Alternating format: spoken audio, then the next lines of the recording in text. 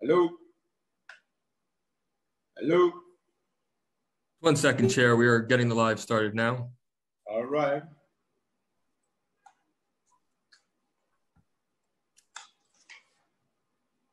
Okay, and yes, we can get recording starting. Recording PC recordings up. recording to the cloud, all set. Ready? Backup is rolling. And good morning, and welcome to today's remote New York City Council hearing of the Committee on Civil and Human Rights. At this time, would all council members and council staff please turn on their video? To minimize disruption, please place electronic devices on vibrate or silent mode. If you wish to submit testimony, you may do so at testimony at council.nyc.gov. Once again, that is testimony at council.nyc.gov. Thank you, Chair. We are ready to begin. Thank you.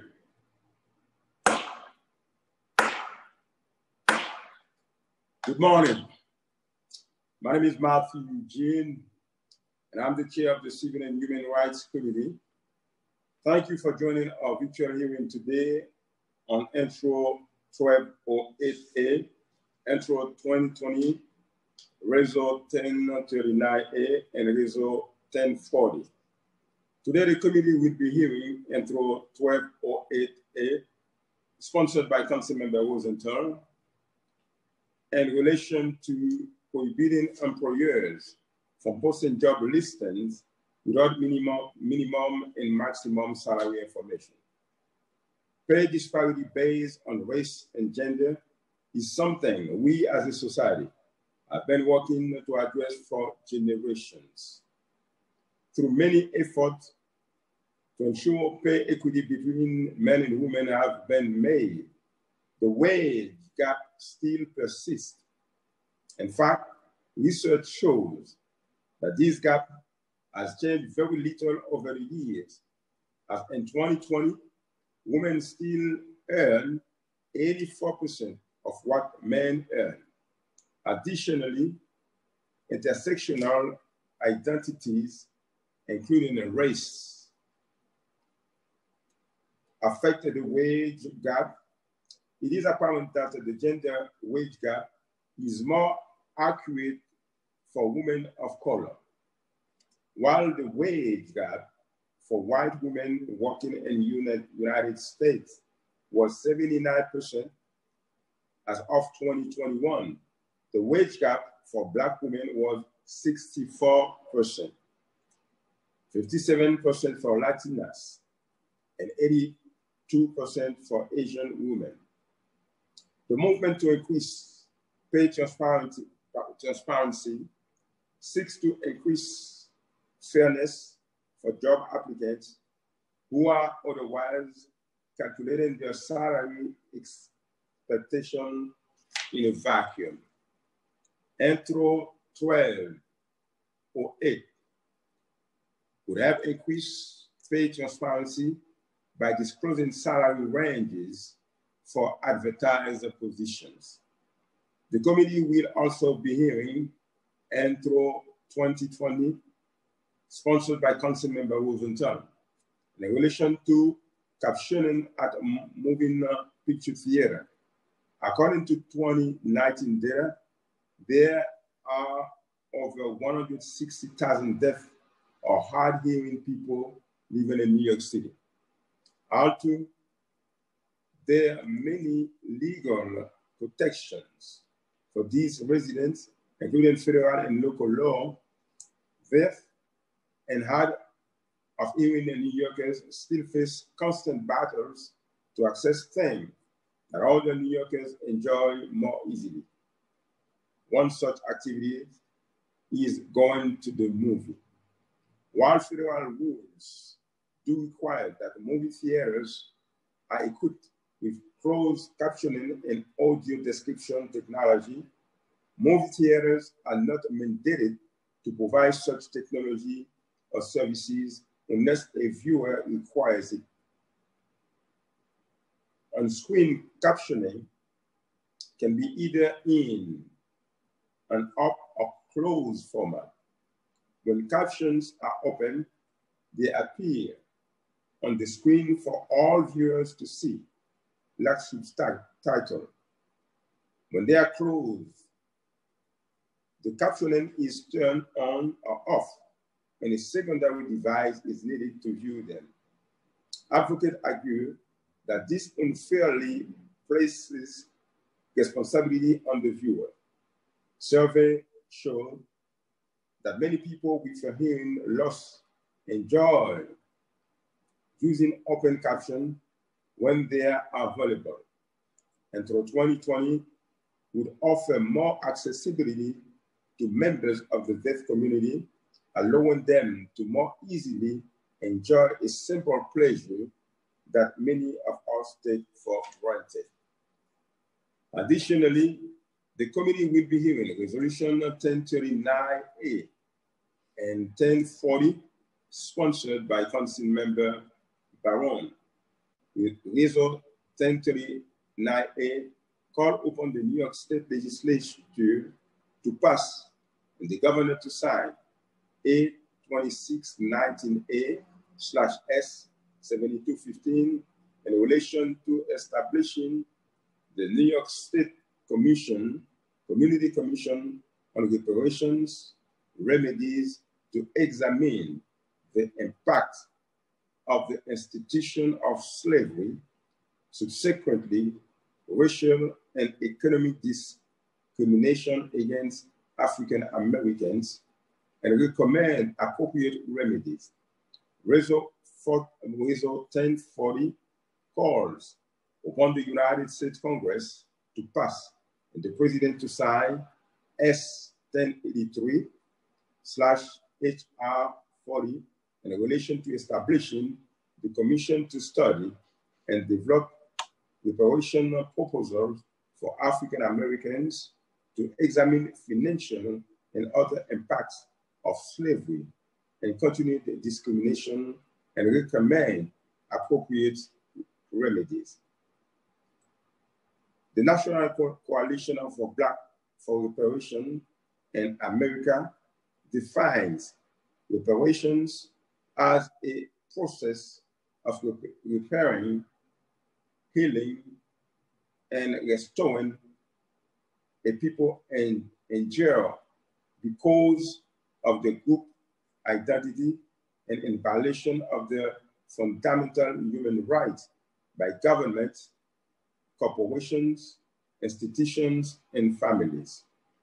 According to the US Census Bureau, 24.3% of New York City population identified as Black or American this means that nearly a quarter of the city populations would stand to benefit from the exploration of this process. Black and African Americans in the United States face a disproportionate amount of poverty and are generally less financially secure when compared to the other groups. After hundreds of years of mistreatment, and inequity, slavery, segregation during the, reconstruction of Jim Crow eras, and past and present institutionalized racism and unequal distribution of wealth as done opportunities for financial wealth and growth among African Americans. Today, the average white family in the United States has roughly 10 times greater wealth when compared to the average black and African American family. A New York City Community Commission on Reparation Remedies will seek to explore the best method for reparation while acknowledging the injustice and cruelty of slavery that took place in New York and the need remedy is impacted. As a similar effort at the federal level would identify the action of state and federal government in supporting the institution of slavery, discrimination, and uh, the private and public sectors, and the persistent negative effect of the policies on the life of Black and African American. I would like to thank my, the, the staff who have worked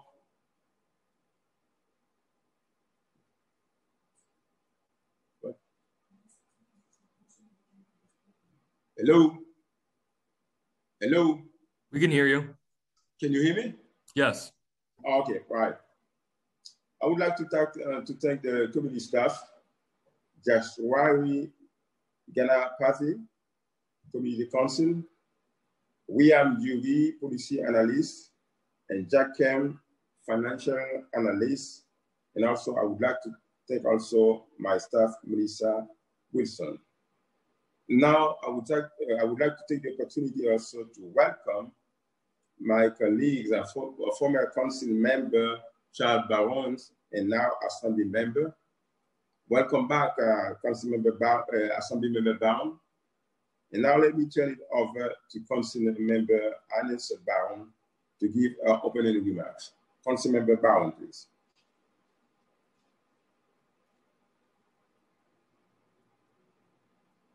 Hello. Thank you. Uh, thank you. Uh, good morning, and thank you, Mr. Chair. And thank you to other colleagues that are here and to the panelists that are here, as well as the community, to talk about these issues. Uh, I'm here to talk about the resos that I'm introducing, which are 1039A and Reso 1040. They're similar in nature. 1039 is directed at the state and 1040 is directed at the uh, federal government. What we're talking about is telling the full story. You know, when we have hearings and trials, the you're affirmed to tell the truth, the whole truth, and nothing but the truth.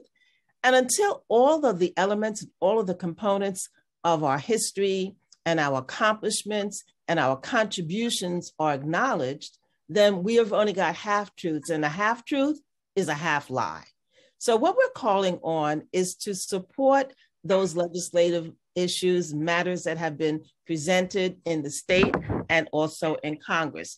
Mm, when I went to school eons ago, we never were told that New York City was, in fact, one of the prime largest slaveholding states in the United States.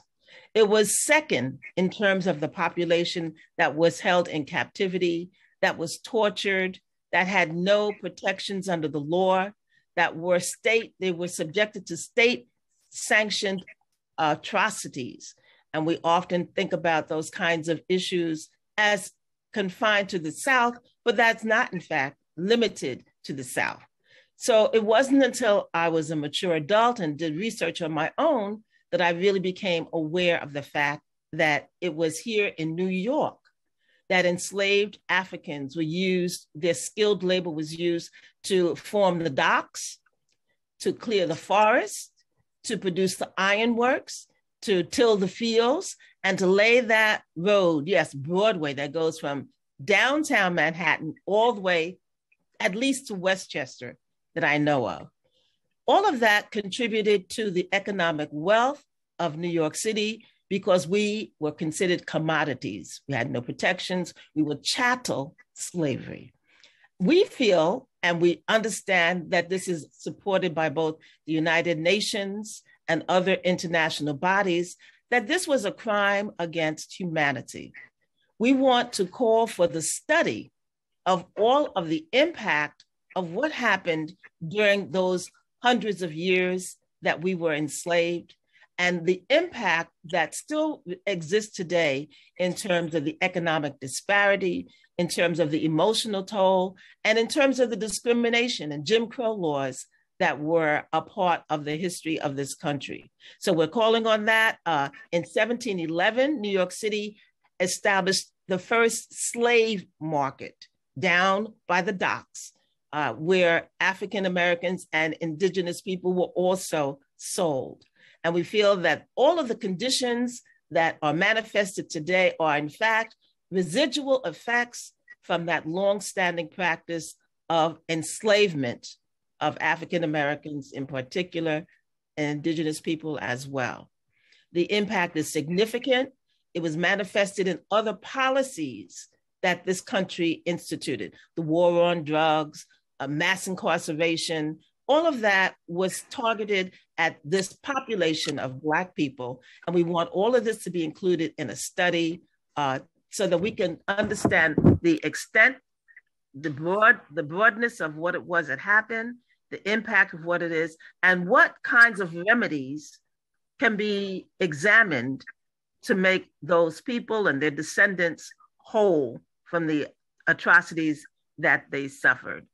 Uh, thank you, Mr. Chair, and I look forward to the discussion and invite my colleagues who are here to sign on to both of these resolutions, Reso 1039 and Reso 1040. Thank you. Thank you so very much, uh, Councilmember Bound, for your uh, remarks. Thank you. Now, I would like to uh, turn it over to Councilmember Rosenthal for some remarks.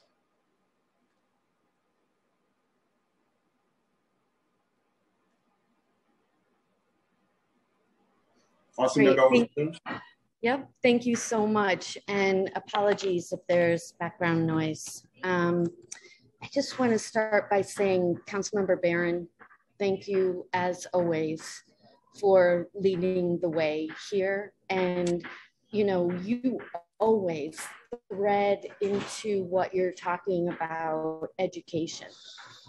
Education. And what you're bringing here, your resolutions, is knowledge.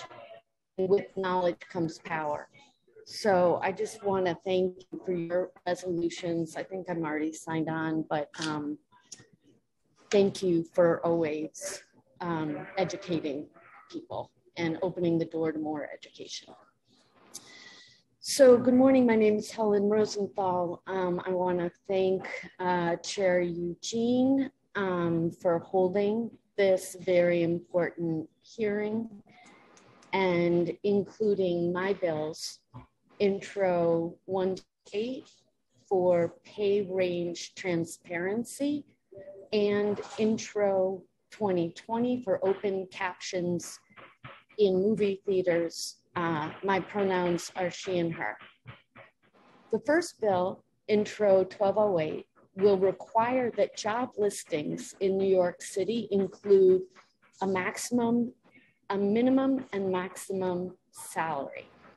Employers who do not disclose a salary range for open positions will be engaging in unlawful discriminatory practice. Salary transparency is an actionable way to create a more equitable workplace, both leveling the playing field for job applicants and helping to identify and address systemic pay inequities. Lack of upfront pay range disclosures necessitates a salary negotiation in which the employer has the clear upper hand. This often results in lower wages for women and people who are Black and Brown, upholding decades of systemic inequity and bias in hiring. Studies show that women net 7 to 25% lower pay rates than men when the rate is arrived at by negotiation lack of upfront pay disclosure can also be especially harmful in the case of low wage jobs, making it more likely that candidates will accept a salary they simply cannot afford to live on.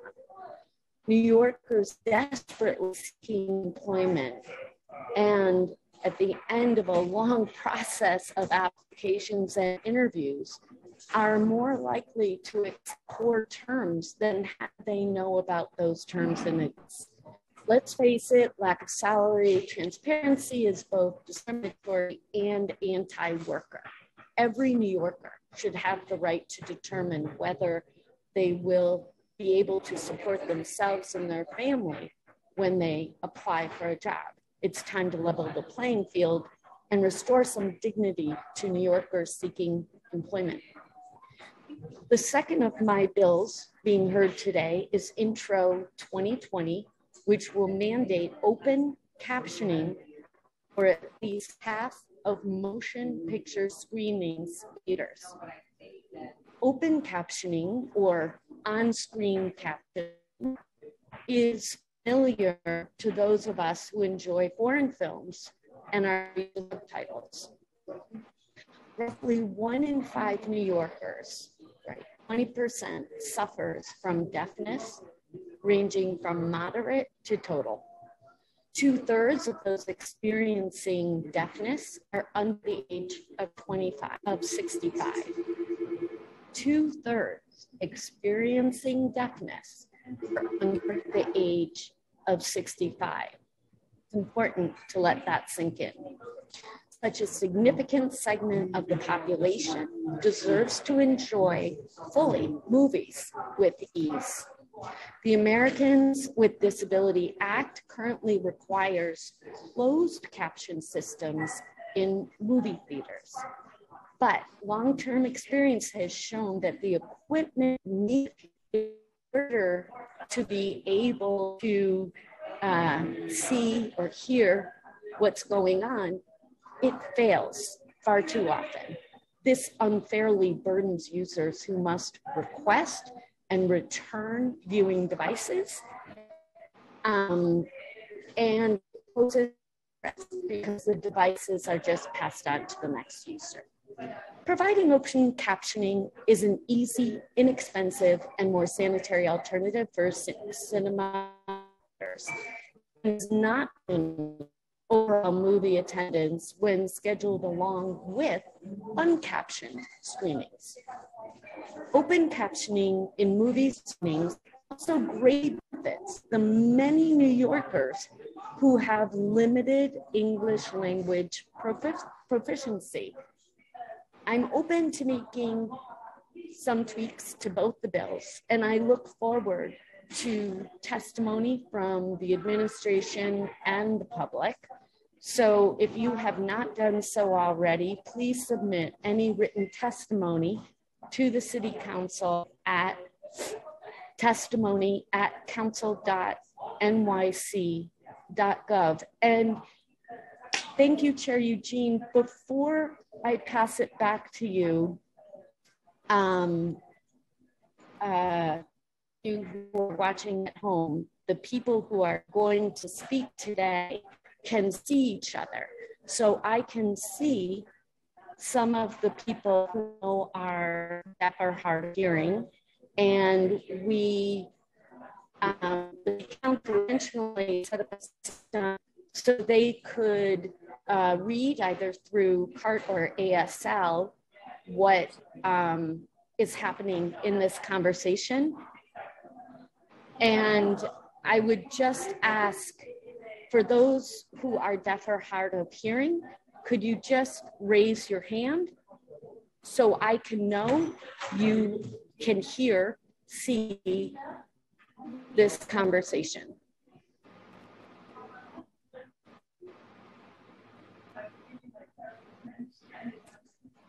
Okay, I am, oh, one hand is up. Thank you. Um, and my system is not totally uh, working. Um, if anyone is having a problem, and most of you know me, just text me and we'll try to help um, figure out how to make this system work. Thank you. Thank you so much, Chair Eugene. Thank you very much, Councilmember Rosenthal. Uh, I don't know if Assembly Member Brown has a statement also.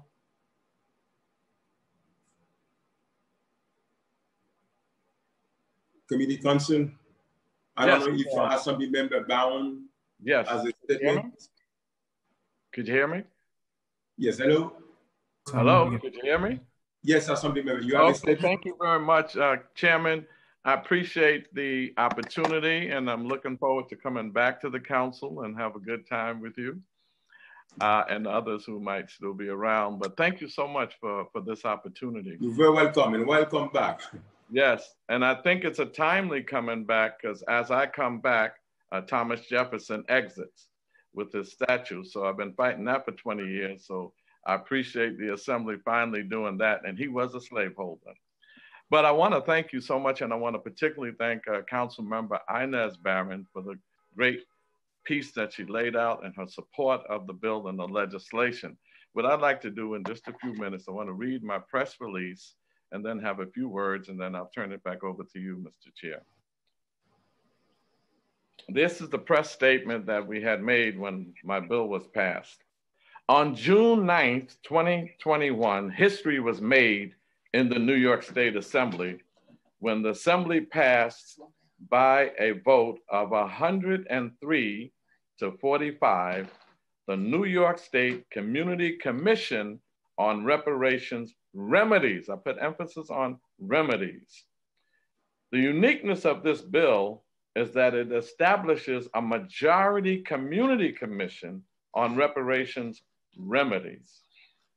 The community will have six appointees, two from the National Coalition of Blacks for Reparations in America, also known as NCOBRA, two from the December 12th movement, and two from the Institute of the Black World.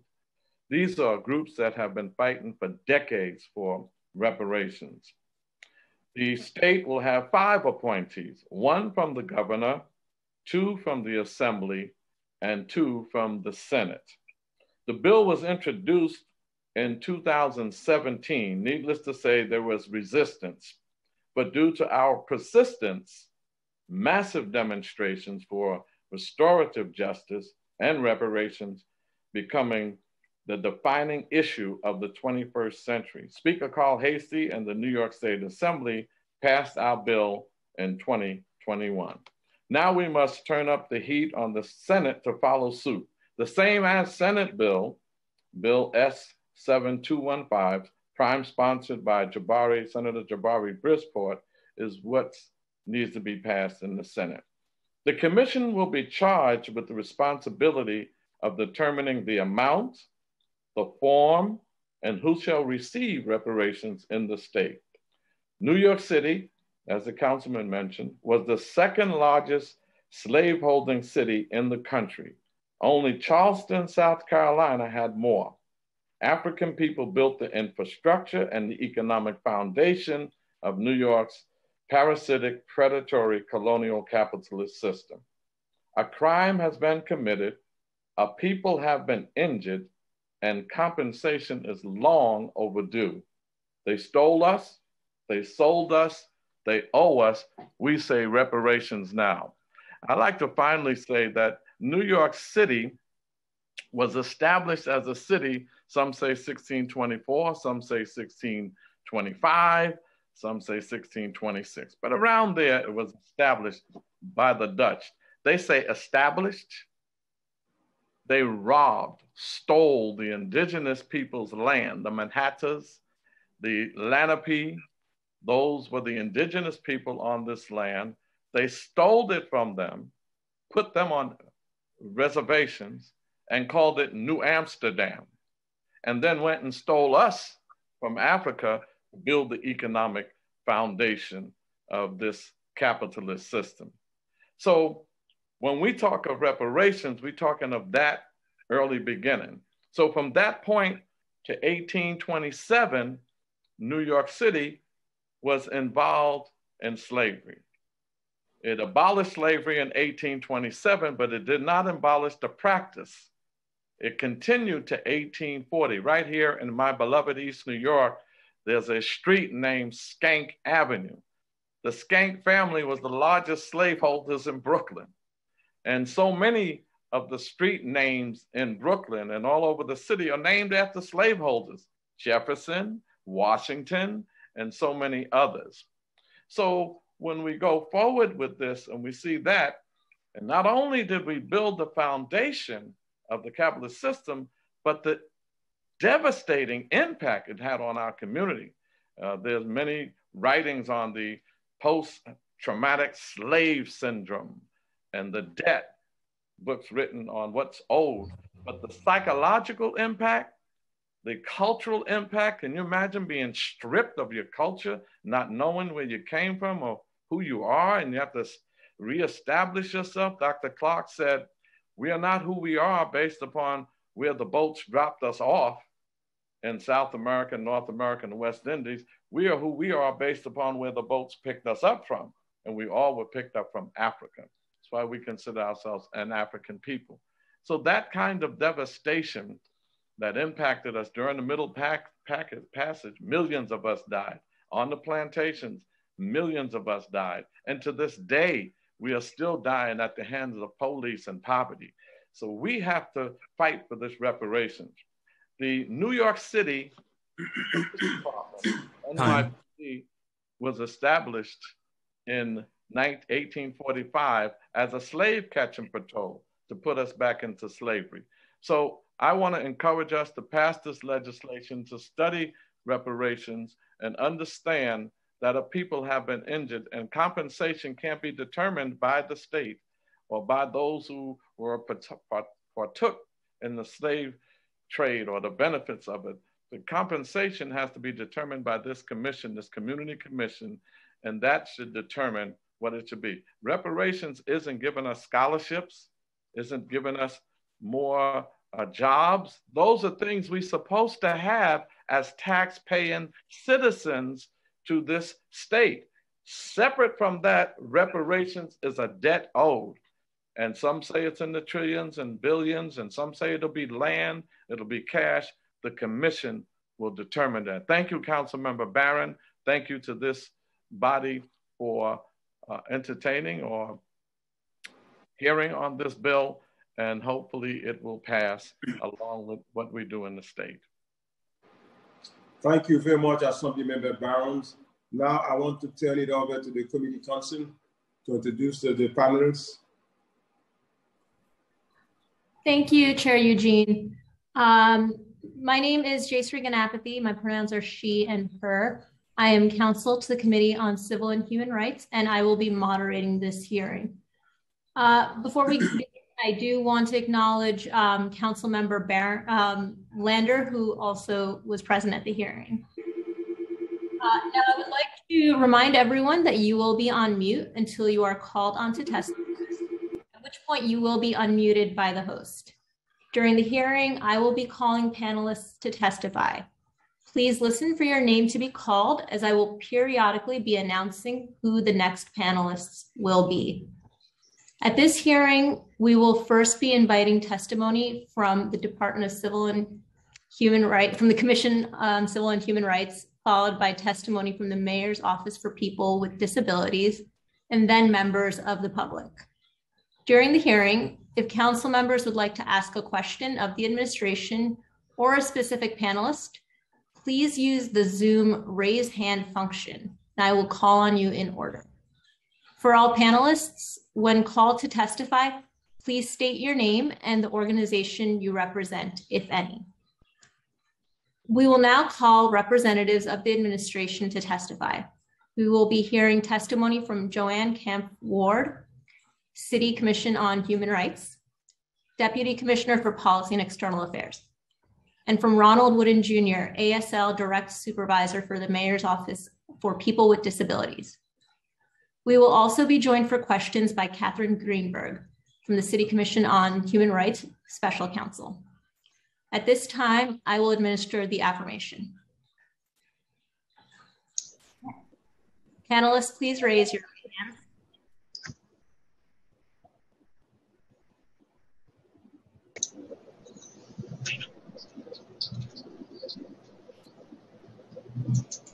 hands. The full truth and nothing but the truth before this meeting, and to respond honestly to member questions. Commissioner Ward. I do. Supervisor Wood. Yes, I do. Special Counsel Green. I do. At this time, I'd like to invite Deputy Commissioner Ward to present their testimony. Good morning, Chair Eugene, um, and members of the Civil and uh, of the Committee on Civil and Human Rights. I'm Joanne Kamuf Ward, uh, Deputy Commissioner of Policy and External Affairs at the New York City Commission on Human Rights, and my pronouns are she and her. Uh, it's my pleasure to join all of you today to testify in support of the intent of Intro 208A, which would amend the city's administrative code to require employers to post the salary range on job postings as described by the chair um, and sponsor councilperson Helen Rosenthal both previously. We've submitted longer testimony in writing and I'm joined today by my colleague Catherine Greenberg, special counsel at the commission. As many of you know, the Commission is the local civil rights enforcement agency that enforces compliance with the city's human rights law. One of the broadest and most protective anti-discrimination and anti-harassment laws in the country, with 27 protected categories, which cover housing, employment, and public accommodations. By statute, the Commission has two main functions. First, the Commission's Law Enforcement Bureau enforces the city human rights law by investigating complaints of discrimination from the public, initiating its own investigations on behalf of the city, and utilizing testing to help identify violations of the law. Second, through the Community Relations Bureau, which is comprised of community service centers in each of the city's five boroughs, the Commission provides workshops and trainings um, for New Yorkers on rights and obligations of businesses, employers, and housing providers under the human rights law, working with community partners and sister agencies. In the last six and a half years of this administration, the Commission has implemented over 30 amendments to the city human rights law. The law has been expanded to include one of the nation's first salary history inquiry bans, prohibit cr criminal history, discrimination in employment, and to expand protections against sexual harassment, among many more.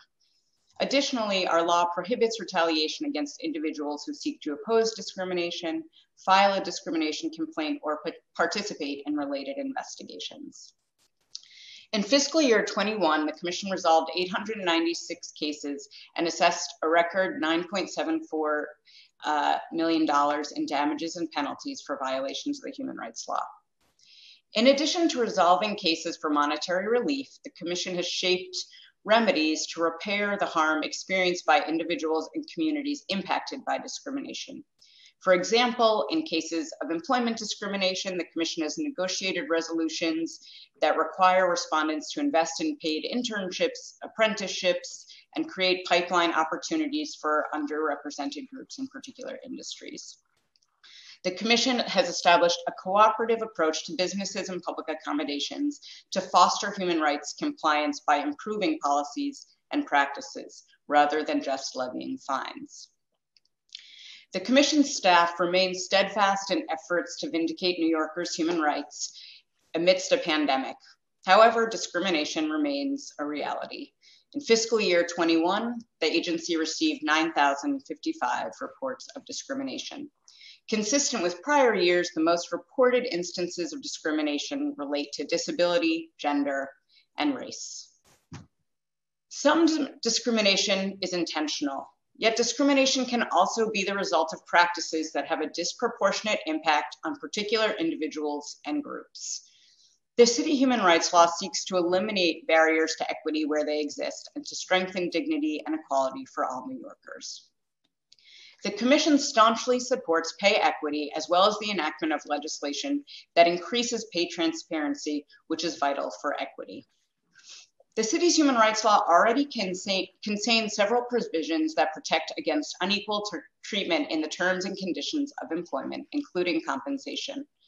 These protections apply to most employers and prohibit discrimination on the basis of protected characteristics, including but not limited to actual or perceived age, race, national origin, gender, disability, and sexual orientation. With respect to disparate pay, the city human rights law provides that it's an unlawful discriminatory practice for an employer, employee, or agent thereof to discriminate against someone in compensation or in terms, conditions, or privileges of their employment because of their protected characteristic. Discrimination in pay or terms of employment, however, can be difficult to detect, as employees are often hesitant to share salary information with colleagues and often do not realize and are unable to know that they're being compensated at a lower rate for comparable work. Recognizing this reality, a number of state and local governments, including in New York, are taking steps to advance pay equity. As I mentioned, the New York City human rights law was expanded in 2017 to ban inquiries into salary history for the purpose of encouraging pay equity. And that amendment to the human rights law recognizes that inquiring about salary history during the hiring process often creates a cycle of inequity and discrimination in the workplace, which can perpetuate lower salaries, specifically for women and people of color. Intro 1208A represents a welcome step towards leveling the playing field for employees and for women and people of color, as, as well as other New Yorkers who've historically and are currently harmed by wage disparities. Wages define what's affordable for families, determines quality of life in the short term, and can impact one's ability to accrue equity over generations. We think that action to address pay inequity today will have long-term benefits. And that's why in 2019, the Commission convened a public hearing on pay equity, working with partners that include the city's Commission on Gender Equity and the Department of Consumer and Workplace Protection to gather input from New Yorkers and publish a hearing report. This hearing and our work in this area have together emphasized that federal, state, and local legislative and policy changes are needed to further foster fairness and equity. The 2019 hearing testimony testimony underscored that although New York City has robust workplace protections, workers across and within industries continue to be inequitably compensated.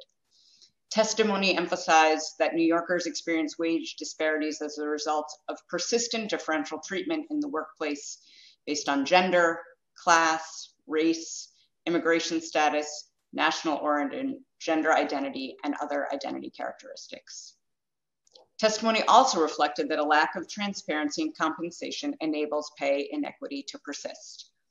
And in jurisdictions where there is mandated wage transparency, the pay gap between men and women has been shown to decrease, um, and more women are hired in, and promoted into leadership. Testimony during the public hearing in 2019 resulted in other recommendations as well. Um, not only increased transparency around pay, um, and posting salary ranges, but support for greater reporting of pay data and de demographic information. Testimony also suggested there's a need for greater services and support for individuals that have been most impacted by wage disparities and underpayment, including raising the minimum wage, expansion of affordable childcare access, and outreach and training programs that enhance career development. The Commission looks forward to working with City Council as well as sister agencies to fulfill the intent of Intro 1208A and to working on complementary initiatives that promote gender and racial equity. Thank you again for the opportunity to speak today.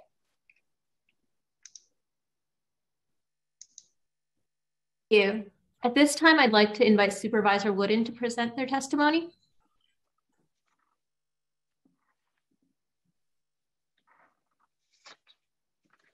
Good morning. Can you can I can you see me? We're yes, just making sure the interpreter can see. Yes. Good morning, Chair Eugene and members of the Committee on Civil and Human Rights. My name is Ronald Wooden Jr., and I am the ASL Direct Supervisor for the New York City Mayor's Office for People with Disabilities, in short, MOPD. It is my pleasure to join you today in support of introduction number 2020, which would require movie theaters to present with open captions on screen.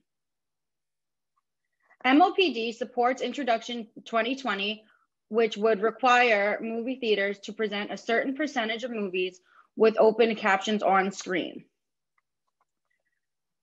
Right now, there are more than 175,000 deaf and hard of hearing people who reside here in New York City. This bill would be a definite game changer for our movie going experience. Currently, only closed caption is provided at most movie theaters. With closed captioning, deaf and hard of hearing patrons who go to the theater must follow what is being said on devices provided by the movie theater, such as captioning or small screen that is attached to our seats, which shows the words. But the, that equipment does not provide deaf and hard of hearing people who go to the theater with full access and enjoyment of the movies. Most of the time, those devices do not work. As a deaf person, I have oftentimes had to get up during the movie theater, walk to the front desk, ask for another piece of equipment if available because mine isn't working. During this time, I have to try and explain what's happening, and I've already now missed 15 minutes or more of the movie. And then when I'm back, there's no guarantee that the new equipment is working.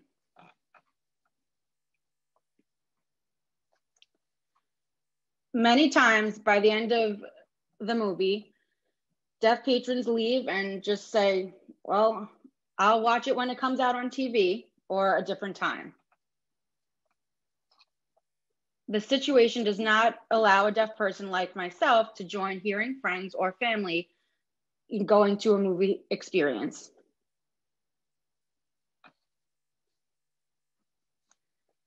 Also, the equipment, even if they do work, can be very uncomfortable. For example, in regards to captioning glasses, they can cause a variety of different issues headaches, swelling around the eyes and nose, dizziness, Plus, the equipment is shared between many different people. So who knows if they sanitize it afterwards. Open captioning is by far superior. With open captioning, your eyes can stay on the screen at all times, allowing deaf or hard of hearing people to enjoy the movie the same with the same experience that hearing people do. Open captioning works 100% of the time without any issues, and there's no sharing of equipment or devices.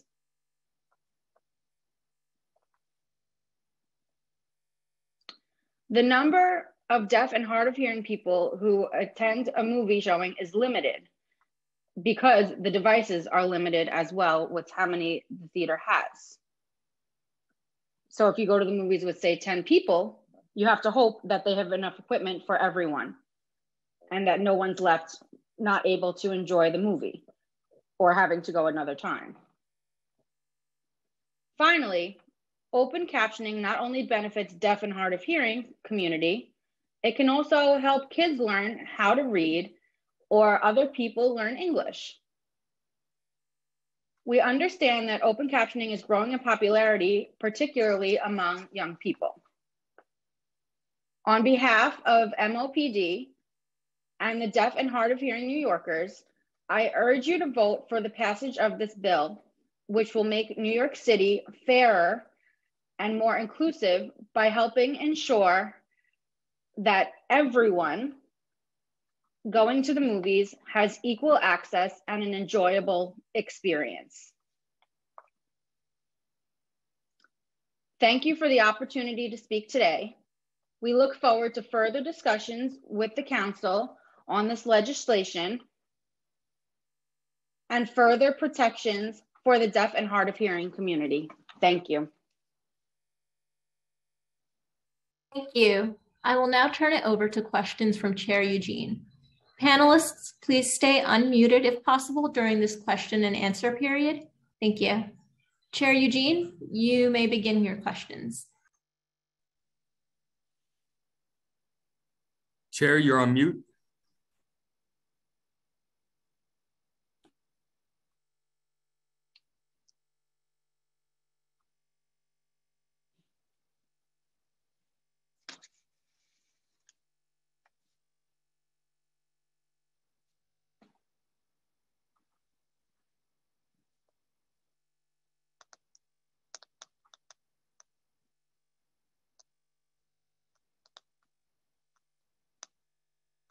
We should be able to hear you now, Chair.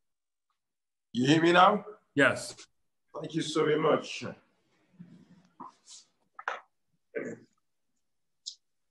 Thank you very much. Uh, I would like to uh, thank all the speakers.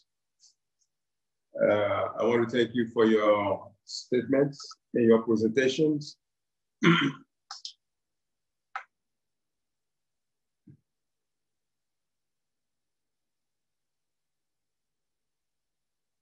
Uh, Deputy Commissioner from the Civil and Human Rights Commission, we, you mentioned that uh, in New York City, people are, are impacted by the inequity. But could you tell us, according to your observations, which group are most impacted by the pay inequity in New York City? Thank you very much for, um, for the question. Um, the landscape for pay equity reflects similar disparities to what we see national nationally. As and as one recent study has indicated, um, women are average on average are paid roughly 82 cents for every dollar that white non-Hispanic men are paid, while Black women are paid 62 cents, Native women are paid 57 cents, and Latinx women are paid 54 cents.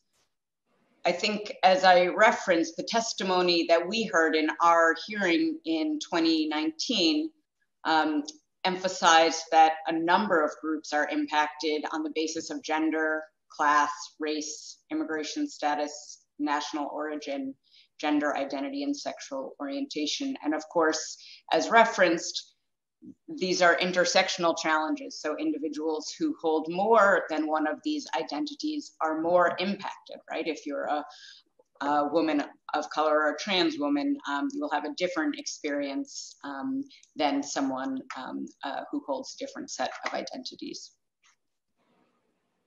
Uh, pay inequity in New York City is a fact. We are seeing it every single day, and we talk about it all the time. But currently, could you tell us about the remedies that the employees have in New York City to face this uh, pay inequity, to overcome this and to handle that? Sure, and I'm going to turn to my uh, colleague, um, Catherine Greenberg, to talk about the remedies are av are available when we find um, that there has been um, discrimination in, in wages.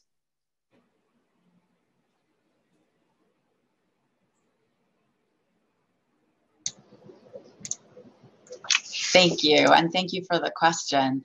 So the New York City human rights law does prohibit employers from paying workers less because of their national origin, their race, their gender, their membership in a protected class.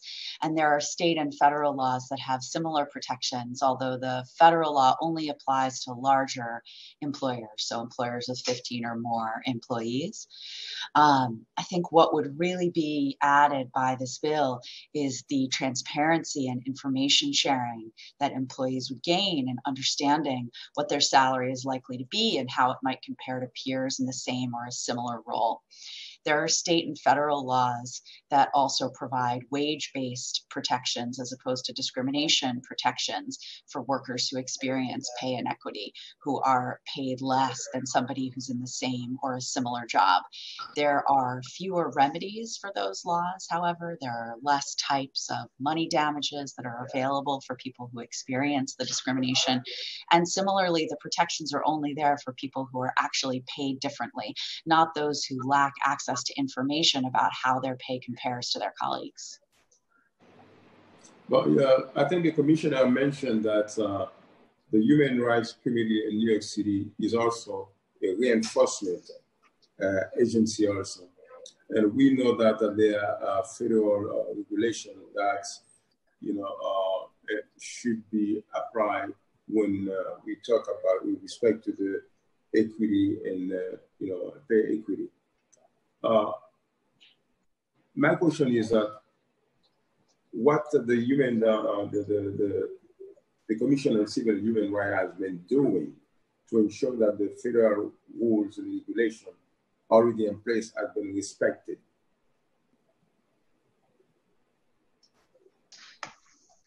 Sure. So the, the are most... you, uh, it isn't under your jurisdiction to do it. Are you capable of doing it? If yes, what have been done? If not, that's another story. sure. So when we um, get, we do receive um, inquiries and complaints around unequal pay. Um, and we have since 2018 received 45 such claims. Um, 29 of these cases, to answer an earlier question, Chair, were uh, based um, on gender as well. Um, and of these cases, um, we have found probable cause in one. Um, a number have been closed, and um, in several cases, there was no determination. But I think um, we can talk a little bit about what kind of remedies and damages and civil penalties are um, available when we when we do find uh, discrimination has occurred. So Catherine, I'll turn it back over to you. Of course, thanks, John, and thank you, Chair Eugene. So we only have the ability at our agency to enforce the city's human rights law, the city's anti-discrimination law. We do have a work sharing agreement with at least one federal agency, and so we do receive complaints under the federal anti-discrimination laws, but we can't investigate or prosecute them. We can just help preserve people's rights. Uh, but thanks to the council um, and thanks to the work of our agency as well, we do have the most expansive anti-discrimination law in the country, and we're very proud of that and proud of the work that we do carrying out the mandate you have given us to combat discrimination here. Mm-hmm. So, you know, as Joanne was mentioning in this particular area of complaints under salary history, there have been it looks like 11 cases that have resulted in a positive outcome for the complainant. So a total of $341,000 in damages collected for those victims. And about 16 cases that have been filed in the past three years are more recent and still remain open and under investigation. Uh, we have additional claims that have been filed under the salary history protections of our law as well. Some of them are overlapping with the equal pay complaints, and some are, are different. The salary history protections is an area where we've done a lot of testing and some commission initiated work as well to make sure that that area of our law is being enforced. Know, our complaint process sometimes starts with a complaint that's filed by a member of the public who believes that they have seen an illegal ad or that they have been paid less than a colleague for a discriminatory reason. And sometimes it starts on a commission initiated basis where a member of the public provides a tip or we get information that there's pay inequity going on. And in those instances, we may reach out to the employer before filing a complaint to see if we can reach a resolution, or we may file a complaint as the commission and conduct an investigation. Uh, once a complaint is filed, either by the commission or by a member of the public, we gather further information. So documents, we interview witnesses, we get data about pay um, and other factors, policies. We learn more from people who are working there, what they've experienced, how they're being paid, why they're being paid, what they're being paid. And then ultimately we reach a determination. If our determination finds evidence of discrimination, we seek to settle or conciliate the case. And if we can't do that, then we would prosecute it. Um, and I think, as Joanne had mentioned earlier in her opening remarks, there's a really wide array of remedies that we seek in conciliation or that our commissioner can order at the end of a prosecution. So that can be money damages for the complainant. If they were paid less, they can get back pay, emotional distress damages, attorney's fees. We, as the commission, can seek penalties up to $250,000 for violations of the law. And there's a wide range of affirmative relief. So, fixing illegal job ads, creating or changing policies, training for HR employees and hiring managers, um, and then sometimes additional steps, as Joanne had referenced, such as partnering with community organizations to create pipelines for hiring to diversify our workforce and ensure that there's access for members of underrepresented groups. Thank you very much. When we talk about uh, pay inequity, excuse me, it is a very important topic in New York City and also throughout the nation. It is uh, uh, about the civil and human right of people who are working hard. But I think that uh, to achieve the goal that we are all looking for, we are all, you know, searching, uh, it will take more than uh, the Commission on Civil and Human Rights it will take more than uh, you know uh, the employers or the employees I think all the components, all of us should be involved in uh, making the effort to make sure we reach uh, what we are looking for, uh, pay equity. But uh, I know that uh, the commissioner mentioned that the Commission on Civil of Civil and Human Rights the enforcement agency, enforcement agency. But in terms of working together to achieve this goal, novel goal, I think that uh, the commissioner, the deputy commissioner mentioned that also. The uh, Commission uh, for Civil and Human Rights is an institution that provides also uh, training and, and services. And I do believe in this case, when we talk about pay equity or inequity, it would be necessary, it is very important that we communicate to the employees and also to the employers and also educate them, you know, let them understand, let them have them understand the need and the necessity for all of us to reach this uh, equity pay that we are looking for. That's means providing the training and also workshop to the employers and at the same time providing also uh, training and, and workshop to the employees also. In order for both of them to understand the need and the necessity, the urgency to uh, reach this uh, equity pay that we are talking about. Could you tell us uh, what has been done in this, uh, you know, in this direction? What has been done in terms of reaching out to the employers, providing training to them, and reaching out also to the employees and providing also training to them? Sure. So I think um, we are a law, law enforcement agency, but as I mentioned, um, we are also an agency that believes in preventing discrimination before it occurs. And that's why almost half of our agencies is committed to education and outreach. So anytime we uh, make a substantive amendment to the law, we are thinking about how do we educate the public. And to your point, Chair, that means individual rights holders, in this case, people who will be applying for jobs, uh, as well as employers, right? So we work um, broadly with all relevant stakeholders. We spend both um, Special Commissioner Greenberg and I um, develop with our team public facing materials, FAQs, fact sheets about our law, which sit on our website. But we also go into communities through our five community relations bureaus to ensure that people understand um, their their rights and obligations where that is um, that is important. And we do trainings constantly with community partners. Um, and in fiscal year 21, for example, we reached more than 100,000 New Yorkers through these trainings. So we take really seriously the, the piece about education and, and prevention. Um, and we also, like anybody these days, use our social media channels to push out amendments to the law and um, and invite everyone to, to um, check us out if you have time. Uh, uh, thank you very much. Uh, we all know, and I say that I mentioned that several times, that New York City is home to so many people, immigrant people coming from all over the place. And the immigrant people, they are I believe they are very affected by that also because the fact that immigrants, they come to a system, they don't understand too much. And also uh, uh, they are very easy, uh, easy uh, target also. So uh, when you have been trying to provide training, workshop, and uh, education to the employers and employees, and did you use also people who speak different languages? Because we have so many people speaking so many languages in New York City. How did what did you do to reach out also the immigrant, the people who just came? They are legally, I'm talking about the people who are working hard also, but they don't get, you know, uh, integrated to the system yet. They don't know. There are a lot of things they don't know.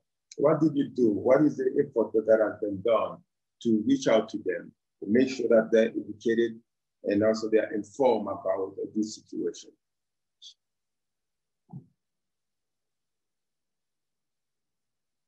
Okay, I was muted, um, but uh, very, very happy. Did you hear me? Yes, very happy to answer this, this question. I mean, first, I'm proud to say that staff on the commission speak over 30 languages. So that is quite important for our ability to be able to share information with individuals in New York, no matter what um, language they are most comfortable speaking. We also have on our staff liaisons to particular community groups and work very closely in the rollout of information about um, substantive changes to our law with community groups that are well embedded um, and often have stronger relationships with communities, whether they've been historically in New York um, or are more newly arrived in, in New York City. Um, we also endeavor to translate um, our major documents into as many languages as, as possible. And so um, they are accessible if people read another language. We have recently rolled out um, videos um, in Mixteca and other um, indigenous uh, peoples languages so that um, we are reaching um, all the New Yorkers that, that we can. Um, and as that changes, we shift as well. Thank you very much. Uh, you know, this legislation is going to require the employers to, uh, to post also the minimum and the maximum pay Hello? Uh, what uh, how would this legislation impact employees and employers in New York City? Can you tell us how you know this legislation will impact the employees and the employers in New York City if it get enacted? Sure, and I think uh, the I, I, think my colleague Catherine spoke to this. Um, it requires employers to post a minimum and maximum salary, um, which in many, many instances, employers are working with a budget. They know um, what, what the ranges are um, and um, can post them with other job requirements. And um, it, it, we think it promotes both transparency, right, by providing information to potential employees to determine if they're going to apply for a job. And if they are applying for a job, um, gives them tools to negotiate with. Um, it also can help promote more general accountability because people understand the wages that are available across sectors, um, and that includes all New Yorkers, whether or not you're applying um, for the job. And also, can you tell us how, how will this impact employment in New York City? Will there be any change in the behavior and the, you know, the, the, the employment situation in New York City?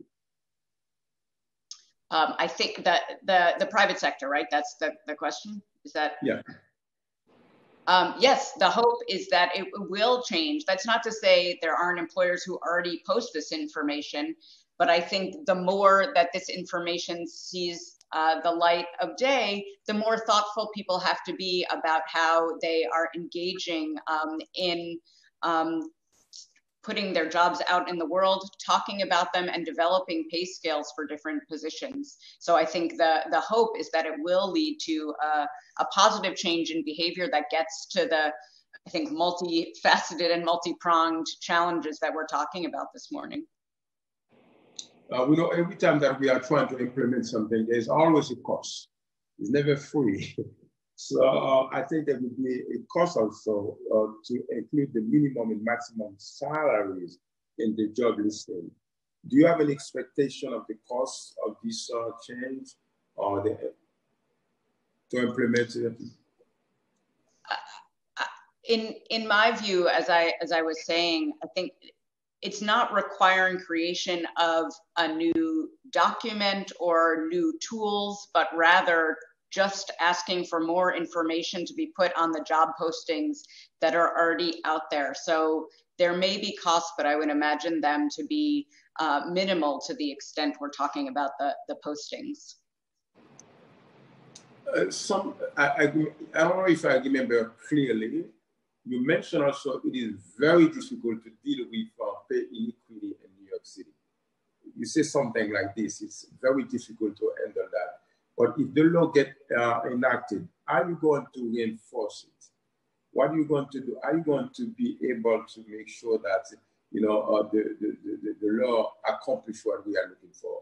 Because it seems that you mentioned that it's a very difficult uh, uh, uh topic or subject or situation.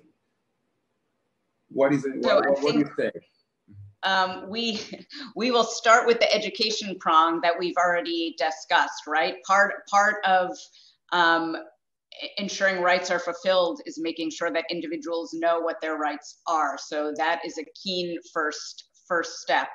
Um, as my colleague Catherine Greenberg already mentioned, we rely um, fairly extensively on our relationships with sister agencies as well um, as with community groups to understand when either the law is being violated or where there's the potential for violations and, and to step in again through our trainings and outreach. We receive inquiries through our, um, our info line and where we think there's the possibility that discrimination occurred either because we received an inquiry or um, through testing, which is something else that we, we mentioned we can do, right? You can look at job postings and identify if there's compliance. Um, then we would potentially either engage in a pre-complaint um, uh, investigation or possibly um, file a complaint as well. And Catherine, I don't know if you want to add anything to that answer.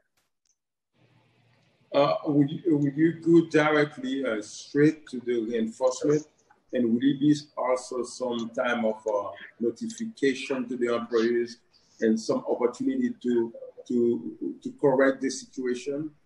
Or you are planning to go straight to the reinforcement? Will it be any change for change for the employers to try to correct the situation before you implement it. You go to the yes. So when we say enforcement, I think um, I think that means a lot of different things. It can mean a complaint, but we also have pre-complaint initiatives to, to attempt to cure um, possible violations. And I'll let Catherine speak to that a little bit more.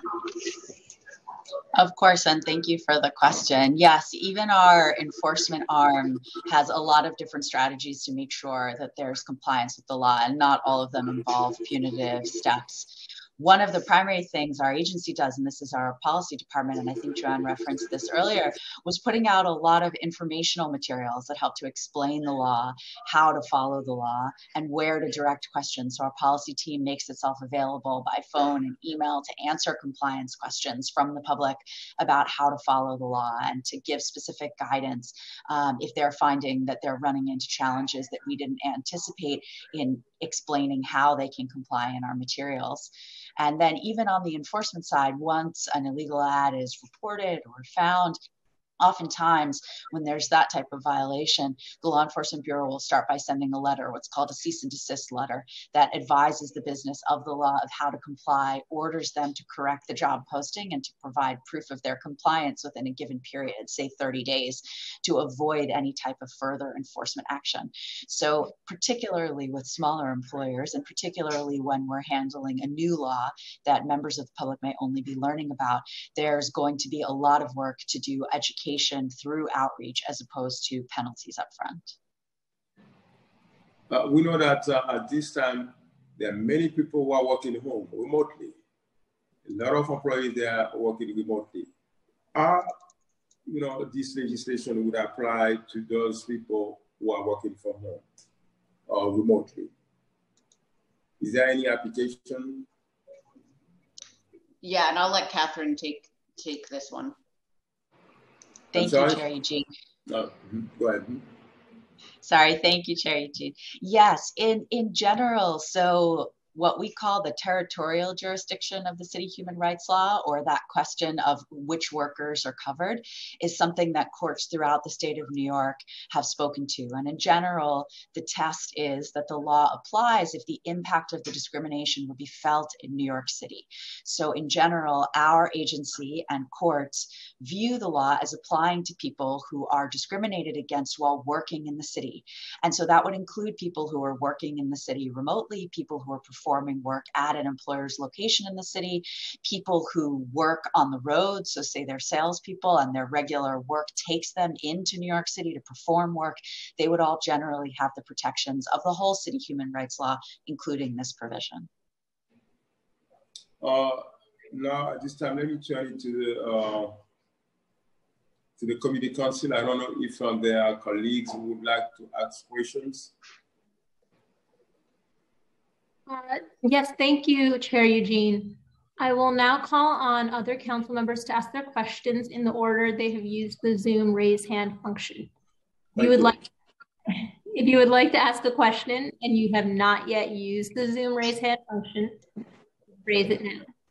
Please begin um, your questions once I have called on you. And uh, panelists, please remember to keep yourself unmuted so you are able to answer the council member's question. Uh, Councilmember Rosenthal. Great, thank you so much. Um, and again, apologies. Uh, you may see my phone uh, screen flip a few times to my screensaver as I'm um, uh, uh, only working on a single device right now. Um, but first, I, I would be remiss if I didn't thank the ASL interpreters who are here. Um, thank you so much for your hard work. Um, and then for the Commission on Human Rights, thank you so much for your testimony. Um, it's just so interesting to learn about what's happening around um, I guess my first question is um, Do you have any suggestions, and perhaps this will be in your longer testimony, but the bill is very short, very simple. Do you have any uh, immediate suggestions for um, ways to improve the bill? And my second question is What will be the biggest challenge that you foresee in implementing the bill? Sure, that that's uh, a, really welcome question.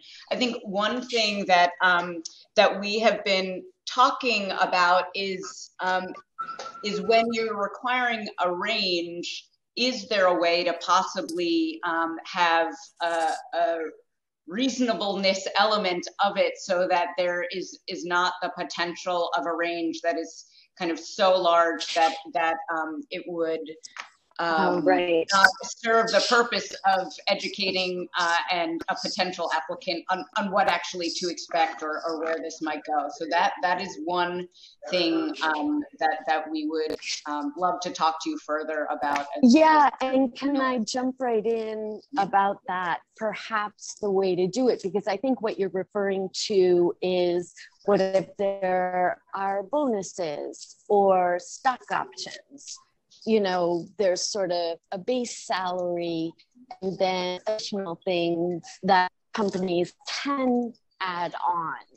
Um, and so, yeah, those are those are great points. Um, and I don't know how quite how we capture all that, but yeah, I look forward to working with you on that point, how to keep it, um, yeah, realistic.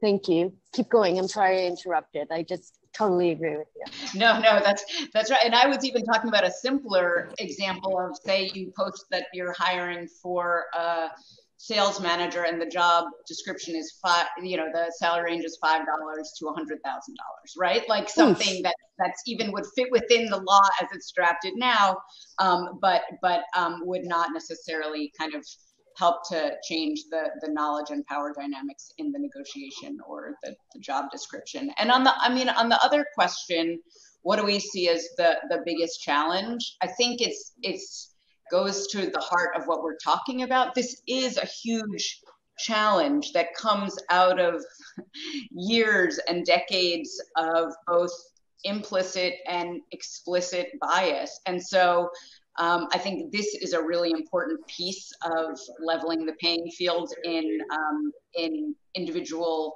actions, but there's so many other things that that need to be done to ensure that there's greater equity in the workplace. So that's what I see as the biggest challenge. Yeah, I agree with that. I was thinking about um, how my situation, I've experienced uh, pay inequity situation when I started working for the city, actually 30 years ago, and discovered when talking to a male colleague who had the same job title that I had, that his salary was about $5,000 higher than mine. And I looked at him and said, What? You know, what? Uh, what? And he said, Yeah, I told them I have a family. I'm going to need more money. Um, so even within the pay range, um, you know, sometimes, uh, and and in my mind's eye, that gets to your education efforts. Um, I loved hearing about the work you do throughout the city to help people learn how to negotiate um, for a better salary. You know, I mean, I was lucky enough. Well, first of all, I don't think you guys existed, but I was lucky enough to be able to just go talk to the human, um, the HR division, and say to them, you know, that's ridiculous. And they changed my salary and they gave me the back pay to the start. But I think my story is pretty unusual in terms of rectifying a situation. Okay, so that's super helpful. Um, I'm going to flip my screen so, um, but but I need, but it's so I can ask you the next question. Apologies.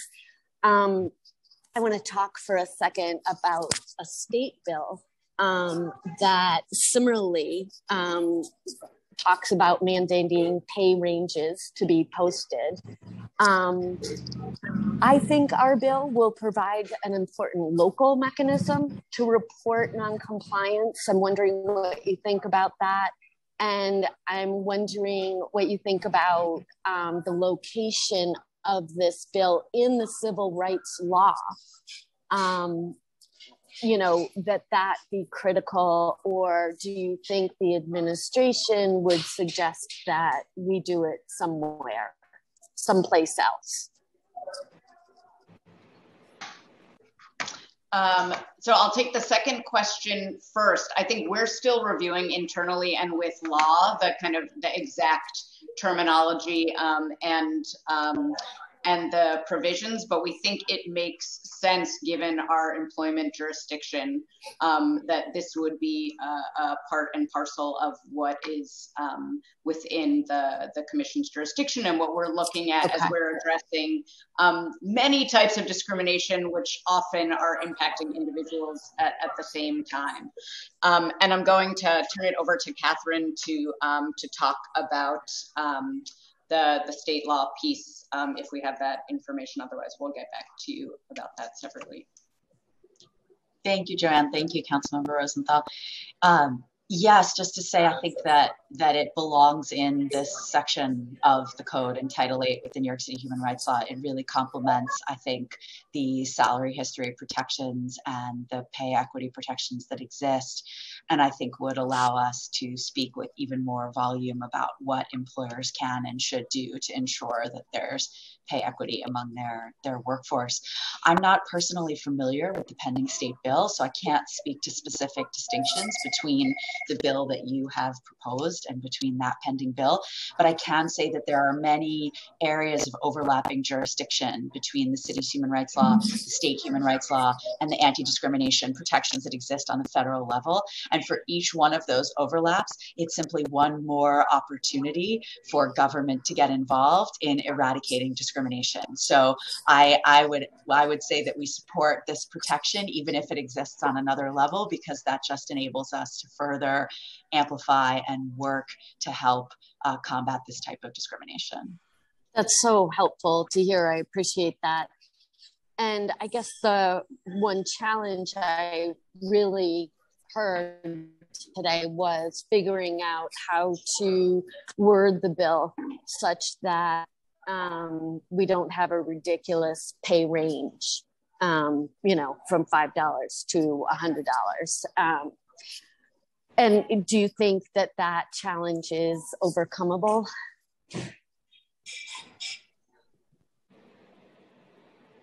Um, yes. um, I, I, th I, think it, it, it, definitely takes a little bit more thinking, but I think we can um, workshop some some solutions that, that we think are are workable, and um, there's other jurisdictions that have similar um, protections in place, and so can look to other areas for guidance as well. Thank you. I ask these questions because these are some of the questions I've gotten and I just want to make sure, hearing from you, that um, we're we're on the right track. I think that's it for me. Um, I mean, one of the other. Um, so I'm going to ask this question, but it's um, just that. It just sounds to me the numbers that you were giving for how many cases that you've dealt with having to do with pay discrimination and the fact that if I heard you right, just one uh, was settled uh, in in favor of the the person who brought it uh, forward. You know, really gives gives me more, um, you know, uh, interest in moving forward with this bill. Um, you think that's a fair statement. Yeah, I think so. There were there were um, several cases that went to mediation. So just to to correct on the numbers, there was not just one that, that, was resolved.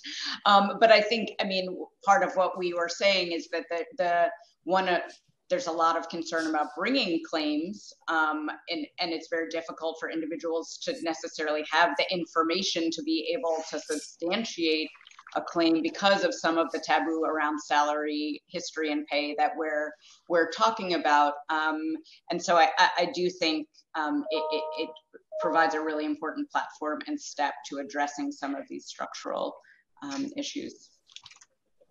Great. Thank you so much for that. Chair, I'm going to send it back to you um, with the understanding that you'll be asking the mayor's office of people with disabilities separate and apart from this bill line of questioning. So thank you very much.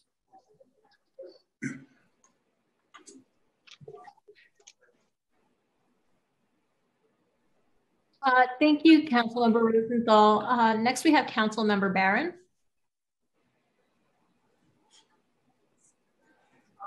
Uh, thank you very much.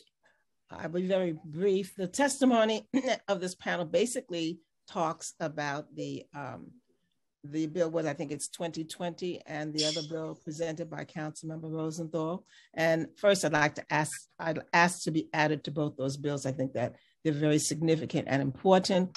I also want to thank Councilmember Rosenthal for her kind words about me, and ditto back to you. Uh, I want to ask you about my two resos, 10, 1039A and 1040. Uh, Councilmember Rosenthal said that she discovered that there was a pay disparity between the work that she was doing and someone in the same title.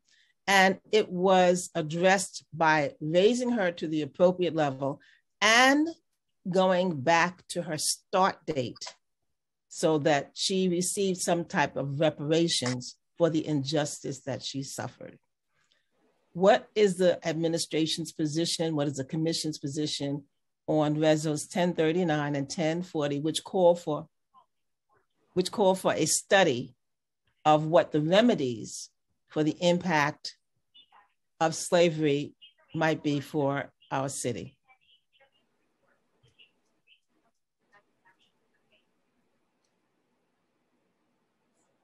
Oh, did you hear me? Yes, sorry. There's a delay in my oh, okay. ability to unmute myself. No um, problem. so I, I cannot speak for the administration um, uh, on on these resolutions, but I can say from um, from the commission perspective, um, we support initiatives that aim to address both current and historic barriers to discrimination. Um, we also are very big proponents of participatory decision making. So, um, as was stated earlier, um, the idea that um, any panel put in place would involve um, community members and be a joint um, a, a, a, joint endeavor. And further, we support initiatives that advance dignity, equality, and an adequate standard of living for all, all New Yorkers. So to the extent um, we can support the intent of any measures in that arena, um, we, would, we would do so. Um, and the commission, I'll just flag, has done a, a fair amount of work um, in the arena of anti-Black racism, racism specifically, and I'd be happy to share um, the reports that we have created in, in this arena um, and, and to talk further um, offline about these um, resolutions. Thank you very much. Thank you, Mr. Chair. And I appreciate the fact uh, that Councilmember Rosenthal is implementing what she wants us to do by having signers here. And I hope somebody can put in the chat, well, we don't have a chat, but someone can give me information about where I can go to learn sign language. I've been trying, no, I've been saying for more than 25 years, I'm going to learn sign language. And I did go online and try to learn some of the songs to sign them, but it didn't work. But anyone who wants to share any information about resources about where I can go to learn sign language, it would be greatly appreciated. Thank you, Mr. Chair. You're welcome, Councilmember Brown, and thank you so much also for your legislations and for your advocacy for a long time. And I know Councilmember Brown at that time has been fighting for that also. I didn't want to speak about that yet because I thought that you know we would have the opportunity after. But let me say that uh, for a long time, long time, African descent people, black people have been fighting for reparation and remediation, and remedies for what they have been suffering, what the black people have been suffering, you know, since uh, millions, uh, you know, from, uh, from uh, many hundreds of years. And also the contribution of black people. There's no words to express and to explain people the contribution of the black people to the United States of America. I think this is something remarkable, important, not only for the black people, but also for all Americans. We have to know history, what America is about. How America become America, who have contributed, the, the, the, the challenges, the struggle different people went through. Not only black people, but everybody, but especially black people have been through so much to contribute to the United States of America. But many people don't, don't know that.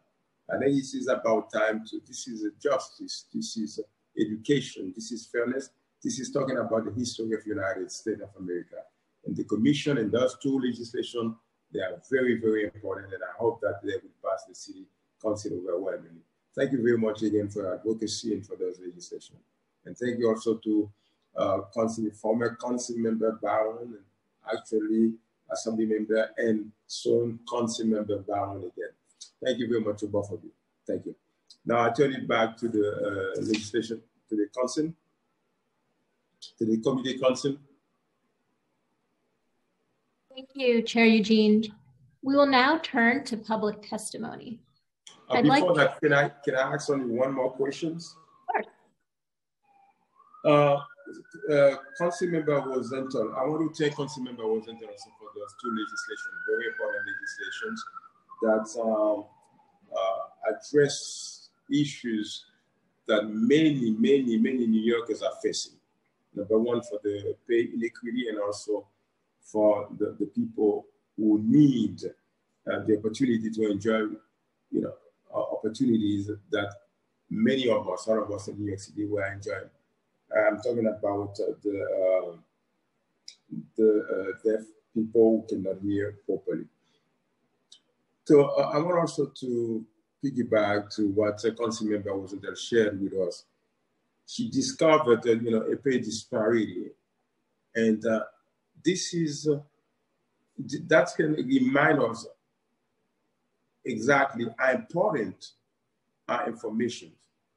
When people are informed, when people have the knowledge, what can they do to implement their life, to, to, to, to implement their life? what the difference will be. Because she had the information, she had the knowledge, she could go and ask for reparation, to ask also for, for uh, a payment or, or, salaries to be changed. So my question to the uh, commissioner, I know that uh, my father always said that my son, there is no perfection in nothing there's always room for improvement. And the commissioner mentioned that um, uh, the Commission of Civil and Human rights have been doing, has, has been providing training and also workshop to people. That's great. But because we know there's no perfection in anything, is there also something you believe that you can do in addition to what you have been doing to provide to the workers the information and the opportunity to, to have the knowledge to do what Councilmember Rosenthal did in terms of, you know, going, having the information and the knowledge and the courage also to go and to say, you know what, I want, you know, to be paid equally. And I want to, to pay equity. And I want to get the salary that I deserve. Is there anything that uh, the Commission of Civil and Human Rights can do to make sure that people are informed, they got the knowledge, the education to take position and also to demand for the, you know, the, the salaries that they deserve? Yeah, I mean, as, as part of what I mentioned, where we have um, the, the opportunity and um, and the partnership of sister agencies like the Commission on Gender Equity and um, Department of Consumer and Workplace Protections, I think we've been quite effective in going into communities and hearing from individuals and having an exchange that's not necessarily a workshop or training, but where we're hearing experiences and thinking about how does our law respond? How do other agencies in New York provide services that help um, help to meet people's needs? And again, working with um, with with counsel uh, and uh, others in the administration to think about gaps in protections and what's needed um, to to address them. Um, but we are always also taking recommendations for how how to be improving our outreach and education. So we'd be open to hearing from others after the hearing as well.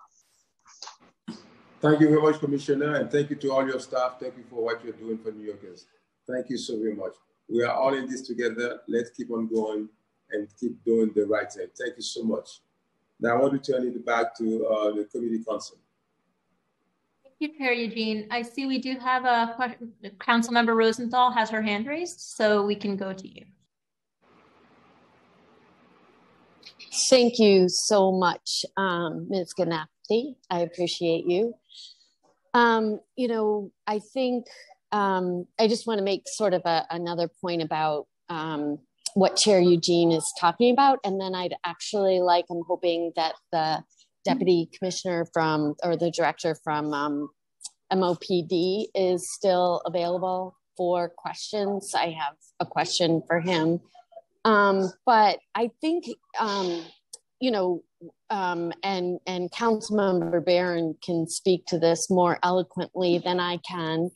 But you know, the question in my situation is answered a lot by the privilege that I had growing up, right? And you know, I was taught if I don't like the situation, I go and try to fix it. And in history, of um, Black people in this country uh, does not uh, land um, does not leave Black people in the same situation as I had, um, which is why this is um, this whole why the Black Lives Movement um, is so incredibly important that we need to make sure everyone is empowered to make sure that that their rights are are heard and respected. Um, so so there are a lot of important things that come out of um, this particular my particular situation. Um, and Councilmember Barron, I don't know if you want to say something about that. I am just going to jump over to the Mayor's Office of People with Disabilities. I have um, just a question for you um, on the open caption bill. Um, I guess two questions. One is about enforcement and whether or not, um, you know, MOPD believes they will have a good role in enforcement and whether or not, sorry for these alphabet soup, but um, DCWP, the Department of Consumer and Worker Protections, whether or not they will be able to enforce the bill. Um, and secondly, um, I really was so heartened um, by your testimony to hear the support from the administration. I'm curious in the administration's research, have you found any drawbacks to open captions? Thank you.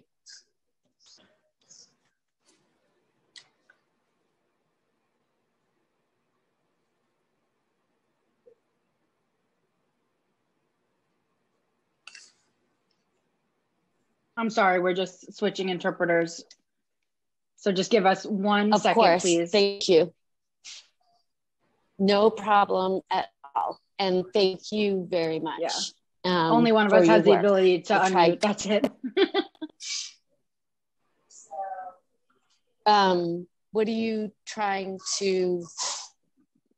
Tony's just looking for me.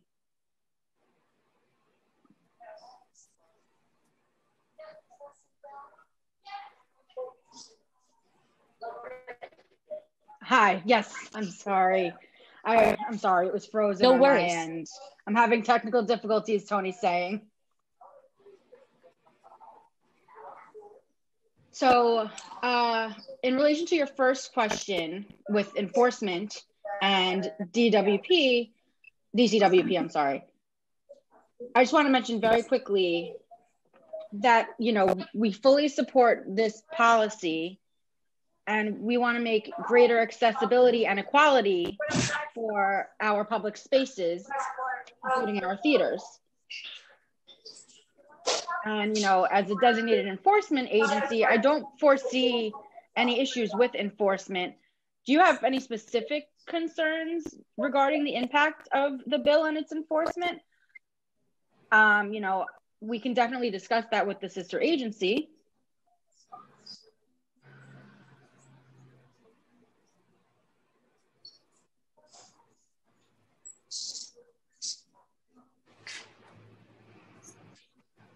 Sorry, there. Uh, um, no, I was wanting to get a sense of.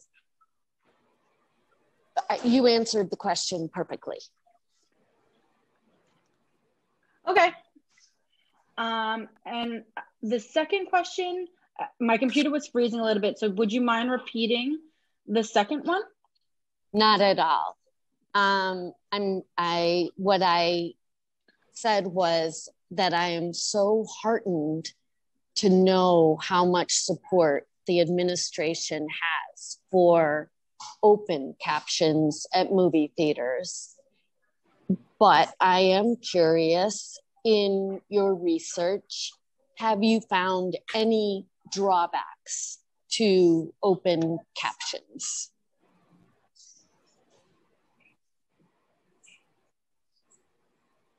Me as a deaf person, no. And in the research as well, I have not found any drawbacks, and I don't foresee that happening because it's really about accessibility for all. And like I said, it's not only the deaf and hard and hard of hearing community; it can be various different people. So no, I don't foresee any drawbacks. Thank you. Thank you very much. Appreciate you. You're Thank you, uh, Ms. Ganapathy. Send it back to you. Thank you, Councilmember Rosenthal. Um, Chair Eugene, do you have any additional questions? No, that's all. Thank you so very much. And one more time, thank you to all the, the, the speakers and the commissioner and all the staff from the uh, Commission on Civil and Human Rights Committee. Thank you for your job. Thank you. Thank you. We will now turn to public testimony.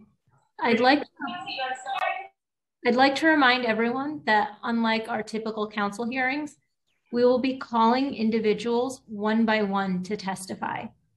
Each panelist will be given three minutes to speak. Please begin once the sergeant has started the timer. Council members who have questions for a particular panelist should use the raise hand function in Zoom, and I will call on you after the panelist has completed their testimony. For panelists, once your name is called, a member of our staff will unmute you and the sergeant at arms will give you the go ahead to begin upon setting up the timer. Please wait for the sergeant to announce that you may begin before delivering your testimony. I would like to now welcome Roger Wareham to testify. After Roger Wareham, we will be calling on Leah Goodridge and then Julia Elmale Sachs to testify. Roger Wareham, you can go ahead. Good, Good time will begin. To the Committee on Civil and Human Rights, Chairperson Eugene, Councilmember Barron, good morning. My name is Roger Wareham. I'm here today to speak in support of proposed resolutions 1039A and 1040. By way of background, I'm a human rights attorney and a member of the December 12th movement, which is a non-governmental organization that defends the rights of people of African descent in New York City, the United States, and throughout the global African diaspora. I'm also the International Secretary General of the International Association Against Torture, which, like the December 12th movement, is an NGO in consultative status with the United Nations Economic and Social Council. In this capacity, I have been a regular participant in the UN's human rights bodies in Geneva, Switzerland since 1989. In terms of, excuse me,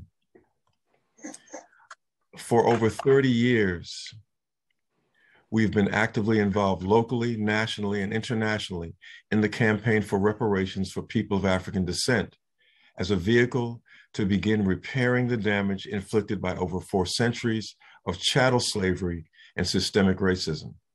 In 2001, the United Nations World Conference Against Racism, held in Durban, South Africa, declared that the transatlantic slave trade and chattel slavery were crimes against humanity for which reparations are due the descendants of the victims. The state and national legislation which these proposed resolutions support are important steps in advancing that declaration. The COVID pandemic, which still overshadows all New Yorkers, has further exposed the historic and continuing inequities faced by Black people, particularly in the area of healthcare. This is an opportunity for New York City to take a stand in support of the civil and human rights of its citizenry of African descent. The agenda for this meeting asks, in addition to these resolutions, what steps could be taken to address reparations and the continued impacts of slavery? My answer is that the New York City Council should support the campaign that is being waged to have President Biden issue an executive order on reparations. Early on, President Biden stated that he owed his election victory to support from the Black community and that he, quote unquote, had our back. We propose that he implement that promise by issuing an executive order that would include a $50 billion down payment on reparations targeted to provision of state-of-the-art healthcare facilities in Black communities.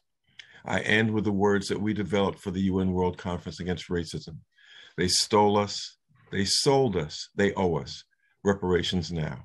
Thank you. Thank you very much, uh, Mr. Rogers. Thank you for your testimony. Thank you. Thank you. Uh, we will now turn to questions from council members. Uh, I see council member Barron has her hand raised.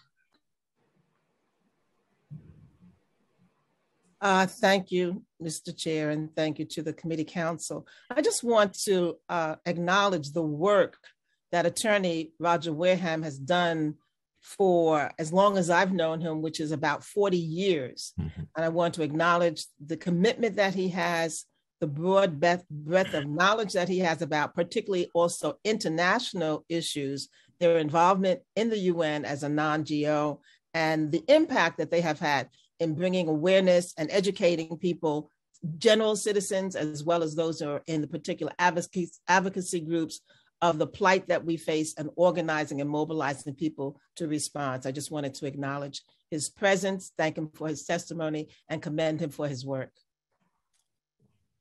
Thank you. And I would just add, in terms of the, the comment that the chairman, uh, Eugene, made around the importance of history, that the resolutions that are being put forward, that the resolutions that are being put forward in the legislation they're talking about are very important because the role of African people in the, in the United States is not simply Black history, it is United States history, and that's under, underreported. And I think also in that context, the role that Haiti played in terms of uh, the, the, the struggle of Black people inside the Americas, and particularly inside of North America, is, is really not always understood. And the punishment that Haiti suffered because of that to this day um, mm-hmm. as a result of that. And so when we talk about reparations, you're really talking about reparations for uh, you know what's what's happened throughout the Americas, particularly in in terms of Haiti. Thank you, Mr. You Chair. I'm sorry. Thank you, Mr. Ware. Thank, Thank you. you. very much. Thank you. And I, I appreciate your, your, your presentation and your comment and your knowledge also of history and the knowledge of our Councilmember Barron also I think the history of Black people should be told. And we have to do a lot of effort to make sure that people know exactly the reality, the truth about the Black people, their contribution and uh, their sacrificing for the United States. Thank you so very much. Thank and you. again, thank you for your testimony and Council Member Brown. Thank you very much for those two important uh, resolutions. Thank you. Thank you, Council Member uh, Chair Eugene we will uh, now turn to testimony from Leah Goodridge. After Leah Goodridge, we will have uh, Julia Elmale Sachs and Seher Khwaja. Uh, Leah Goodridge, you may proceed after the sergeant's call time. Thank you. Can I uh, record my testimony? Yeah. Your time will be. He says, please ask the host to give you permission to record.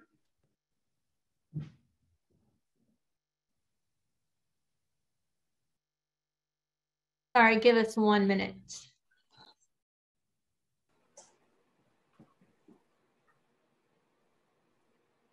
Good afternoon. Uh, my name is Leah Goodridge, and I am the managing attorney for housing policy at Mobilization for Justice. And thank you for hearing my testimony today on Intro 1039, 2019, and 1040. We are in full support of both measures to establish a commission on reparations to examine the impact of slavery in New York sorry, just one. Uh, this, to be honest, the testimony is a bit hard for me. Um, I did pray before, give me the strength of my ancestors uh, for this testimony, but uh, so I want to talk about a place that many New Yorkers know, Central Park. Central Park is a beautiful, serene space that many go to for its sprawling views, but beneath it lies a somber history of how it was built. So in 1825, Black families took root in and built homes on a land strip, calling it Seneca Village. It was a thriving community and one that could have produced generational wealth through property ownership. But it didn't turn out that way. In 1853, the New York legislature passed a law to set aside land for New York's first major public park. The city wanted Seneca Village torn down for that park. The residents resisted, the city won, about 1,600 Black Americans were displaced. Evicted, the name of the park, Central Park. In many ways, Central Park and its history is symbolic of New York and its connection to the slavery of people of African descent. New York is a progressive state, yet it too has a dark history on how it was built. And the ghosts of slavery are everywhere. Wall Street, built by enslaved people. Duane Street, hidden Negro burial ground built in the 1700s, bodies of 419 Black people. Some historians estimate there to be as many as 20,000 bodies. City Hall in 1741, 10 fires burned in New York. Some white New Yorkers feared this to be a slave uprising. In turn, 13 Black men were burned at the stake, 17 Black people hanged, and more than 100 thrown in a dungeon right there at City Hall. As I mentioned, I'm a housing attorney, housing rights, and one of the most profound effects of slavery in New York today is that the very people who built this city are the ones who are being pushed out of it. Eviction rates between 2009, 2017 and 2019, tenants living in majority Black zip codes were more than three times as likely to be evicted as tenants living in majority white zip codes. Redlining, can't even get a loan to buy a house in the land your ancestors built. Deed theft, the list goes on. Reparations are long due to correct these wrongs, but it needs to be done right. For that to happen, we need a commission of qualified people who can study and research the impact of slavery, and I'm in full support of that. Thank you for, your, for hearing my testimony. Thank you very much for your testimony. Thank you so much. Thank you.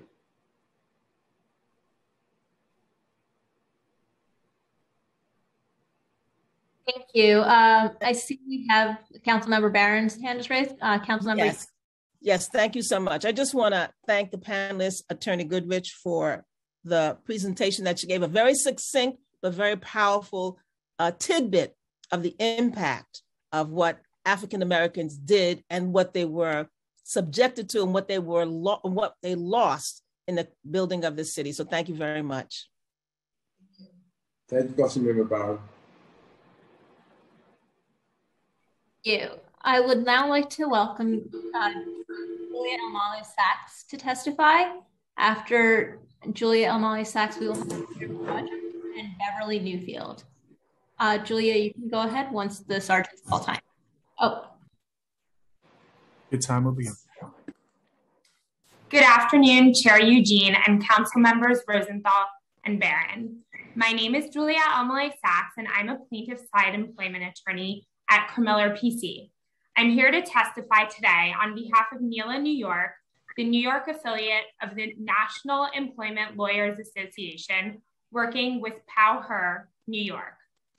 As employees attorneys, we regularly represent employees who are subjected to discriminatory treatment and practices at work. Most of our clients are women and people of color who seek to remedy unlawful conduct they have been subjected to by their supervisors and company executives. Such unlawful or discriminatory treatment sometimes includes pay disparities for the same or substantially similar roles and responsibilities. As an example, one of my former clients learned that she was making significantly less than her male counterparts only by happenstance when she came across an Excel spreadsheet in the course of regular business that contained salary information for all employees. Prior to that, she had no idea she was being underpaid.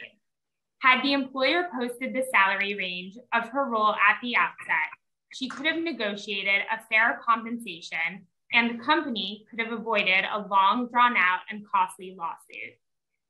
Salary range information would be immensely useful to employees in other ways as well. Say an employee asks for a raise after they've taken on extra responsibility and is told that a raise is simply not possible because they're already at the top of their salary band. That employee may simply leave the company. Alternatively, she might stay and be paid less than some of her male peers at her detriment. If employees have access to salary range information from the start of their employment, they can make informed decisions when accepting a position or applying for a promotion. By intentionally keeping employees in the dark about salary range information, employers have unfair leverage over their employees and can, and often do, more easily pay certain disfavored employees less than they deserve. The point of this bill is to create much needed transparency around an often taboo topic. Similar to the state wage notification law, where employees are made aware of their hourly and overtime rates, this bill would simply endow employees with earning potential information. NELA New York and PowHer previously supported the New York City salary history ban, which became effective in 2017 and which mandated that New York City employers cannot ask about an applicant's salary history during the hiring process. Like the salary history ban, this bill would help employees advocate for themselves based on their merits and qualifications, and it will help employers retain talent and avoid unnecessary litigation down the line. Thank you. Thank you very much for your testimony. Thank you. Thank you. Uh, we will now call on Sahara Khwaja to testify. After Sahara Khwaja, we will have Beverly Newfield and Kat Shugru dos Santos. Uh, Sahara, you can go ahead once the sergeants call time. Your time will begin. Good morning, Chair Eugene and members of the Committee on Civil and Human Rights. My name is Sahara Khawaja. My pronouns are she, her, and I am a senior attorney at Legal Momentum, the Women's Legal Defense and Education Fund. For over five decades, Legal Momentum has been at the forefront of using the law to advance gender equality, including pay equity, and we applaud the Council for its pioneering work in this area. The purpose of my testimony today is to shed light on the critical role that pay disclosure laws play in advancing pay equity, particularly for women, people of color, and other vulnerable workers. Today, women of color and women in low wage work continue to face the most sizable and stagnant pay disparities. And under our existing laws, these women bear the burden and risk of identifying, challenging, and correcting gender based pay discrimination alone and in the dark. Despite the passage of groundbreaking federal legislation and state and local legislation on equal pay, pay secrecy continues to undermine the efficacy of these laws. The prevalence of pay secrecy prevents employees from identifying disparities and allows employers to endorse pay equity in theory without having to implement it in practice. To address these longstanding barriers, Legal Momentum has been advocating for laws at the local, state, and federal level that mandate pay range disclosure upfront when positions are posted. These laws serve various critical functions. They standardize salary setting to eliminate opportunities for employers to inject overt and implicit biases when making salary decisions, which research shows that employers do. They curtail exploitative wage practices, which thrive when we don't know what employers pay their workers and which disproportionately impact women who are overrepresented in low wage work. They breathe life into our existing equal pay laws by giving workers information to identify potential pay disparities and by allowing employers to avoid those disparities by setting pay in advance based on objective factors rather than subjective assessments. They create efficiencies for employers, helping them establish more streamlined and fair pay practices to avoid problematic pay disparities and potential liability. They help level the playing field for workers, giving women and people of color more leverage in the hiring process since research shows these workers are in a better position when they have information regarding compensation. A strong pay disclosure law should do several things. It should mandate disclosure of pay ranges to those seeking a job, to applicants, and to existing employees. It should require ranges to be reasonable and based on a range that an employer actually relied upon, and this was touched upon by the Commission. They should cover broad disclosure of pay, including salary, benefits, and other forms of compensation. And I know um, Councilmember Rosenthal spoke to that. They should establish a simple, effective, and efficient enforcement mechanism with straightforward penalties for violations to ensure compliance and accountability. They should not require proof of discrimination or discriminatory intent. They should include concrete safeguards against retaliation for anyone asserting their rights under the law then they should require public education to ensure that employees and employers are aware of their rights and obligations under the law to facilitate compliance. And the Commission spoke to that. As we tackle pay inequity under the shadow of the COVID-19 pandemic, we must recognize that our current culture of pay secrecy is unjust, inequitable, and thus unsustainable. Legal Momentum is happy to serve as a resource, and thank you for your time. Thank you very much. Thank you for your testimony. Thank you. At this time, I would like to welcome Beverly Neufeld to testify. After Beverly Neufeld, we will have Kat Shugrue dos Santos and Yolanda F. Johnson testifying. Uh, Beverly, you can go ahead when this is call time. Great, thank you. Your time will begin. Uh, thank you, Chairman and members of the committee for holding this hearing, and special thanks to uh, Council Member Rosenthal for forwarding Intro 1208. You've had so many important bills that have improved the lives of women and all people in New York in your uh, esteemed career. Uh, also, uh, to Council Member Barron, the, this has been a fascinating conversation around reparation remedies, and I think it does tie into the conversation we're talking about wage discrimination and the intersectional nature of it. I'm Bev Newfellow, founder and president of Power New York. We are over 100 organizations working together collectively on economic equality for New Yorkers who identify as women. I'm also a member of the New York City Commission on Gender Equity. Power has had a signature project, the Equal Pay Campaign, since 2007. We've been working on this, and you'll hear from members of that campaign. Uh, you've already heard from some. Um, we look for concrete solutions to eradicate gender wage gap. And here in New York City, we are so proud to have passed a salary history ban. It then went on to become a New York state law and has ripple effects across the country. That's how important New York laws are. Local Law 18, requiring the data reporting of race for public sector uh, employees, is, is a game changer. And it still has more work to do to unroot disparities. We now have a new pay equity uh, cabinet in New York City. So we are making progress uh, Power has helped pass laws on a state level to protect workers from retaliation and also a new standard equal pay for substantially similar work. So, what's next? And what's next is this bill. What's next is creating openness, transparency, information sharing. And really, what this bill will do is create a culture shift so that people have the information and employers can actually go out and get the very best uh, candidate for their jobs. We're doing this on the New York State level with Senator Ramos and uh, Assemblymember Joyner.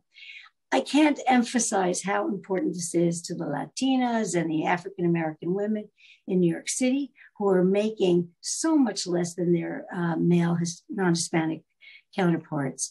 700,000 Latinas and American African American women working full time would have brought in $22 billion in the economy in their lifetime. That is a lot of money. And instead, 30% of Latino women, 24% of African women are living in poverty.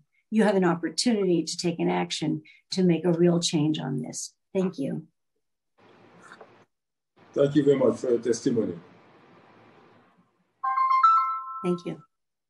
Uh, I would like, uh, Chair Eugene, did you have any questions? No. Keep on. Thank you so much. Thank you. I would like to now call on Kat Shugrue dos Santos to testify. Uh, after Kat Shugrue dos Santos, we will have Yolanda F. Johnson and Jessica Stender. Kat, go ahead uh, when the sergeant's call time.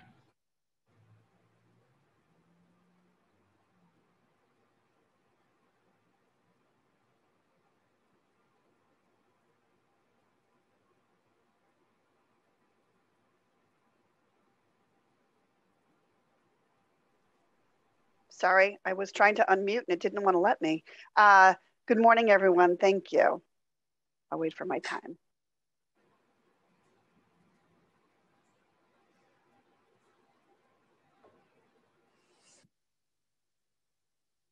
You may start. Thank you. Good morning, Chair Eugene, Council members Rosenthal and Barron, and esteemed colleagues. My name is Catherine Shugrue dos Santos, and I am the Deputy Executive Director for Programs at the New York City Anti-Violence Project. My pronouns are she, her, and hers. I'm also the co-founder and former chair of the New York City Task Force on Domestic Violence and Economic Justice. I'm really honored to be here today with so much really important conversation about uh, pay equity, around reparations, and so many intersecting issues. AVP works to respond to and prevent violence within and against LGBTQ and HIV affected communities. Uh, we believe and are here to support Intro 1208A because salary transparency is the best predictor of pay equity. Even in New York, where diversity is part of our city's core identity, in our economy, pay gaps, as many of my fellow panelists have stated, that correlate with gender, race, and ethnicity are the norm, not the exception.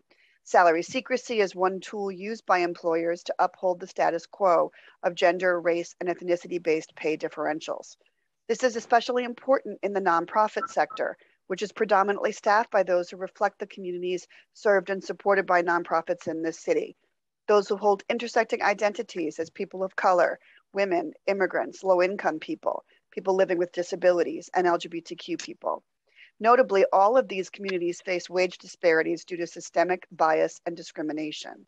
This council knows well the challenges nonprofit organizations face due to funding structures that devalue our work in the best of times and which have become more difficult during the pandemic.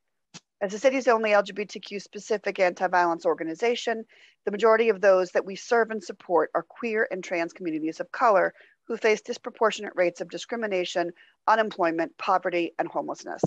AVP's work helps survivors heal from violence, building physical, emotional, and financial safety, health, and wellness for nonprofits, mission driven organizations, arts organizations, and human services agencies, salary transparency helps us align our actions with our values when it comes to how much people are paid for their work. Uh, sharing salary information is part of an ongoing process at AVP to work toward equity and justice in compensation. AVP believes that knowledge is power, especially when it comes to how you make a living. AVP works from a trauma informed and anti oppressive approach internally and externally we strive to compensate all of our staff fairly and equitably. Over the past five years, we have created, published, and adhered to a salary scale for all levels of positions, included salary information and job postings, and identified and adjusted pay gaps within and among salary bands. Building on this work most recently, we've implemented full salary transparency. Every AVP staff member has access to salary information across the organization. Given that salary transparency is the best predictor of pay equity, we urge the council to pass Intro 1208A to move towards pay equity in our city. Time has expired. Thank you very much for your testimony. Thank you. Uh, I would like to now welcome Yolanda Johnson to testify. After Yolanda Johnson, we, I will be calling on Jessica Stender and Solange Charas to testify. You can go ahead when the sergeants call time.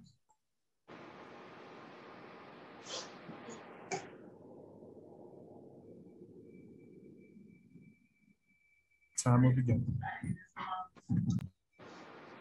Good afternoon um, to the New York City Committee on Civil and Human Rights, Chair Eugene, council members, and distinguished guests. I am Yolanda F. Johnson. I am the first Black president of Women in Development New York in its more than 40 year history, and I'm also the founder of Women of Color in Fundraising and Philanthropy, a New York based organization that is a global organization. I'm here to speak today about Intro 1208A because of its importance and the absolute imperative for salary transparency to be implemented as a top tool for equity in the nonprofit sector. Both of the organizations I lead have job boards, which are the go to places for women and women of color in the nonprofit sector. Earlier this year, we implemented a policy around salary transparency. It was very interesting because I received quite a bit of pushback from some people, from some organizations and recruiters saying, well, my client can't do that because we're underpaying other people too much and we don't want this person to know that to people putting in random characters to not have to go through with salary transparency. Ultimately, we prevailed. I also, in my own career, have experienced uh, salary inequity until others came to the fore and helped me to understand the importance of it. If transparency had been present, it would have made a great difference. In the nonprofit sector, we often suffer from a a sense of guilt because we're trying to get the good work done and therefore we sacrifice our own well-being and our own needs. Many in the nonprofit sector, especially women, actually are just one to two paychecks away from being in the same situation as many of the constituents that they serve. So I say, that I understand budgets can be an issue for nonprofit organizations, and in those cases, an overhaul and assessment needs to be done on fundraising practices, strategy, and income stream diversification. Because what we know for sure is that the nonprofit sector, which professes and endeavors to create a more just and equitable society, cannot accomplish this work off the backs of underpaid professionals. Thank you. Thank you very much. Thank you. We will now turn to questions from council members. Uh, council member Rosenthal, you may ask your questions.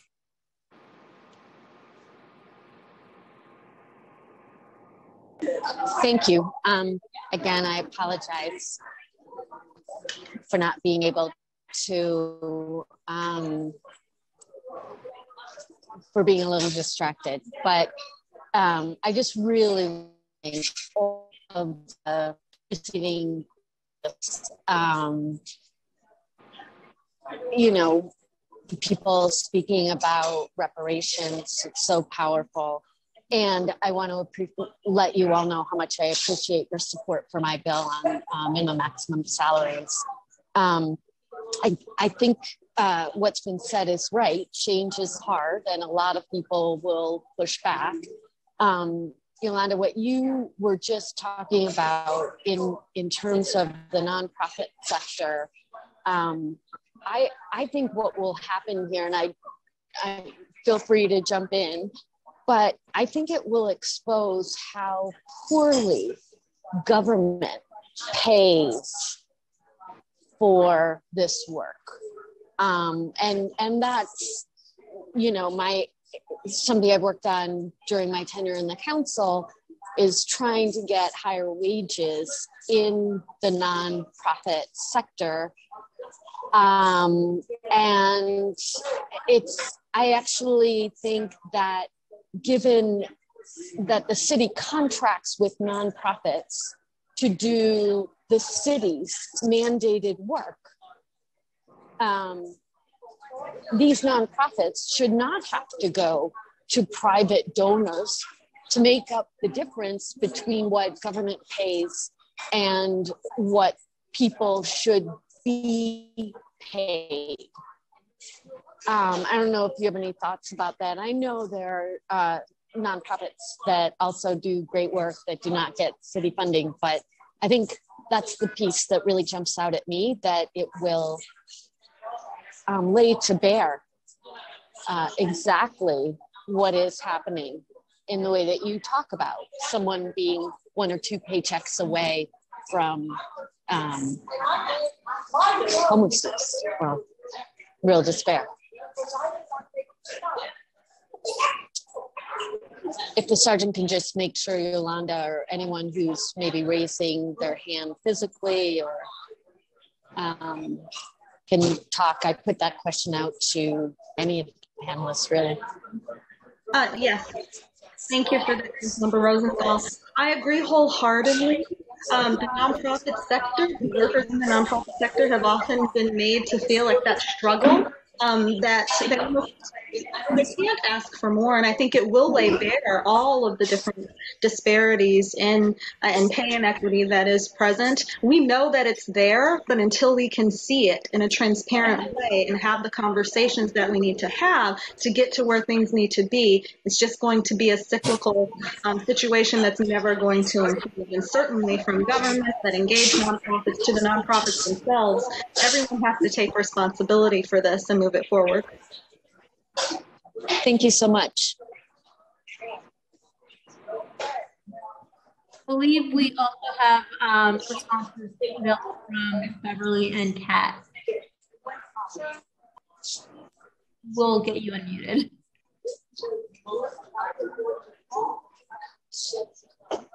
Uh, thank you so much. And thank you, Yolanda, for that uh, a really important and personal um, testimony. I just want to add quickly that Power has recently set created priorities for this upcoming year, and one of them is to work with the uh, Just Pay campaign, which is exactly what you're talking about, the Human uh, Services Council's campaign. Um, but uh, all in all, this is about you know fair pay, and the only way we're going to have that is if we uh, have the kind of transparency that council member, your uh, bill will open up. So I think that's a really interesting point that this hopefully will help, you know, the folks who are doing great work and really uh, not getting great pay. So thank you. That's a really, uh, I think that's a, an additional reason for this bill.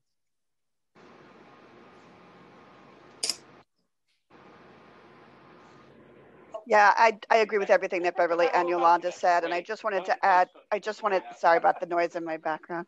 Um, I just wanted to, to add that I think um, one of the important parts here, I think that Helen, your, your comment raises, Councilmember Rosenthal, is that um, so much of this is about um, implicit bias and things that folks are not aware of. And so trying to make sure um, that uh, transparency is, is what helps us move towards more equity because it exposes those things. And so I think it's really essential that we do that. So um, I just want to underscore what uh, Yolanda um, had, had mentioned about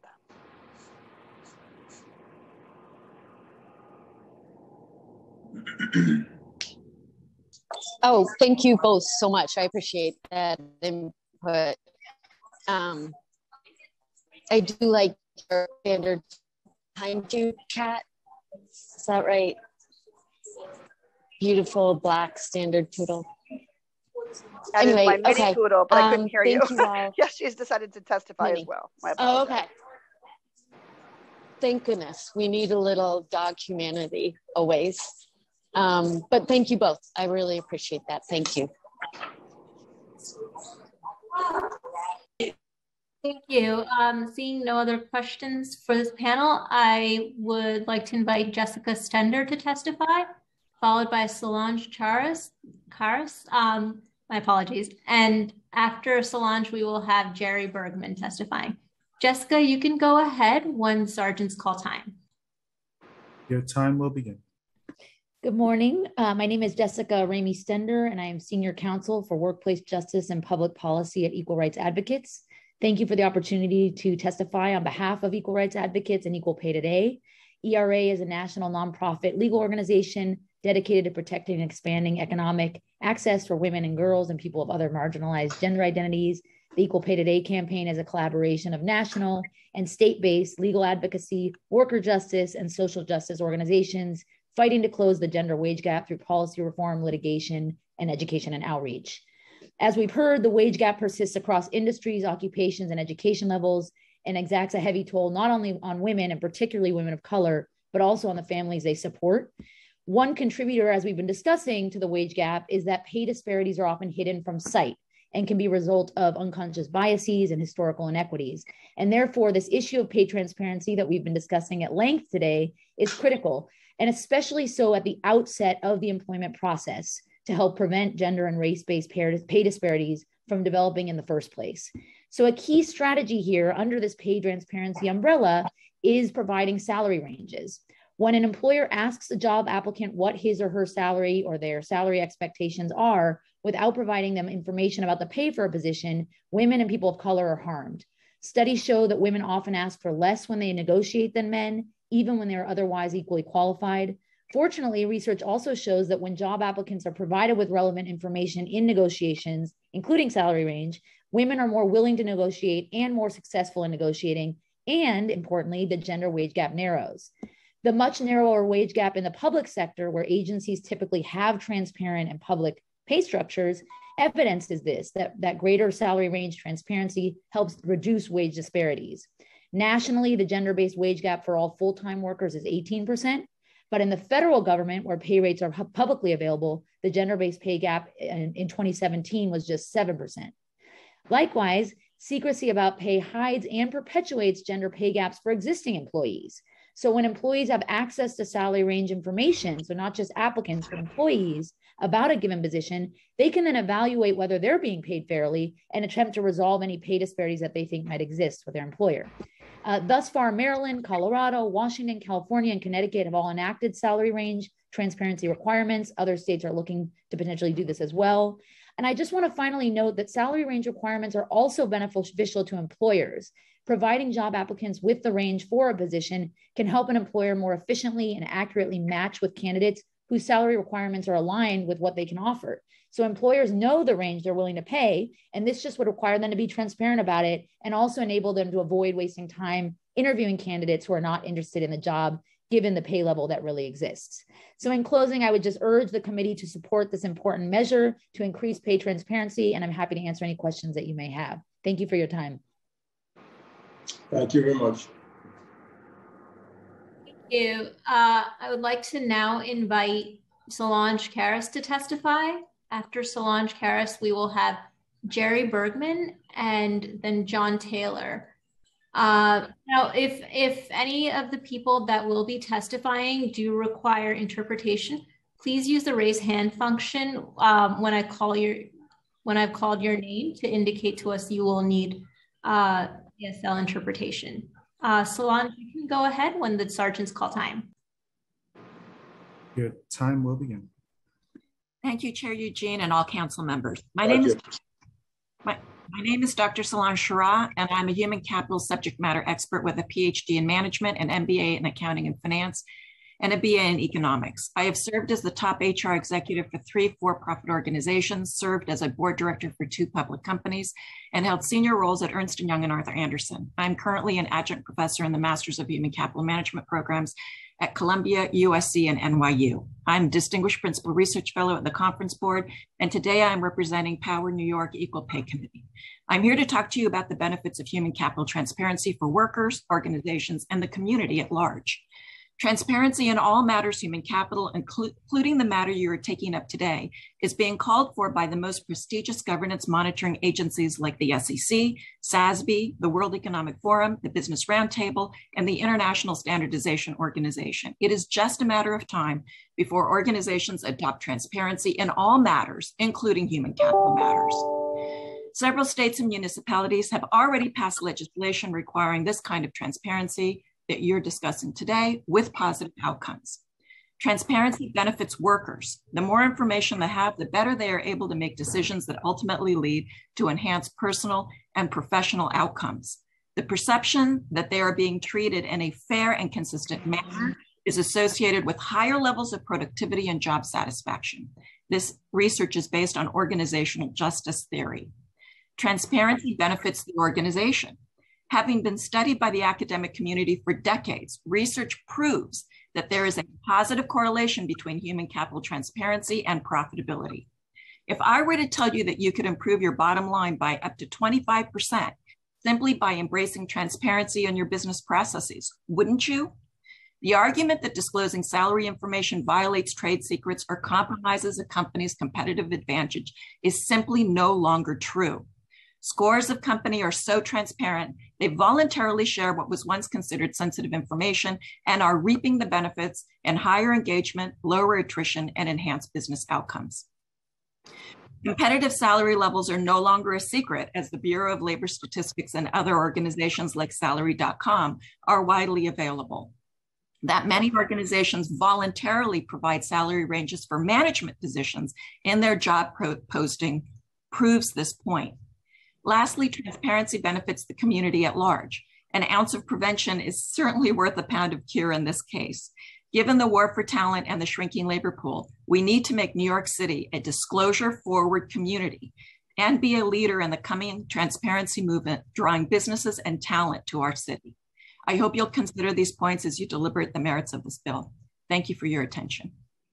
Thank you.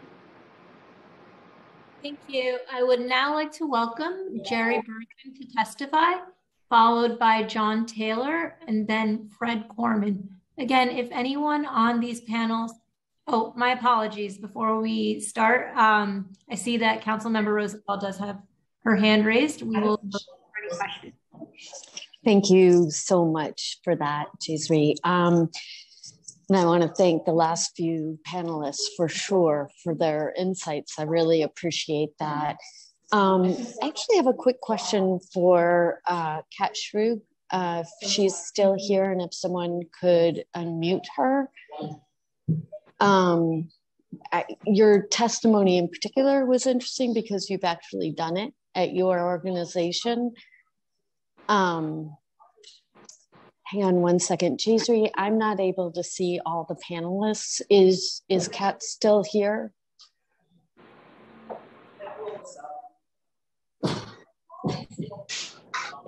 And I'll take a look. Okay, I just want to make sure she's able to answer the question. Uh, if she's not, I will ask her separately. But um, so if she's not here, it's fine. Uh, what I'll be asking her is what the impact was of her organization instituting the public pay ranges, um, pay ranges, and whether or not they lost any staff or if staff were what what the response of staff was. Um, because she's not on, I'm gonna ask her to um, actually try to put that in writing and submit it as part of uh, her additional testimony. Thank you. Thank you for that. Thank you, Councilmember Rosenthal. Uh, we will now move to the next panel, which is um, I'm calling on Jerry Bergman to testify, followed by John Taylor and Fred Corman. Jerry, you can go ahead when the sergeants call time. Thank you. Please don't start me on the timer yet because I wish the council to understand that when people speak as fast as they have been, the ASL interpreters and the CART providers absolutely cannot keep pace with the speed of the remarks. So I need to speak at a controlled pace. And I would ask that you give me an extra minute or two if that's required to get through my testimony. Thank you, Chairman Eugene, council members and staff. I'm Jerry Bergman, an advocate for people with hearing loss. A, a big thanks to Council Member Rosenthal for introducing INT 2020. I testify today in support of the ordinance to require open captions, also known as subtitles, on a fair and equitable basis, one that reasonably accommodates us without harming the motion picture exhibitors. We seek to buy tickets to open caption showings for all movies, all cinemas on a regular weekday, weeknight, weekend, matinee, and evening schedule a modest one that will not put cinemas out of business.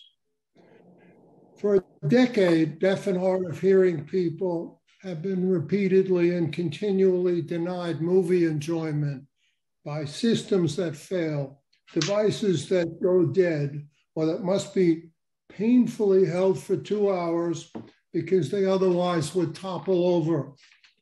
Unlike closed caption devices, Captioning is wildly popular among all people and increasingly common in the media. A change.org petition specifically on open caption movies now has over 24,000 signatures, over 1,500 of them from New York State and almost 600 from city folks. Recently, when Marvel's Eternals was released, promoters contacted our Hearing Loss Association and offered an open caption screening for us. Why? Only because one of the movie stars, Lauren Ridloff, is deaf.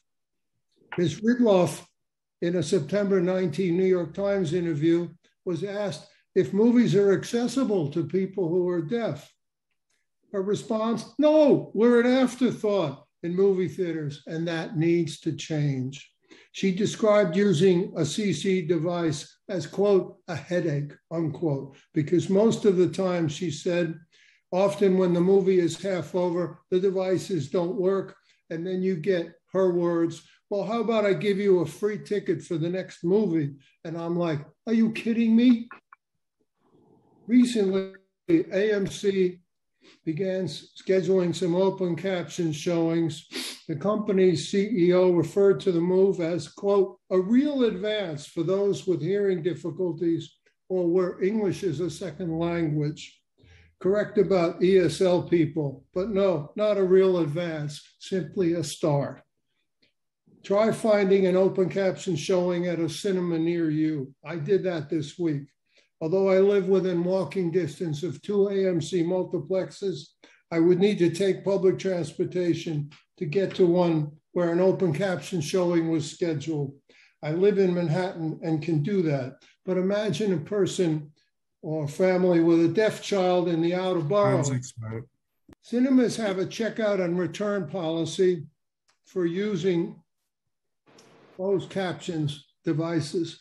That is inconvenient especially when the devices are dispensed in the lobby, but the movie is showing in an auditorium way upstairs. Because some of us feel stigma or embarrassment about the need for visible accessibility.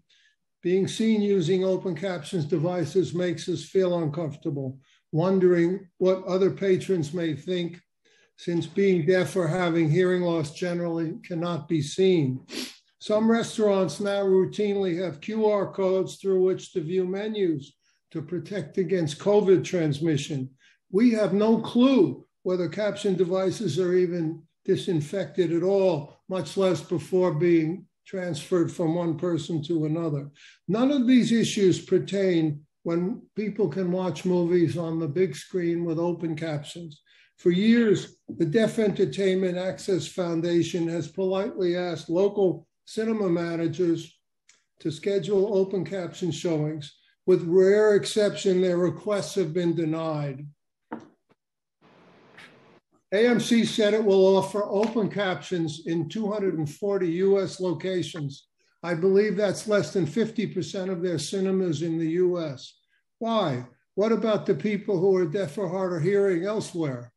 I'm submitting a two page fact sheet and nine page backgrounder as written testimony for more detail. I hope if any of you are not convinced that open caption movies are needed, you will read the documents, understand how we got to this point, and help us by voting for a revised version of INT 2020 that treats both us and movie exhibitors fairly. In closing, many supporters have pledged to submit written testimony. Many of them have online jobs, doctor's appointments, etc. So that's why more of us will not be heard from today. Thank you. Thank you so much. Thank you very much. Thank you.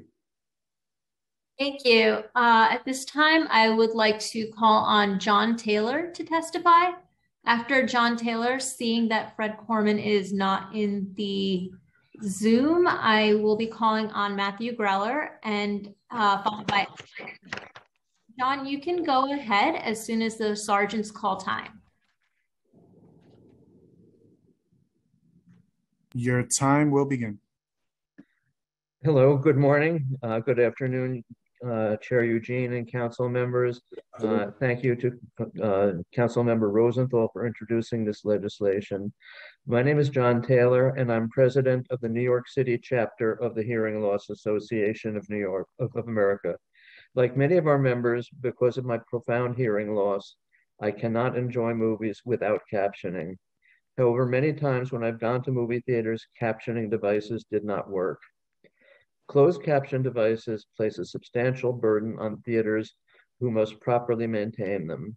Sometimes theaters have neglected to charge devices. Sometimes devices were broken. On other occasions, theater staff had not set the devices correctly. The last time I went to the movies, after offering me three different devices, none of which produced captions, the staff realized that the device was not the problem. The auditorium equipment was not functioning properly. I know that my experiences are not unusual, they are typical. Even when devices work properly, the type that is worn as glasses are heavy and uncomfortable, while the devices that are placed in cup holders never fit properly and fall down easily. In addition, it places a burden on users who must arrive early to get a device and to identify themselves as having hearing loss. Extensive research has demonstrated that captioning benefits everyone, not just those with hearing loss. People comprehend and remember text better when speech is captioned than when it is only spoken. I've submitted a peer-reviewed uh, journal article summarizing this research and hope that you will take the time to, to read it. This research confirms what many of us have seen in person when we have attended caption performances on Broadway. Many people who are not wearing hearing devices are glued to the captioning screen. And of course, captioning will benefit millions of people with undiagnosed or untreated hearing loss. Thank you for your time and consideration. Thank you so very much. Thank you. Thank you. Um, at this time, I would like to call on Matthew Greller to testify. After Matthew Greller, we will have Alex Rich and Doug Murdoch. Matthew, you can go ahead as soon as the sergeant's call time. Your time will begin. Thank you. Uh, good afternoon, Chairman Eugene and members of the committee. My name is Matt Greller, and I'm an attorney and a lobbyist here on behalf of a client, NATO Theater Owners of New York State. In New York City, NATO represents over 30 movie theaters across the five boroughs. Let me be very clear the movie theaters are still suffering from this terrible pandemic. The theaters want all patrons to feel safe and return to the theaters, which is still the best place to see a movie. Of course, this includes members of the deaf and hard of hearing community. We want members of the deaf and hard of hearing community and others that might benefit from increased open caption showtimes to feel welcome at the cinema. At the same time, however, we oppose Intro 2020 for three main reasons, which I describe in further detail in our written testimony. First, this bill will be damaging economically for the movie theaters. Theaters are already trying to recover from being decimated by the pandemic, and experience and data show that audiences that are not deaf and hard of hearing do not like open captioning and either request refunds or they stay home. A recent survey estimated that 49% of the audience that has, uh, has not returned since the pandemic started. We do not need another reason for patrons to stay home, especially with competition from streaming services. Second, this bill is unnecessary. Theaters are already providing open caption showtimes voluntarily and offer additional open caption showtimes upon request. One major circuit is currently running an expanded open caption pilot in three of the busiest theaters in the city. The theaters are also exploring ways to improve the closed captioning experience with new technology to make all patrons feel welcome, comfortable, and included. Theaters can and should, should do better on open captioning, but we do not need a legislative mandate to do so. Third, this bill is impractical. It far exceeds existing demand, and the 50% mandate between peak and non peak showtimes cannot mathematically be met. Even Doctor Strange, using the time stone, could not figure out a way to play more open caption showtimes than there actually is time. This bill is too convoluted with its ban on overlapping films, awkward start and end times that don't fit for most two hour films, and the excessive 50% mandate. Simply put, Intro 2020 is unworkable. Lastly, there's a concern about the timing of this bill. When it was first introduced, theaters were still ordered closed by the governor. At the time, we reached out to all sponsors to see if we could engage with constituents to address concerns. The bill was bad timing when it was introduced then, and respectfully, this hearing is bad timing now. Please allow the advocates and the theaters to continue their productive discussions to find a win win solution for expanding open captioning. Such a solution will be based on common sense and data and not an inflexible mandate that will only kick the movie theaters when they are down. There should not be a rush on this bill just because it is December. The best way to get things right is to allow stakeholders to achieve a voluntary and dynamic solution and not just a legislative mandate. If this bill is implemented, there may not be movie theaters left to show open caption movies or any movies at all. Thank you. Thank you very much. Thank you. At this time, I would like to call on Alex Rich to testify. Hmm. After Alex Rich, we will I will be calling Doug Murdoch and John Waldo to testify. Alex, you can go ahead as soon as the sergeants call time. Your time will begin. Chairman Eugene and members of the Committee on Civil and Human Rights, thank you for the opportunity to testify today. My name is Alex Rich, and I work for the National Association of Theater Owners, a trade association representing the exhibition industry. Movie theaters have been deeply impacted by the COVID 19 pandemic. In New York City, theaters were required to close for 50 weeks, and when allowed to reopen, faced capacity restrictions that made uh, breaking even, let alone turning a profit, nearly impossible. With theaters closed or operating at reduced capacity, major studios delayed releasing new films or remove or moved them to streaming services, which prolonged the economic impact of the shutdown since theaters had no new product to play when they welcomed back moviegoers. Despite zero income um, during this period, theaters continued to face mounting fixed costs such as taxes, rent, and city inspection fees. For instance, while the city theaters were still closed as per then Governor Cuomo's executive order, um, one company was uh, had still had to pay for elevator and escalator inspections, despite having no patrons, at a cost of ninety-two thousand dollars. At the same time, the majority of New York City theaters received no financial assistance from the federal, state, or municipal governments. It will be a long road to recovery for the exhibition industry. As Hollywood begins to release new films, audiences are slowly coming back to see blockbusters on the big screen, but the industry is far from the record breaking years it enjoyed pre pandemic. For instance, this past Thanksgiving weekend, box office was down 46% compared to the same time frame in 2019. Further, new research shows that 49% of consumers who attended movies pre pandemic are no longer doing so. While theaters remain confident that most of these consumers will return to their auditoriums, it will continue to take time. Simply put, the exhibition industry is still facing an existential crisis that threatens the job security of theater employees and the businesses that rely on robust moviegoing to remain profitable. Any mandate that will further dampen customers' enthusiasm for the theatrical experience could force theaters in New York City to close permanently. We believe the requirements of this bill will exacerbate the difficult economic conditions facing theaters by suggesting, subjecting them to further financial losses. And this issue is not just about movie theaters. Um, according to an Ernst & Young study commissioned by NATO, movie night spending in other businesses in the US amounted to $5 billion in 2019 before the pandemic hit. New York City restaurants, retail stores, and other businesses will continue to suffer without the customers attracted by movie theaters. As an industry, we remain committed to expanding access to all moviegoers. Later, you'll hear about the steps our industry has taken to ensure that to ensure every movie at any time um, has access through the use of captioning devices. You will also hear about voluntary open caption programs being rolled out by companies across the country. I look forward to answering any questions you have. Thank you. Thank you very much. Thank you. Thank you. Uh, at this time, I would like to welcome Doug Murdoch to testify. After Doug Mar Murdoch, we will have John Waldo and followed by Kathleen Collins. Uh, for anybody that does need interpretation services, please uh, use the raise hand function when your panel is called so we are aware that you will be needing interpretation. Uh, Doug, you can go ahead as soon as the sergeant's call time. Time starts now. Chairman Eugene and members of the committee. I am Doug Murdoch, Executive Director of Mid-Atlantic NATO, a regional affiliate of the National Association of Theater Owners. I'm here to speak in opposition to INT 2020, open captioning at motion picture theaters.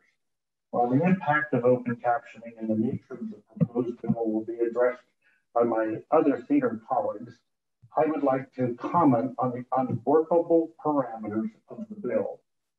As you know, the bill calls for certain movie theaters to provide open captioning for at least half of the showings of each movie per week. On the surface, that sounds like a simple equation, but not when you try to apply it to the real showtimes in a movie theater. So let's take a look typical showtime schedule for a two hour movie with 15 minutes of previews and a 30 minute intermission. Um, now, the bill does not define what a week would be, but for this example, we're going to use Friday through Thursday. So, as illustrated in this um, uh, snapshot, and is also what I submitted in my testimony, the film would play about five shows per day, giving us 35 shows a week. Now, according to the bill, at least 50% of those 35 would have to play in open captioning. That's 18 open captions per week. But then the bill goes further and says that at least half of open caption showings would have to be played during designated peak movie attendance hours, defined as a motion picture that begins after 5.59 p.m. and finishing before 11.01 p.m. on a Friday, or a showing that begins after 11.59 a.m. and finishing before 11.01 on a Saturday or Sunday. For this example, I highlighted in the the show times that would fit into those designated time periods. The problem is there are only seven show times, but the bill would require nine. Again, 18 of the 35 would have to play on the caption and at least half of that would be nine. There's simply not enough time in the day to comply. The bill then goes on further to say that at least half of the scheduled showings that are scheduled outside of that peak period shall start after 5.59 p.m. and finish before 11.01 p.m. on the weeknights. For this example, I have highlighted in blue the show times that would fit into that time period. So half of nine would be five. Time expired. Two, but you end up, it simply doesn't work. The math just simply doesn't work. And for that reason, I urge the committee not to approve this bill. I thank you for the time to speak and we're happy to answer any questions. Thank you. Thank you. Uh, at this time, I would like to call on John Waldo to testify. After John Waldo, we will have Kathleen Collins, followed by Monica Bartley. Again, if any of these panelists do need interpretation services, please use the raise hand function and we will have an interpreter available for you. Uh, John, you can go ahead as as the sergeant's call time. Time starts now. Thank you all for uh, your attention to this important issue. I'm John Waldo, and you may be wondering why a lawyer in Houston, Texas is testifying about this. The answer is that I've been advocating for the interests of people with hearing loss for about 15 years and have been heavily involved in issues surrounding the movies. So I'm fairly familiar with this whole issue, particularly the problems with closed captioning and open captioning. The theater's concern, and it's a legitimate concern, is that economic times are difficult for them. It's also true that open caption movies tend not to be as well attended as non caption movies. Those two things are a given. But here's the problem the theaters consistently only look at half of the whole picture. Here's the whole picture. There are people who don't like open captioning. I get that. What do they do? Do they say, oh, darn, the seven o'clock showing of this particular movie on this particular day is open caption, therefore I'll never get to see that movie? I don't think so. I think they find another time to see that movie. Or if they really want to go to a movie at seven o'clock on Friday night, they go to another, uh, another different movie. There are also people who would not be at the theater if it were not for open caption movies. And you're hearing a lot about them today. So where are the numbers? How do they balance out? There was an interesting experiment in Washington, D.C. a couple of years ago that shed some real light on that. Um, an open caption ordinance was proposed there. A number of theaters started offering voluntary open caption movies, and they hired Ernst & Young, the accounting firm, to develop a model to try to predict attendance and see what difference the captioning made. Here's what happened. Ernst & Young said, okay, here's a situation where we have one movie showing with open captions and the same movie showing in the same theater within an hour with non-captioned. How does it work out? Well, indeed, they predicted that there'd be 23 people at each movie, all other things being equal. The open caption movie only drew 18 people. So that's a loss, right? But do those five people and only those five people go to the non caption movie?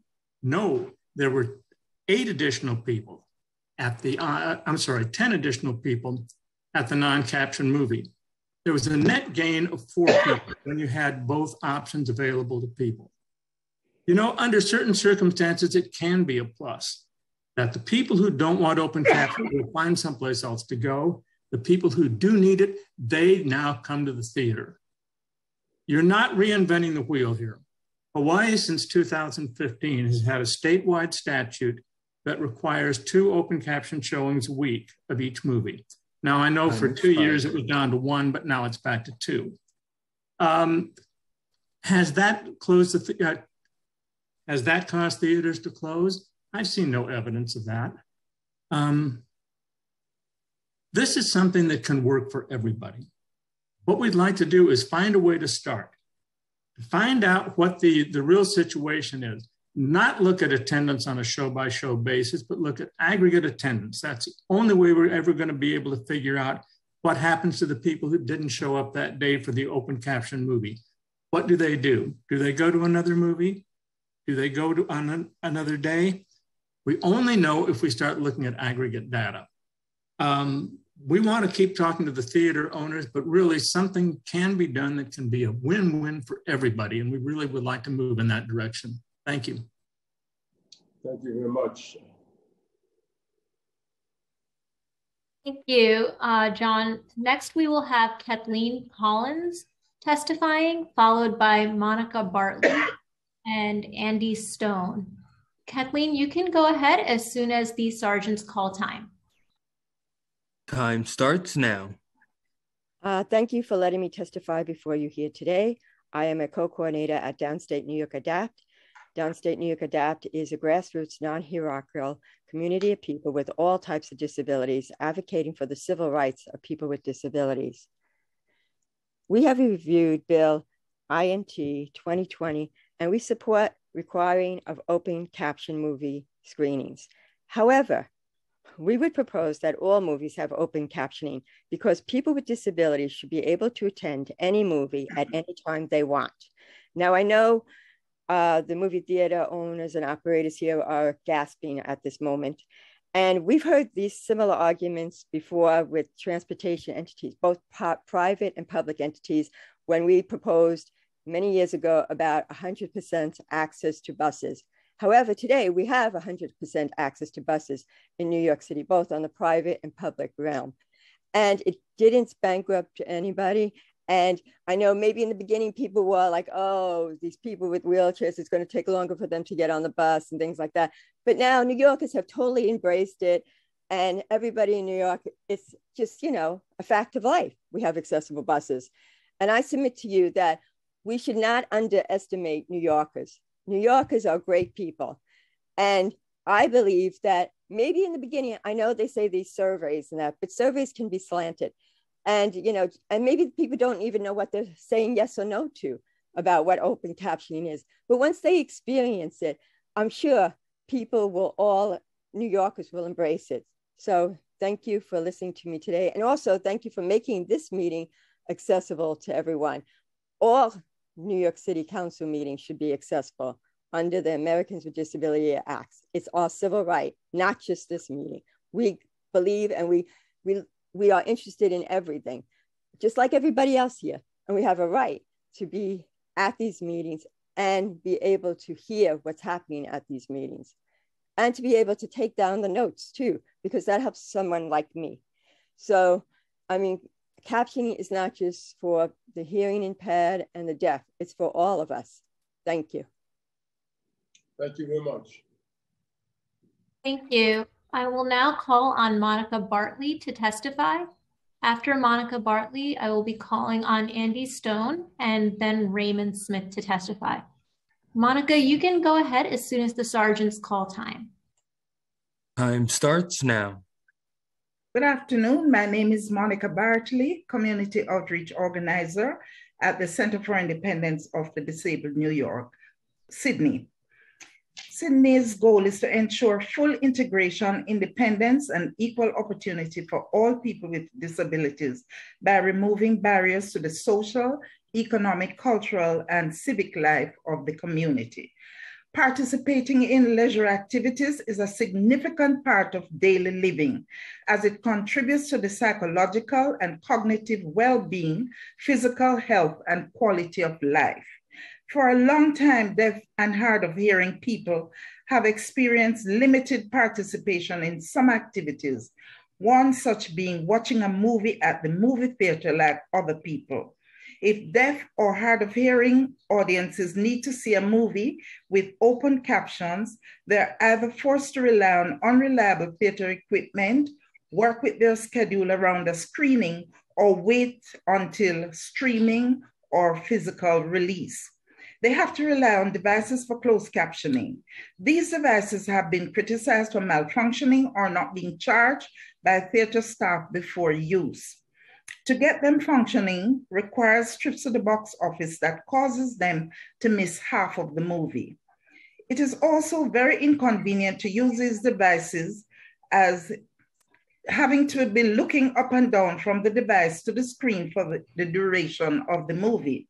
CIDNY sees Intro 2020 as a move in the right direction. Recently, AMC, one of the largest movie theater chains, announced it will expand on-screen captioning at 240 locations in the United States, and we expect to see this extended further. This bill calls for motion picture theaters that have more than two screens and provide more than 10 showings per week to provide open captioning for at least half of the showings of each movie per week. The pandemic has opened up new ways of functioning that we did not see possible. There is so much more awareness now to open captioning in various areas, which has benefited many people. So the general public is more receptive of this. CIDNY supports this law and seeks that the New York City Council sign Intro 2020 into law. Thank you very much. Thank you very much. Thank you. I would like to now call on Andy Stone to testify. After Andy Stone, I will be calling Raymond Smith and then Joseph Masher to testify. Andy, you can go ahead as soon as the sergeants call time. Time starts now. I believe you're still muted, Andy.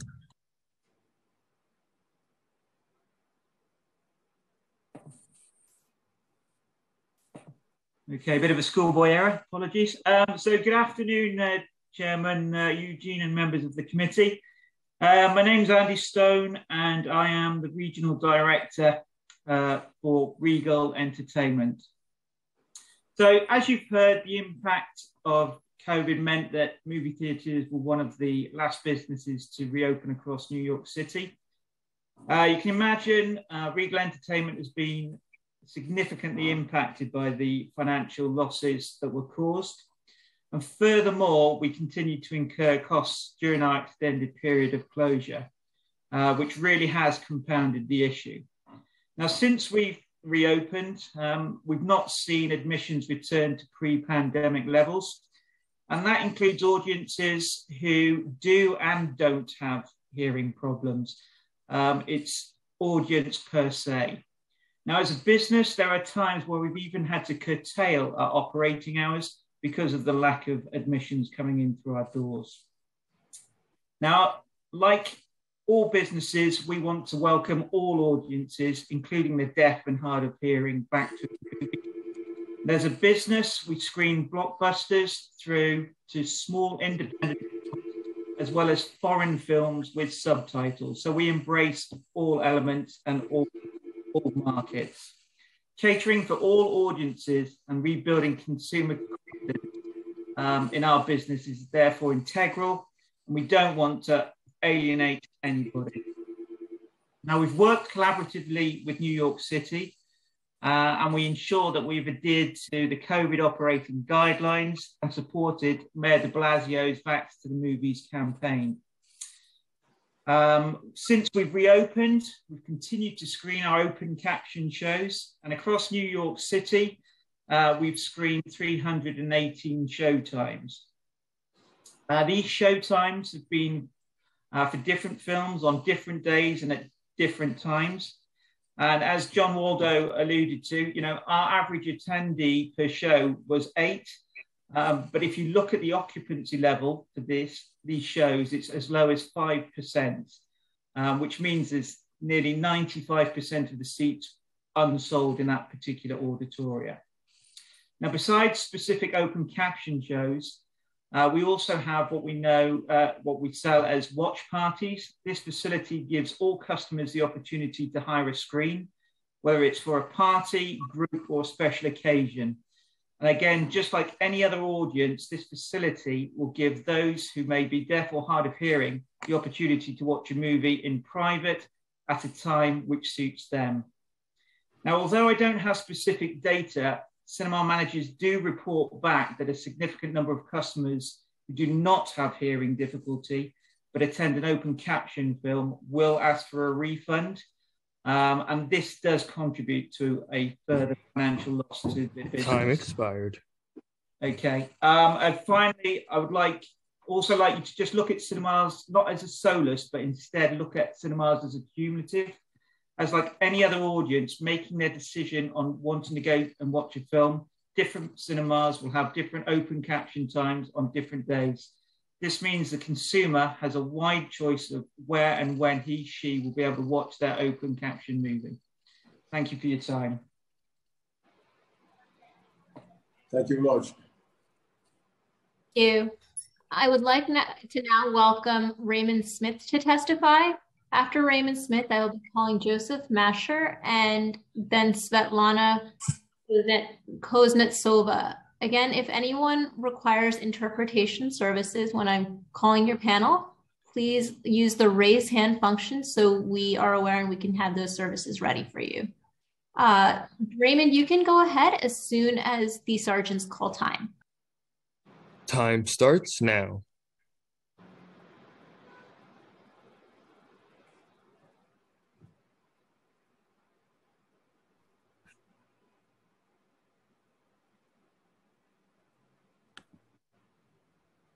You should be. Okay, there we go. Thank you. Good afternoon, everyone. I want to thank the chair and the committee for allowing me to testify today. My name is Raymond Smith. I am a consultant with the National Association of Theater Owners. I have been engaged in ensuring and enhancing access to movie theaters for all consumers for about 30 years, and in particular, this issue of captioning has been front and center for a considerable period of time. While we support the intent behind this legislation, we, we do not support uh, the mandate and one size fits all. And we do support continuation of our collaborative efforts in relationship with the deaf and hard of hearing community, which has been going on for years and years. In the 90s, we met with members of the community and were told they wanted more open caption films. We immediately lobbied the film studios successfully to get more product and continue to do so until it uh, actually always continued to do so. But in the mid 2000s, a new personal captioning technology came on the market. So we once again engaged with our partners in the deaf and hard of hearing community and learned that they were very excited about personal captioning and the access it provided, but did not like that particular technology. So the industry went out and found manufacturers that were willing to design and develop these technologies, and then continued to have a series of symposiums where we invited members of the deaf and hard of hearing community to come test the product and provide direct feedback to the manufacturers. All these efforts led to uh, the industry investing millions of dollars uh, in 12 rolling out these technologies across. This effort was widely hailed by the hard of hearing, deaf and hard of hearing community, and, and also widely supported by the industry. And the units were widely utilized then as they are today. This all occurred years before the Department of Justice proposed their final regulations on personal captioning. And even then, when they were proposed, once again, the industry engaged with our partners in the deaf uh, individuals in the deaf and hard of hearing community and provided guidance to the Department of Justice, which was mostly accepted and incorporated in the final regulations. Along those same lines, we continue to push for more open captioning programming across the country amongst our members. And in the last couple of years, we've been doing some pilot programs. And while those pilot programs haven't answered all the questions, they did answer one specifically, and that is a one size fits all approach simply doesn't work. It doesn't reflect the realities or nuances of any particular theater or the needs of any particular market or community. So we would suggest and implore that when you reject this legislation, instead allow the people that have ongoing over the years and collaborated to come up with mutually beneficial uh, solutions to continue those efforts, which are ongoing today. Thank you, and I'm welcome to take any questions. Thank you. Thank you. Uh, at this time, seeing that Joseph Masher is not in the Zoom, I will be calling on Svetlana Kuznetsova to testify. After Svetlana Kuznetsova, I will be calling on April Morone and Gail Weiss to testify. Again, if anyone needs interpretation services, please the raise hand function and we will have that uh, available for you. Svetlana, you can go ahead as soon as the sergeant's call time. Time starts now.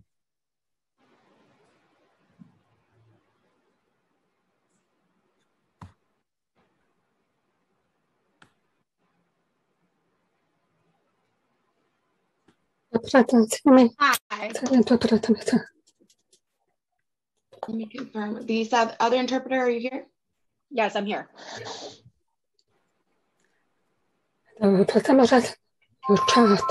For some reason, the chat. Okay, for whatever reason, the chat. Is, isn't enabled, so I couldn't type. I have to sign. So I myself am deaf. Okay. I am deaf. I've been deaf since age two. So I'd first like to mention that anyone who is opposed to the open caption, you are really thinking with an ableist attitude. And that's like saying, oh, we don't need a ramp for a wheelchair. It's the same thing. Imagine being a deaf person growing up and you experience all these barriers, not only in school, but education, work, enjoyment, all of the above. You don't have the same privileges as hearing people. Even with the captions, I speak Russian. So when I was growing up in Russia, there were no captions on the TV. I couldn't even have access to news or anything. Everything I was completely uninvolved in. When I moved to America, we realized, oh, wow, they have captions. It was pretty neat on the television, on all the channels. It was a whole new world. It was amazing when I was 15, that was the first time I had access to captions, and it was thrilling.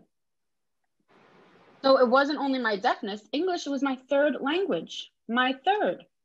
So the captions also helped me improve, improve my English. My parents are both hearing, and the captions, English is not their first language either. So my whole family never had captions before, we would just leave them on because we all benefited from them. So people saying, oh, you don't need captions on the screen because it bothers other people. You have to think about these, the, the different language barriers. Oh, no one's going to complain. If you don't understand a certain language, you have the ability to read it in a different language, correct? You would prefer the captions if you couldn't hear, it, same as preferring them if you can't understand the language. It's not fair for us to not have them.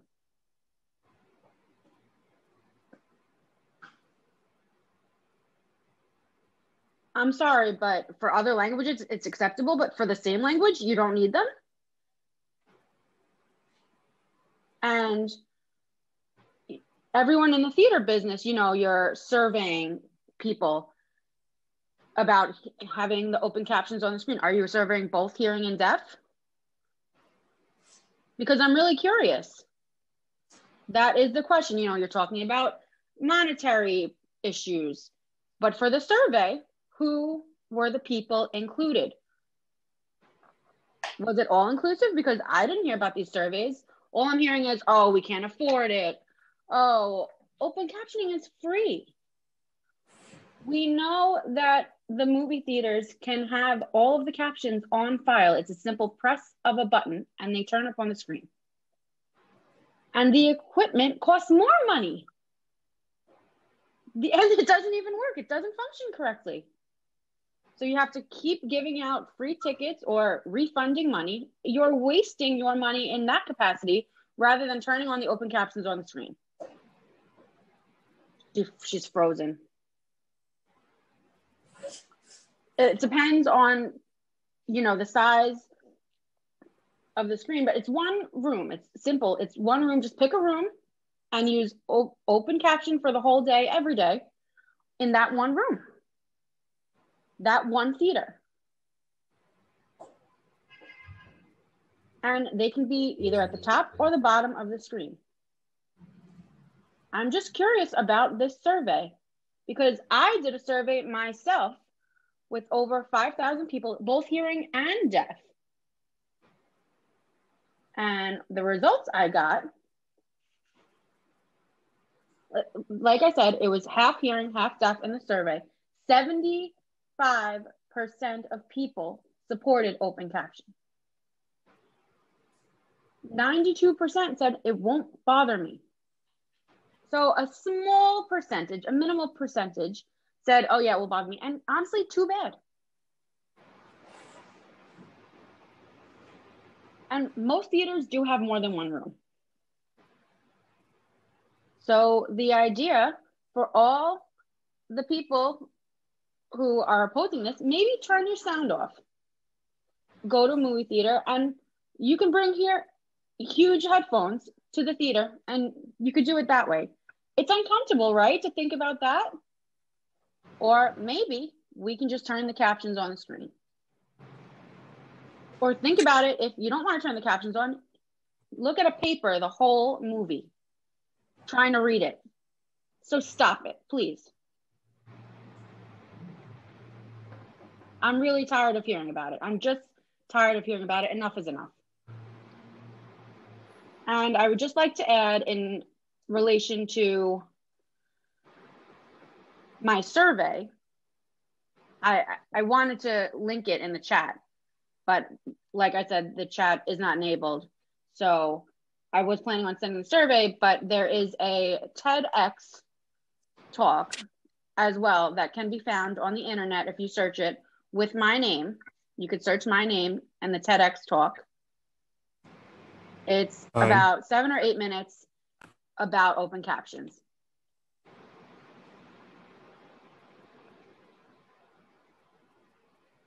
So, uh, you know, I, I had more, but I just would urge you to please think about the deaf and hard of hearing community. And not only that community, but other people, foreign language speakers, ESL. It's really just, it's not fair. So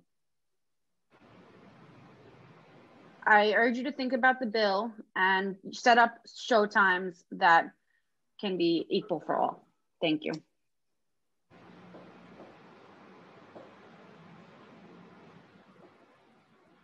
Thank you. Uh, at this time, seeing that Councilmember Rosenthal has her hand raised, I will call on her for questions. Councilmember. Thank you. And I want to thank the city council sergeants who figured out how to put the spotlight on the person who was speaking, not the ASL interpreter. Um, and for the record, I think there have been a couple of speakers who we've missed seeing them because we did not have the spotlight on them. And they're the ones who are speaking. So, um, apologies to the mayor's office of people with disabilities. Tony, I'm sorry we couldn't see you signing. May I ask the sergeants and the chair for your indulgence.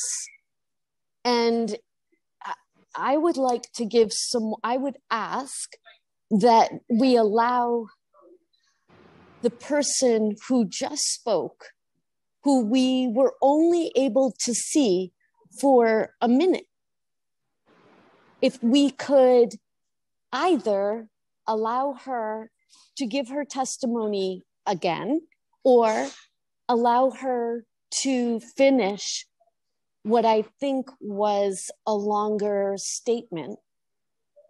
I also want to put on the record for um, the person who just spoke that you can submit your testimony, including a link to your TED Talk, including your survey, the results of your survey, um, you can submit all of that.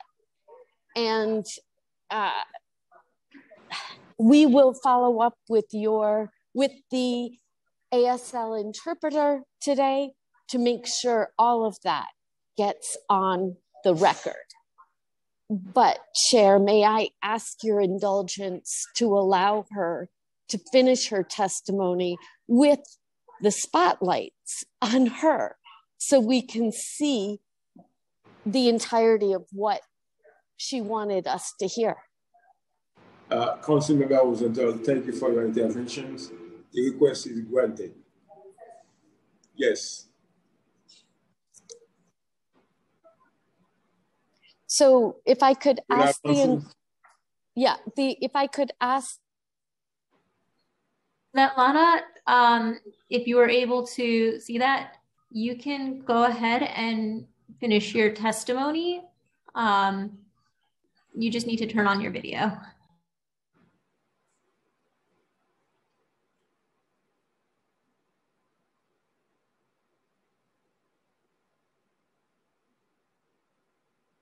She's there. I don't see a response from Svetlana, uh, Chair Eugene. Okay. So the council member was until the request has been uh, granted. So since she didn't respond, yeah. we Thank may continue, you. but she can jump in anytime. Exactly. Thank you so much, Count Chair Eugene. Perhaps someone can reach out to Svetlana and let her know that whenever she jumps back on, we can hear the remainder of her testimony. And um, again, moving forward, um, if we could make sure the spotlight, uh, what the public can see uh, is not the ASL interpreter, all of whom I appreciate very much and are doing a beautiful job, but instead we can see the person who is signing. Thank you so much. Thank you. It looks like Svetlana is back. Oh.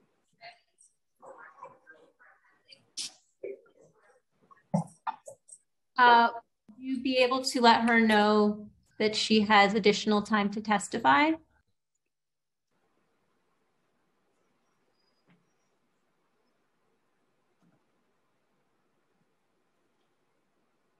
Oh, okay. Um, I was actually going back to my tra- my testimonial, and you know, I, I was I think I was freezing for some parts, so those might have been missed. But I I think I really mentioned most of what I wanted to say. I don't need to keep going on, but all I wanted to do was to add the two links. Like I said, I can't do that in the chat. Is there a way to? I just want to share the links. The chat function is disabled during city council hearings, but uh, as Council Member Rosenthal mentioned, you are welcome to share the link in your testimony that you will you can submit to us, and we will uh, it will be shared as part of the record. Yes, I have done that.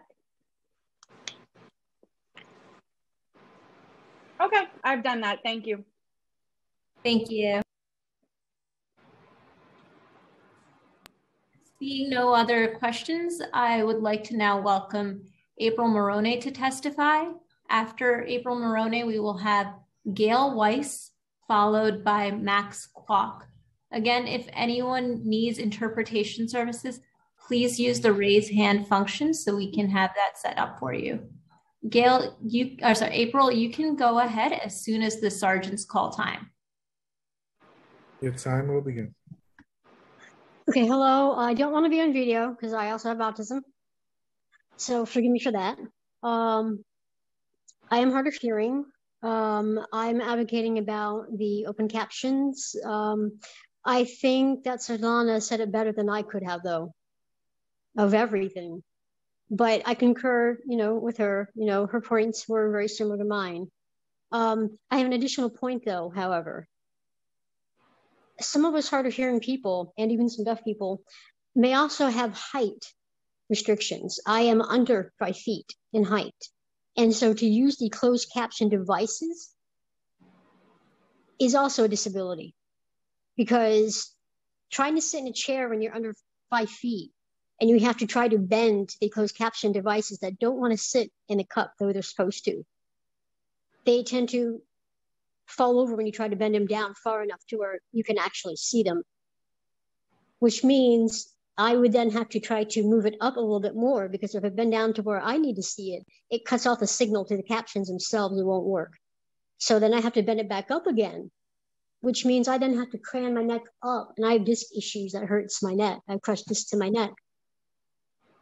So it's like, okay, this is hurting my neck, but then I have to look at the screen again and then back to it. And that's very painful for my neck and inconvenient. Please consider the heightened disabled as well. When considering hard of hearing, I am both. I'm finished. Thank you. Thank you. I think that open captions would be better because of that. Thank you. Thank you.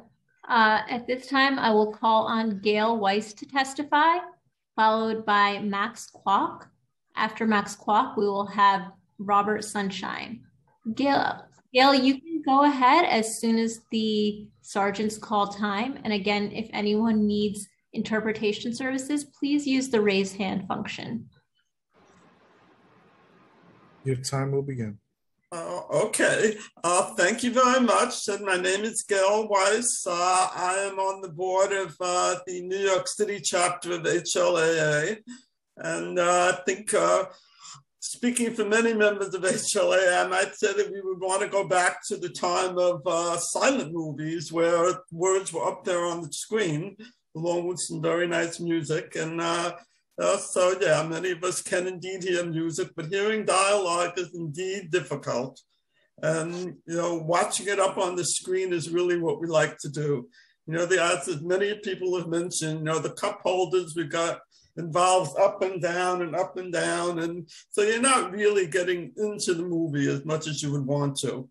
And uh, you know, I've had more than one instance of the uh, devices not working as many others have also mentioned. And, uh, you know, just uh, going and getting a, uh, you know, a free pass to go to another movie doesn't really solve the problem. Occasionally I'm with other people in theater and, you know, I can't say, okay, we all have to leave because my captioning device doesn't work. So I'm sitting there through a movie that I've had difficulty really uh, enjoying you know, and you know, enjoying movies is indeed, you know, what uh, what we want to do. Those of us who really do like movies, and you know, I really think that uh, just that on-screen captioning would be so much appreciated. And uh, you know, I see it as a win-win. You know, even for the theaters. You know, what other people are saying, it's going to bring more people to the theaters. They'll bring their relatives with them. They'll bring their friends with them and, uh, you know, I think it is indeed the way to go and would be much appreciated, you know, if uh, INT 2020 is indeed passed. Thank you. Thank you. Thank you. Uh, at this time, I would like to call on Max Kwok to testify. After Max, we will have Robert Sunshine, followed by Amanda Perez. Max, you can go ahead as soon as the sergeants call time. Hi, good morning all. Um, I, I, cannot find my uh, written testimony. Uh, can Robert go first? Uh, I, I just want to make some last minute uh, dash to, to find that written testimony first. Sure thing. Uh, Robert, you can go ahead as soon as the sergeants call time. Your time will begin. Uh, can I be heard at this point? Hello? Yes, we hear you. Thank you. Uh, I'd like to just quickly thank the chairman and members of the committee uh, for providing the opportunity to testify. My name is Bob Sunshine. I'm the executive director of the National Association of Theater Owners of New York State. And we represent most of the theaters uh, in New York City. Um, I'm not going to read my testimony because of so many things I've heard today. Um, but I do want to emphasize we are not the enemy. Again, I say it we are not the enemy. We're not opposed to open captioning. We actually want to provide more open captioning where it would work for both the community and where it would work for the theater owners. Um, we are doing open captioning now voluntarily. People in who attend the theaters can come to our management and say, would you please show a movie this week in open captioning? And every time where we could comply, we do. So I, I, I ask now that we have a very good and productive relationship and dialogue with the advocates, um, why do we need legislation at this point now? Theater owners know what works and we want to work with the community to expand it. This bill does not work. This bill will hurt local theaters in communities, and many of them might have to close. We need to talk it out and we need to find out what works best for both sides. What is proposed in this bill is much more than what the advocates have asked for. And as it was already testified by one of our members, it's impossible. It's impossible to administer. So let's not look upon the theater owners as adversarials. We want to work with the community. We did it with federal law before, and now we think we can do it by agreeing and working with you and finding a good solution. There is no need to legislate. Thank you. Thank you very much. Thank you. Uh, at this time, I'm calling on Max Kwok once again to testify. After Max Kwok, we will have Amanda Perez, followed by Rob Westerling. Max, you can go ahead as soon as the sergeant's call time. Hi. Uh, so again, I cannot find my written testimony, but just hearing a lot of uh, uh, perspective from a lot of people, especially from those who oppose the issue about uh, requiring legislation is, for example, at AMC theaters, uh, Empire 25 in Times Square, um, you know, as AMC Stubs members or A-list members, we are supposed to be able to enjoy free Wi-Fi. But that theater's Wi-Fi has been gone down, has, has been down for like the past 12 months or more, and nobody's really fixing it. And you know, I, I actually went to talk to the theater manager or, or people like that, you know, to say, can you please fix that next time I come in? But still, it has not been fixed. So some kind of mandate is, is needed to just implement this open captioning thing for people who are hearing impaired or who are immigrants who want to learn English as a second language. I mean, I'm an immigrant. I'm a non-immigrant turned immigrant turned U.S. citizen. But at this point, I still find a lot of movies that that to me is like hard to comprehend without the aid of you know open captioning. For example, the movie called Dune you know, sci-fi movie featuring a lot of uh, proper nouns, you know, geographical proper nouns or, or um, names of people who are just you know hard pronounced, or, or a lot of synonyms for, for, for words for simple words uh, that we that we know but we don't know about their synonyms. So having open captions, we could you know quickly resort to a, you know a Merriam-Webster dictionary to look them up to really increase our vocabulary to really uh, help improve our understanding and you know our conversation, our understanding of this country, uh, or, or, various different types of culture uh, over there. Uh, I, I, actually work at Ernst & Young. I, am not aware of that Ernst & Young survey. I mean, even the same employee, like that kind of survey or, or studies is not really published to everybody at the firm. So I, am gonna have to do some Googling to find that survey out to really understand the perspective. And also going to uh, Mr. Uh, Doug Murdoch's uh, uh, difficulty of implementing that, that law, right? When, when he spoke, it's really hard to hear every single word of, uh, you know, that's coming out of his mouth, only because of the audio quality uh, of this uh, session. I don't know why. Was it something about his microphone uh, or, or something like that? I mean, I don't want to be disrespectful, but again, during that time, I mean, people could, you know, watch the replay of this webcast. It's just very hard to hear every single word of his argument. Um, if if uh, according to you know Svetlana, the, the, the Russian um, woman who who is uh, who is deaf and, and all that, uh, she was saying you know the open caption should be easily turned on or off. So if that's the case, like why is it so hard to implement this this uh, mechanism? uh, for open captioning. I, I mean, I, I, simply don't understand it. So to, to the extent, I mean, to the extent we don't need open captioning, that would be great. I mean, I don't want to impose this thing to, to onto everybody else, but really, we found the open captioning uh, time slots very inconvenient, right? Usually it's focused only in the afternoons, right? Sometimes I, I have work. I can only go to theaters during the evening. And I just realized we don't have that availability in the evening. And open captioning is not available Time to has all expired. out, out there. Okay, thank you. Thank you very much. Thank you. Uh, I see that Councilmember Rosenthal has um, her hand raised. Councilmember, if you would like to go ahead with your questions. Thank you. Um, and again, I can't quite see all the people who are on um, the Zoom right now. But if there is one person, one panelist from the movie theater interest, uh, the movie theater industry who could answer the question that was just raised. It's a critical question. What makes it hard in terms of simply, it's my understanding that it is a switch. You either turn on or to turn off, much like the way for this hearing today. You can press a button to get a, to get the captions or press another button and not see the captions.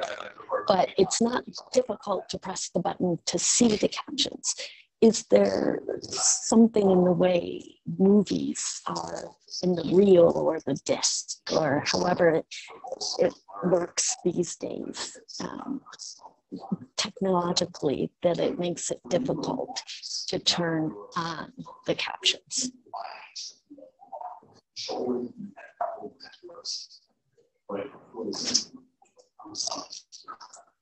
And maybe look to see if anyone's raised their hand. If they've not, that's fine too. Um, it'll be a question. Sure. Um, I'd be happy to answer the questions, Raymond Smith again. So the uh, projections today are basically uh, computers. And like all computers, they have capacity limits.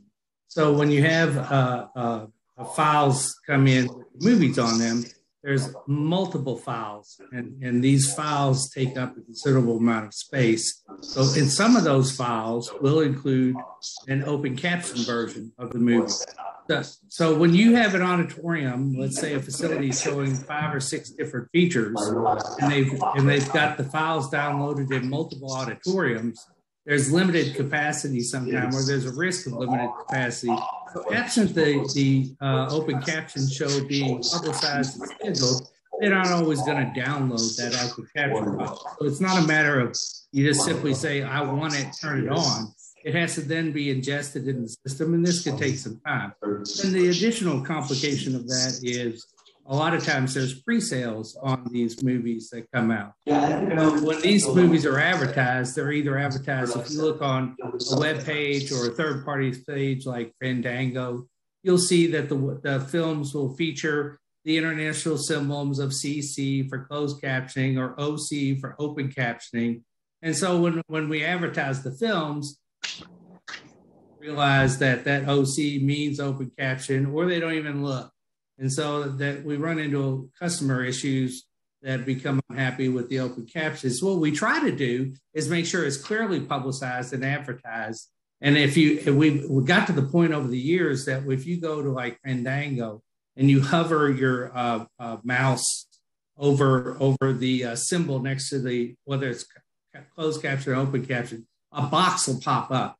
So we've tried to be very informative to the public both those who need captions and those that desire it or those that don't, that they understand what exactly that CC and OC is.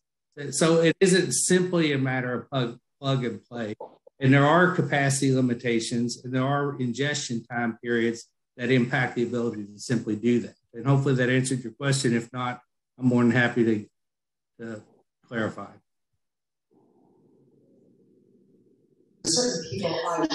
Um, uh, so I really just want to focus on. I'm hoping everyone can hear me. I really am in the middle of this a event, um, but uh, is hearing from other um, perspectives and other sides. so so, so really just focusing on fear the technology, which I think was the first part of your response. always want to hear What I heard you say was that it takes up more file space, so more storage you um, in the system. to Compare at one something with open captions versus something with not. In other words, I'm making this up. One thing is 10 gigabytes and another thing is 15 gigabytes because it has the open on caption on it. Is that what I heard you say? And then in the next battle, I'm in the war room. And so it should never, ever have to be personal. Okay, I'm, I'm, I'm sorry. There's, and we all are there's somebody talking in the because we really background. I can't, I didn't hear you. I didn't hear your question clearly. I'm sorry.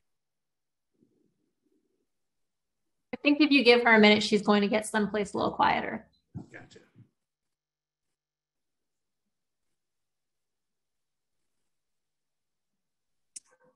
Uh, thank you for that. I am going to go someplace quieter. Um, thank you. Ugh, not quieter. Helicopters. Um, so my question was, I, I want to focus on the first part of your response, which had to do with the storage required in the system for an open caption movie uh, com- compared to the other. So in other words, one might be, and I'm making up sizes here because I don't know this. One might be 10 gigabytes and the other is 15 gigabytes. Is that, was that your No. argument? Okay. No, great. Not just- really. Oh, I'm sorry. I don't mean to cut you off. Go ahead. no, no, no. I, I wanted to understand what you said. So if I'm not saying it, please. It's it's it's not it's not necessarily that I'm not talking about just the open capture file. These systems have to take every film that's going to be shown in that auditorium and ingest it into the thing. All the trailers get downloaded, ingested in thing. All the paid programming gets downloaded, ingested. There's it's a. It, I wish I had a, a, a No, but I, I think what I'm saying, I think I do understand what you're saying. So let me try saying it again, and perhaps uh, I can articulate it better. Always, when you are running a movie theater, you have to download a lot of things trailers, advertisements, movies, a ton of things, right? And that takes up X amount of storage. Now, if you have to have, have to have open captions as well, now it's X plus one amount of storage. Is that accurate? Yes, if you have to download the open caption file, that would be one more file. Thank you. I appreciate that. Thank you. And you also have to All get a set of keys from the distributor. You can't just turn on the open What? caption file. Each film comes with security protocols what, that we call keys. And I'm not the biggest techno guy, and then maybe some of the other guys on here are, but they come with what's called a key that allows the theater to initiate the film. Without that key, they could download the file, but they can't actually get the program to Right. So currently, um, some of the theaters on their own, without any legislation, are showing both the open caption and the not open caption, right? So Right. they already have in hand the the key for the security to allow it to play. Is that Yes, if they're- accurate? if they're going to schedule and if they needed to show if they needed to show if they wanted if they were required to show that movie more than one time in say the single day would they have to get another key or No. another required they sign off No, they just have to get it to be able to make it function. And once they have it, it's, I, I assume this is more a studio administrative aspect to understand what's being shown and what isn't being shown, as well as to protect against piracy of the product itself. of course every industry is doing everything it can to, uh, of course, obviously. Okay, I just wanted to make sure I understood. Is there any other component? So they it it requires more file space, and it requires getting a special uh, uh, sort to use Well, I- the I- I open don't- caption. Those two technical things. It definitely requires that, and it definitely requires advertising. It definitely requires the theater operators to test the multiple formats when they download a file, when they ingest it. They do have to run it to make sure, not the whole file, but they run it to make sure it's functioning appropriately. So this just adds one more component to that that they have to make Yeah, sure. I mean, just like it wasn't functioning well for me to be inside my event versus standing out here, that took extra time, right? Was it worth it? I think so. But okay, I got you. Thank you very much. No, you're welcome. And and and again, I I I believe we believe it's worth it too. It's just what's the appropriate or the best way to accomplish this objective to enhance the access to our theaters. Well, I- that doesn't come across in your testimony, frankly. I hear your words. We're on the same side, right? I hear your assertions. We don't need laws to do it. I also heard someone say, you know, we negotiated with the federal government on an ADA response. No, No, that was that's- for the closed captions. You negotiated with the federal government to have No. that. No, No, we didn't. No, what we did is we met with our partners in the deaf and hard of hearing community and we reviewed what was being proposed by the Department of Justice. And collectively, we put together recommendations from the deaf mm-hmm. community. We, it was a joint accord. It got a lot of press back in 2015, I believe. And from those di- discussions, we made recommendations to the Department of Justice. Uh-huh. At that time, If you were making recommendations today, and given that we're talking about a percentage of showings, what would your recommendation be? Well, in my experience, uh, and again, I've been doing this for almost 30 years, it isn't that simple. It's not that hard either. What it is, is it requires some understanding of the needs of the market and coming up with a reasonable. But you don't know the needs because you don't know the untapped market, right? Okay, so for example, I'll give you when I was inside at Regal which I was for 20 years, we had open caption programs across the country without any requests, simply because we understood the market. And I'll give you a good example. New Wait, York- what business were you in? I'm sorry, I couldn't hear. The what? I was what with thing? Re- I was with Regal Entertainment Group. I Oh, was Regal. in house with them for 20 years. And Uh, you always had open captions. Well, when when the studio started providing them, now back in the day, back in the 90s, the open captions were burnt on prints. We didn't have digital. So you had to you had to get the print, and they didn't make enough prints for every theater. So the prints kind of bicycled around. But yes, we've always had them. And we showed them back then when there weren't as many. We did we did different things, but we focused on areas with high anticipated or known high populations of individuals that were deaf and hard of hearing. For example, uh, D.C., Rochester, New York, certain areas in California. We always focused in areas where we also knew, because we could look it up, where the, the deaf and blind schools were to make sure that we had facilities that were in those That was your proxy. Got it. that would provide this type of access. And, and mm-hmm. it's been a developing thing. I mean, I know mm-hmm. today there's that people complain about this technology that's out there today. It's not the technology, it's human failures.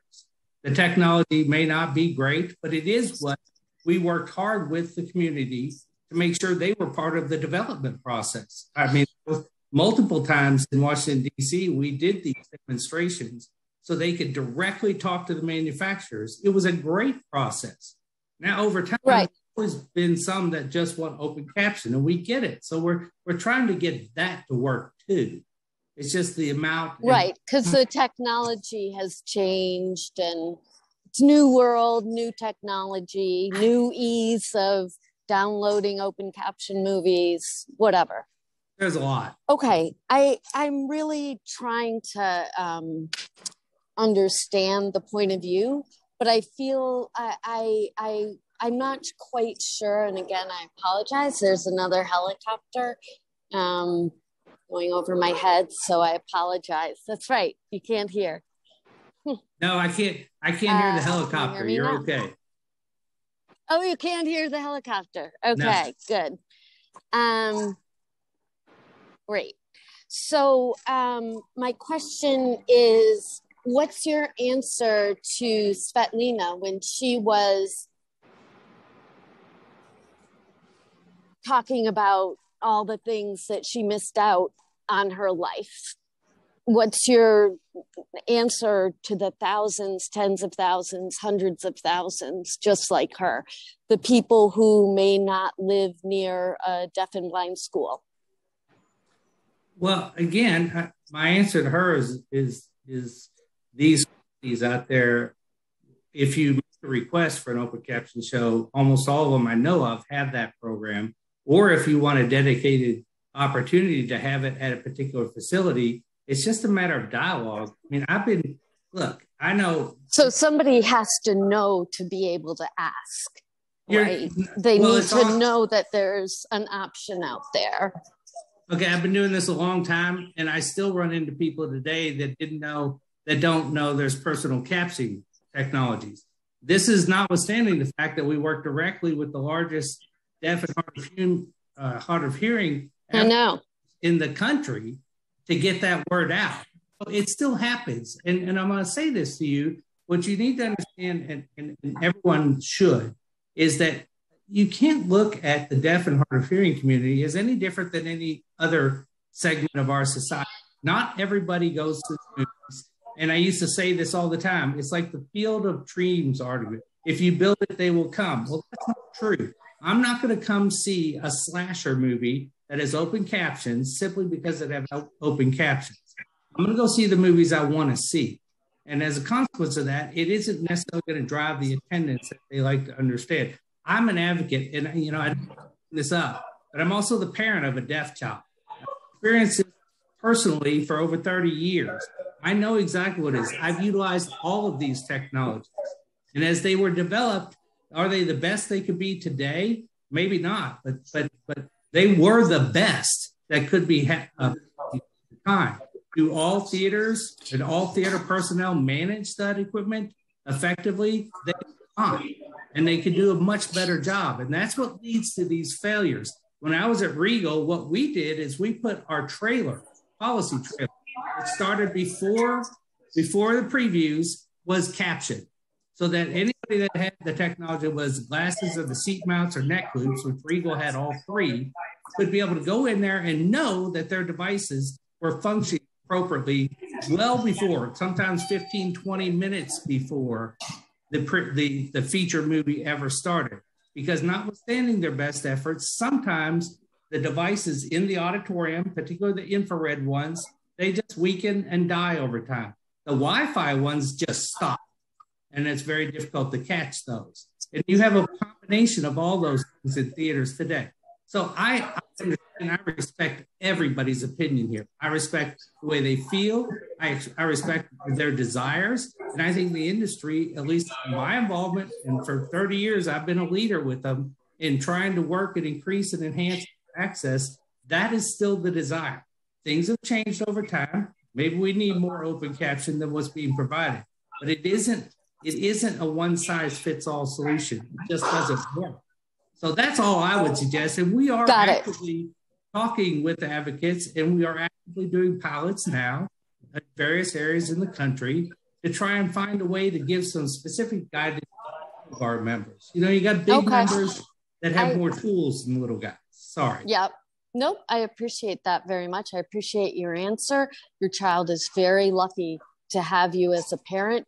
I still can't get a cochlear implant for several of the people who live in my public housing um, in my development in my district. I can't get them anything because it's not available. They can't afford it. They don't have access. No one's paying attention to them. So look, uh, people are in all different types of situations, and the role of government is to try to help those often uh, to help everyone, to help everyone, including business, industry, uh, and people most in need. So I appreciate that. I actually am at an event, so I want to apologize in advance to uh, the remaining people who are going to testify. A, sorry I made you wait so long, and B, I might get shut down because my phone is losing battery. But um, I will read everyone's testimony. I appreciate everyone for being on here today. And um, thank you. Thank you, Sergeants and Chair Eugene, for giving me an opportunity to ask questions. Thank you. Thank you for your advocacy So That's okay. Thank you. Uh, we will now um, continue on. I would like to welcome Roberta Lawrence to testify. After Roberta Lawrence, I will be calling on Tony Iacolucci and then Ruth Bernstein. Again, if anyone uh, requires interpretation services, please use the raise hand function. Please use the raise hand function only if you need translation or interpretation services. Um, and Roberta, you are welcome to start as soon as the sergeants call time. Okay, thank you. Time will begin. Thank you. Um, I want to thank council members and Chair Eugene, I'm sorry, I'm very nervous, Chair uh, Eugene, for allowing me to testify. Um, I want to testify as to the egregious mishandling of my late mother's and my disability discrimination case that we filed with the Human Rights Commission in 2016. This is my mother, nice lady with the leopard sweater on. Uh, my mother lived in a lived in a rent stabilized uh, apartment with a bad landlord for years. She was denied appliances that were supposed to come with the apartment. It was in such bad shape that when I moved in to take care of her, uh, in 19, uh, sorry, in two, uh, 2010, I called the Department of Buildings. I got a lot of support from Councilman Halloran at the time and from Assemblyman Braunstein, who was a wonderful advocate for seniors. I moved in with my mom when she was 90. Uh, the landlord hadn't repaired anything in her apartment since she moved in in 1980. The building had gone co-op. She couldn't buy. So she was in no man's land. The co op hated her because she wasn't an owner, and the landlord wanted her out. I want to show the nexus between um, rent regulated landlords uh, using the opportunity when an elderly or disabled um, tenant needs a disability accommodation. They're not going to give it to you, they want you out. Stop it. Sorry, it's my dog. Um, so I uh, I filed. I was I was appointed to the Human Rights Commission in 2013 under the um, under the leadership of, of uh, Commissioner Gatlin. Uh, my mother needed a lift in the lobby to get her from the lower lobby to the upper lobby so she could go out the main entrance and enjoy the gardens. She needed bathroom accommodations within her apartment. She was she she was infirm and she was going blind. She could not climb into the bathtub. Um, Patricia Gatlin's uh, agency handled the complaint with dispatch. They found probable cause for discrimination um, and retaliation within a year. And we were at oath for a hearing within 14 months. Commissioner Gatlin was replaced by Commissioner Malalis, and there was a, a, a change in the tenor of the commission. Um, my mother was forced at the conciliation agreements to take a non ADA compliant bathtub cutout, which uh, didn't work for her. And the thing is, for leverage, you're told we were told by the LE, the Law Enforcement Bureau executive director, if your mother doesn't take this, we're dismissing the case. This is a mantra that is prevalent throughout the whole process. Time is expired.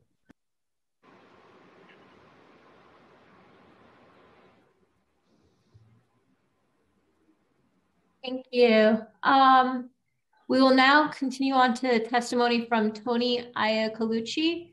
followed by Ruth Bernstein, and then Miriam Fisher. Again, if anyone requires interpretation services, please use the raise hand function. Oh, I apologize. Um, Amanda Perez, I do see that we jumped over you. So I will go back. Um, we will hear from Amanda Perez first, followed by Tony Iacolucci and then Ruth Bernstein.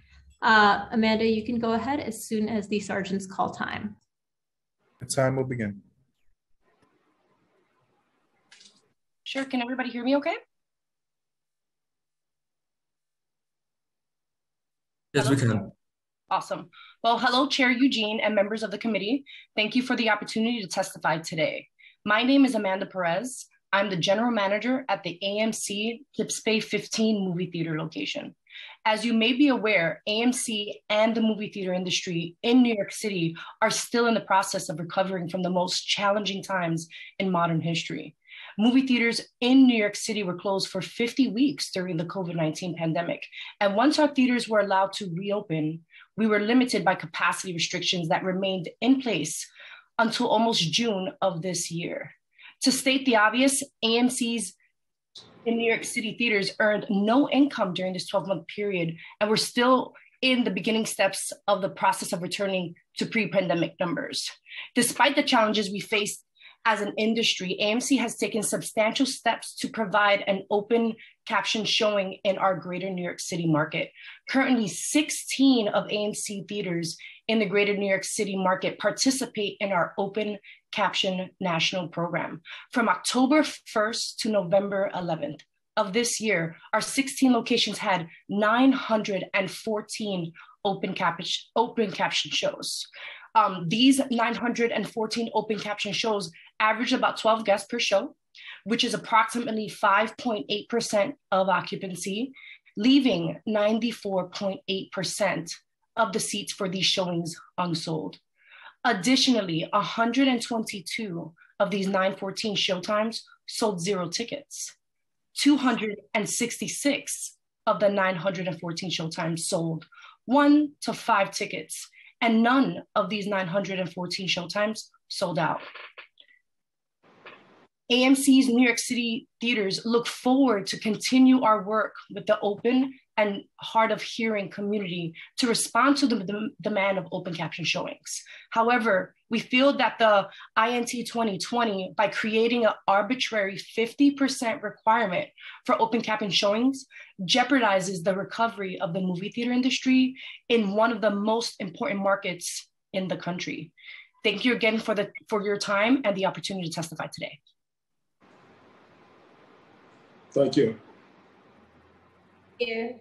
Uh, seeing that Tony Iacolucci, Ruth Bernstein are not in the Zoom and Robert Westerling is also not in the Zoom, we will be moving on to testimony from Miriam Fisher, followed by Robert Wolf and Diana Prashad.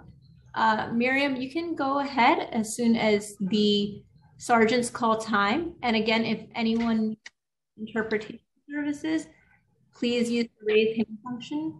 Uh, actually, I apologize, Miriam. It looks like Councilmember Rosenthal does have her hand raised, so we will go okay. to her. I'm, I'm sorry. We're, I'm also at a, a meeting on accessibility in the subway. There's kind of a schedule conflict, and I'm running back and forth. Do you mind if I just do my testimony because I have to leave? Not I'm sorry. Uh, I'm Miriam Fisher. I'm a disability advocate. Uh, I'm advocating for open captions on movies and public theaters, following models in other cities and countries to fully include people with hearing impairments and participation in cultural events. I wear two hearing aids and have used varying types of technology, including my cell phone, which I, I put aside um, with uh, the app uh, Live Transcribe, and I've been told the glare of the phone to take it away. It's annoying people, the light, and I've become very uncomfortable. But that was my my option. Um, cells can obviously disturb the audience members with um, their illumination and require frequent checks to follow dialogue. I've requested, and I'm giving you just a few tidbits of some of my experiences trying to enjoy a movie without captions. I I have uh, requested captions at public libraries and senior centers which receive public money and have heard of objections from those who find the, uh, it distracting, uh, though they will watch movies with subtitles, uh, foreign movies without protest. Just an example, a movie facilitator, discussion facilitator at, at a senior center with certainly other people with uh, hearing difficulties said he saw I talked with other people, so I couldn't possibly have trouble hearing, uh, both insensitive and ignorant. He said he won't aid discussions if they show uh, mo English movies with uh, captions. The director of the same center in um, New York City, ran out of the room when the option for captions came on the screen after I made the request. I had to involve help from the New York City Department of Aging as the senior, as the center I knew received public money. A similar situation happened at a New York Public Library until I again, again reminded that they were receiving public money and denying reasonable accommodations for people with disabilities. I'm exhausted by these kinds of encounters and no longer look forward to participation, anticipating more encounters. Uh, often in captions on uh, in their, despite those occasional who find it distracting, uh, many remark at how more easily they can follow the words or segments that they couldn't previously and note song lyrics which was a big thing, are especially hard to follow and become available with captions. They're also an aid for segments of the larger population, those who speak English as a foreign language, children learning to read and honing their skills. And as a retired reading teacher, I'm very conscious of that, how that can help uh, children. Uh, need fully available movies so people can go to movies as everyone else when it fits their plans and schedules, not relegated to time limited uh, intervals and times of day. Captions are the vector that can integrate people with, within the larger world of social events and the media that so many without hearing struggles take for granted. Thank you, Helen Rosenthal, for letting me squeeze in. Um, I'm back to uh, CIDNY talking about accessibility at the subways. Thank you. They're, going, they're meeting at the same time you. Uh, Councilmember Rosenthal, I see you lowered your hand. Are you, do you have any questions?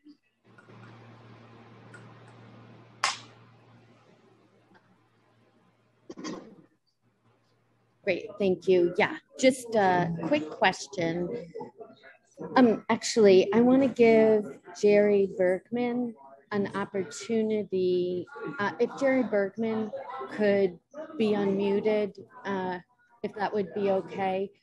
Um, I think Jerry, uh, if he's there, um, yeah, I think Jerry, can I just ask you real quickly, did you have some thoughts about what Mr. Smith um, was saying? And I was wondering what your take on that would be. Thank you. Yes, thank you. Um, I, have been patiently sitting and listening to uh, the industry spokespeople, and I just wanted to set the record straight about a couple of things.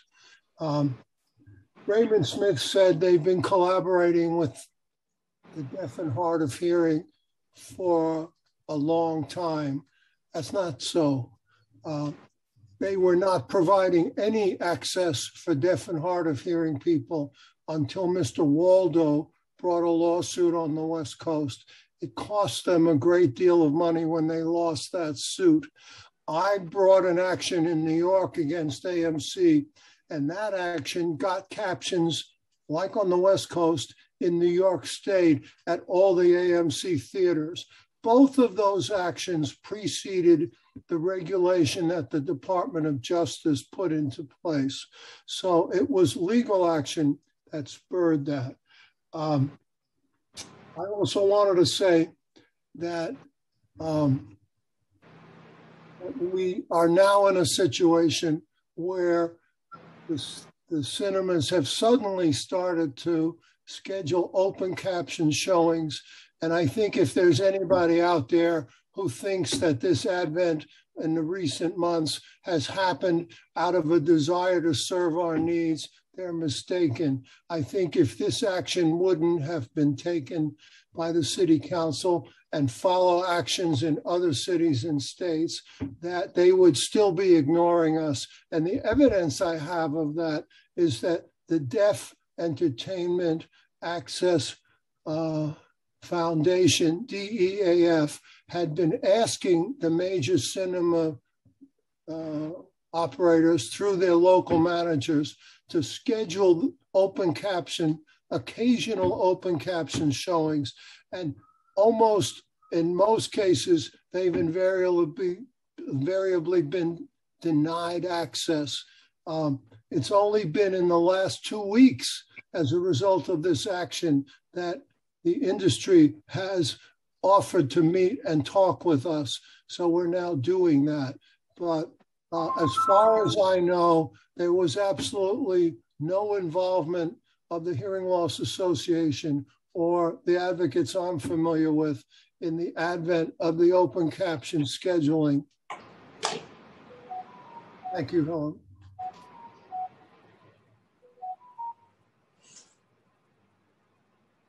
Councilmember Rosenthal, did you um, have any other follow-up?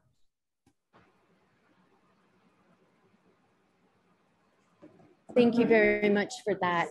I mean, I would love to give um, the movie industry an opportunity to respond. I know this hearing is going very long, and I know there are still people who want to testify.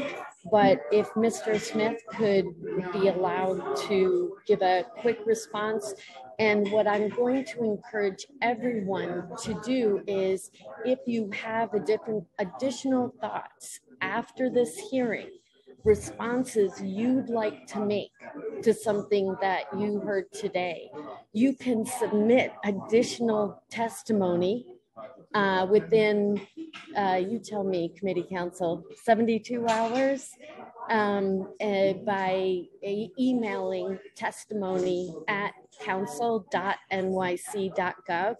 And I will assure you that I will be reading it as well as the committee staff.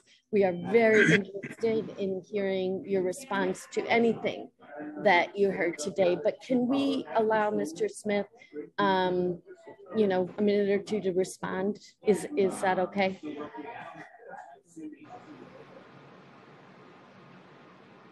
Is that okay? I'll, just be brief. Listen, I, I know what we've done. I know what I did, and I've been since the '90s. Now, I, I, certainly can't sit here and say I've dealt with every deaf organization or hard of hearing organization in the United States because I haven't. I don't know all. And there were two referenced today I had never heard of, but I have been associated with the uh, since 1990, 1990, I believe. And I have been involved in creating and enhancing access since then. If you spoke with individuals that uh, were part of the Coalition for Movie Captioning back in the 90s, or you spoke with individuals that are associated with certain deaf schools in this country, including Knox, Tennessee School for the Deaf, they can certainly confirm it. The litigation with John Waldo did not do what Hello did that litigation. And the only reason Regal was in that litigation, because, and listen, I respect John. We go back a long way. We don't always agree, but I respect him. And he wanted us to uh, do something in that litigation, which we were already doing. And we told him we're already going to be rolling this out, but he wanted a firm date to roll out this new technology. We couldn't give it to him because we were at the whim of the manufacturer. So he did sue Regal. And then the his claims ultimately got dismissed because it became moot. His claim that we were violating the ADA because we didn't have time filed the suit were not deemed moot, but his claims that we have to install the technology, which is today the complaints are about, uh, was already moot because we did install the technology before the, the case went to trial. Now, as far as all the rest of it, we've been doing it for years. We, these companies could probably go back and established when they started these programs I'm not going to dispute that when this legislation started in New York, that uh, the activists or whatever the uh, industry didn't reach out to try to find the activists to be able to start having dialogue in the, that locality. It's certainly it's not a new subject, and I'll I'll leave it there because it's terrible. Okay. Thank you though for the response.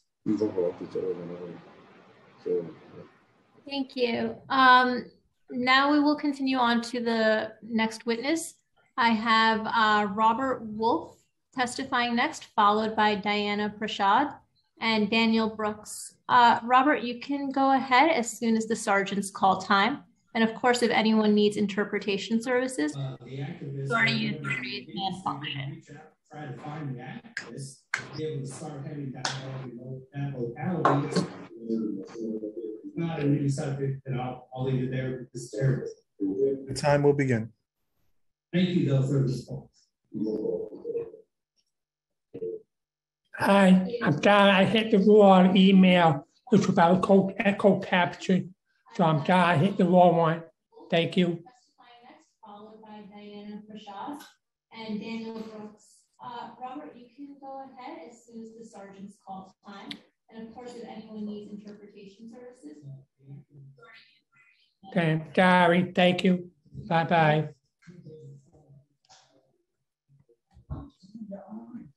Um, we will now move on to testimony from Diana Prashad, followed by Daniel Brooks. Um, again, if anyone needs interpretation services, please use the raise hand function. Diana, you can begin as soon as the sergeant's call time. The time will begin.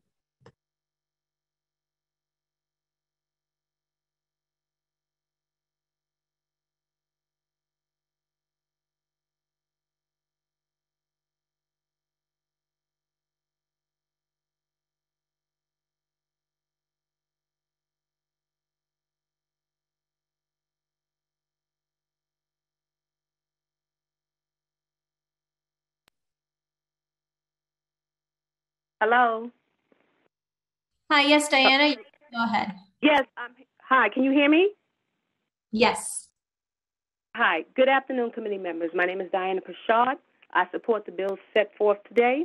My testimony, however, is about my ongoing discrimination with New York City agencies as a black female and a LGBTQ under de Blasio pertaining to the arena of human rights. I would like to publicize how the intersection issues of race, socioeconomic, sexual orientation, and otherness of LGBTQ status has impacted my response from, from agencies such as HPD, DSS, DOI, and I believe this is to be the product of both our socioeconomic disenfranchisement and systemic discrimination. For the past 20 months, as a homeowner in the development of 200 plus townhomes, which are bound by a 25 year owner occupancy clause, I have been retaliated against by HPD, the agency who I, who I not only purchased my home from in 2007, but to who I am contractually bound until 2032.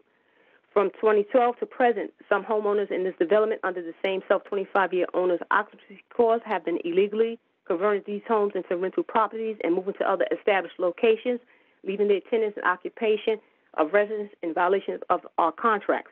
Many of these long-standing breaches are the handiwork of individuals who have a relationship with New York City, such as New York City employees or individuals who work for the developers of our housing. Some of these homeowners are even are even illegally renting these homes back to the to DSS and DSS and receiving New York City housing voucher payments after they have received 100,000 grants to remain in these homes as their primary residency until 2032. Needless to say, this has adversely impacted our community as a whole since it allows our property values to further plummet. Additionally, some of these long-standing breaches are being perpetuated by Caucasian homeowners who were given an incentive to obtain these homes and are now using them as income sources. Some homeowners that some homeowners have even taken out secondary mortgages to list these homes as rental properties, and um, part of New York and it's part of New York City records. But yet, under HPD, this administration has failed to take swift and decisive actions. I believe this is due to the fact that the majority of the homeowners in our community are black and brown people, and they do not care about us or the viability of our community or our property values.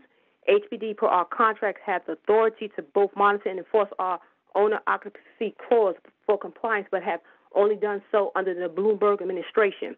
These illegal conversions have been an ongoing issue from 2012 and remains an issue today, with HPD and other agencies such as DOI being cognizant of it but failing to act to address the discriminatory treatment of homeowners in this development. The issue of selective enforcement, the issues of favoritism, which is the end product of select homeowners being being allowed to use these homes as income while the others are not. The conflict of interest of DSS and DHA paying select homeowners to bring their homeless clients with dubious backgrounds into our communities and homes who have been vented.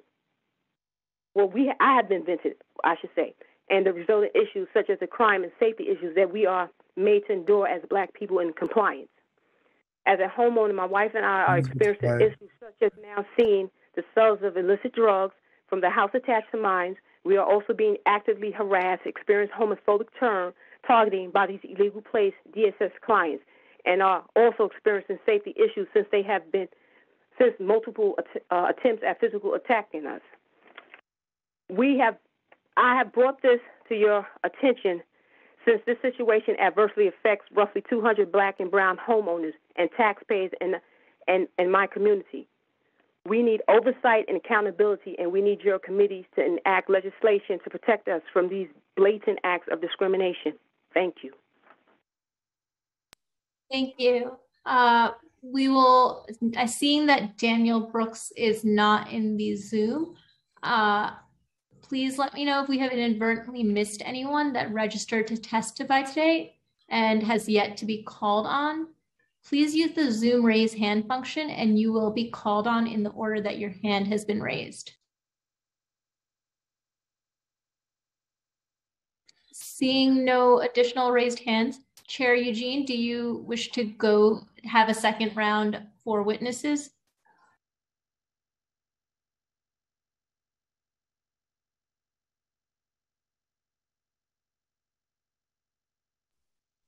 Chair Eugene, uh, would you like to have a second round of witnesses? Chair is muted. Can you hear me now? Yes. All right, thank you. I was talking, but I wasn't mute. Now, do you have more uh, speakers? We do not have any additional witnesses. However, if you would like to have a second round of questions or testimony from any witnesses, uh, at your discretion.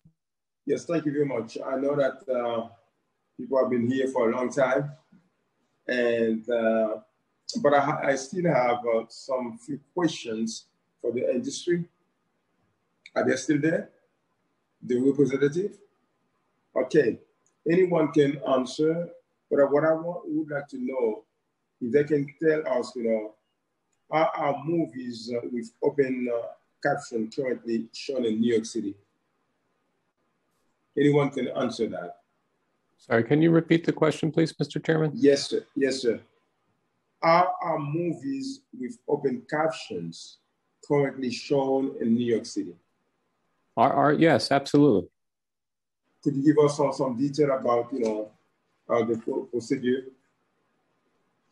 Um, you know, I would like to give you specific details, and I would like to see who else from the circuits is currently on right now, because they can tell you right now, you know, their specific show times and, and playlist. Um, I am just clicking through the Zoom here to see who else might be on. But I know that uh, they vary. I know that AMC has a pilot running in New York City at, at three of their theaters, uh, two on the Upper West Side, one in, in Times Square. And um, they're offering a, a number, and I, I will look up the data right now because I have the data here if no one else is available um, to provide it. Uh, but they're also offered available upon request. And, and the issue, Mr. Chairman, with this legislation, again, is the quantity of open captioning shows and the ability to play the um, number that's set in this bill is, is just impossible to comply with um, and would lead to further financial loss. And again, you've heard a lot of testimony about the difficulty of the theaters. I want to again reiterate some of the testimony. we want people in our theaters and we clearly want to welcome people with disabilities, including people who are deaf and hard of hearing. And, you know, I personally had conversations with Mr. Bergman and Mr. Waldo, and they've been very productive conversations and very respectful conversations. And we hope to continue those conversations. Um, and we want to be able to find a solution that works for everybody. I just don't think that this legislation does. And I think it will only lead to the detriment of all the stakeholders because these theaters won't be able to stay in business if this legislation is put in as is. Um, and a mandate like this just won't work. So we're, we're trying to find a way of expanding open captioning, a way of improving closed captioning. We need as many people to come to the theaters as possible. And if there's an untapped audience that's out there, we welcome them with open arms, everybody, and, and want everybody to feel respected welcomed, and valued. And that's critically important. Um, and I'm just finding the data here. So I appreciate your time. The number of open caption movies, sir, uh, Mr. Chairman, I have uh, 6,093 open caption showtimes from one of the cinema chains. And the other number here, just bear with me, please. Um, in New York City, one of them is uh, offering 914 open caption showtimes. And again, the data we have is that the audience is not turning out for them. Could they do a better job of advertising them? We're trying to talk with Mr. Bergman and, and Mr. Waldo about doing just that. Could we do a better job of figuring out, um, you know, the feedback from all audiences, from people who are deaf and hard of hearing, from people who are not, what they like, what they don't like, of course. But all these things take a little bit of time. They take a little bit of time to set up the proper methodology. They take a little bit of time to determine the right data and the right facts. And unfortunately, you know, we look at this legislation. I, I, I uh, you know, with all due respect, look at that 50% number. I think it's quite arbitrary and again unworkable. And we have a subset of New York City data right now that's very actionable. And all it shows is that the capacity is not the the auditoriums are not filled. They're they're almost completely empty, 95, 94% empty. And if there's an untapped audience, if if there's um, a, a aggregate uh, increase in the audience, that would be something the theaters would welcome. Again, the theaters want people to come to the movies and not give people a reason to stay home. So we want to continue to work with the advocates. We want to work with all advocates um, and, and have dialogue to figure something out that works. Our fear is that this legislation does not work and will only compound the financial problems facing the theaters. Thank you. Uh, you know, uh, based on your statement, it seems that uh, the number of captions represent a big challenge for the industry. Is that correct? Hello, is that correct? Yeah, I'm sorry, I just had some trouble unmuting. Yeah, yes, sir. Yeah, yes, Mr. Chairman. The issue is if the number of captions is set in stone, if it is mandated, and the demand is not there, then you will have movies being forced to be played to empty auditoriums. And the problem with that is you will no longer have movie theaters if they are required to play films with no audiences. Um, I, I, defer to the theater managers, I defer to the theater owners who know this issue inside and out.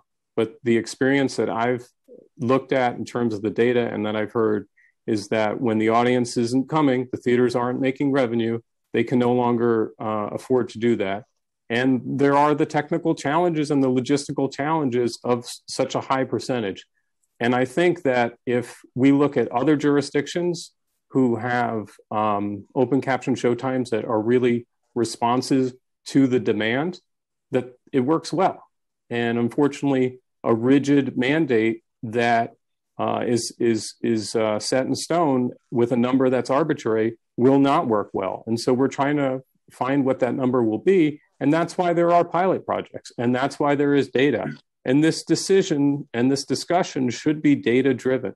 Um, it, it should be uh, assessing the New York market and trying to find a solution that works for New York City, which is unlike every other market in the country.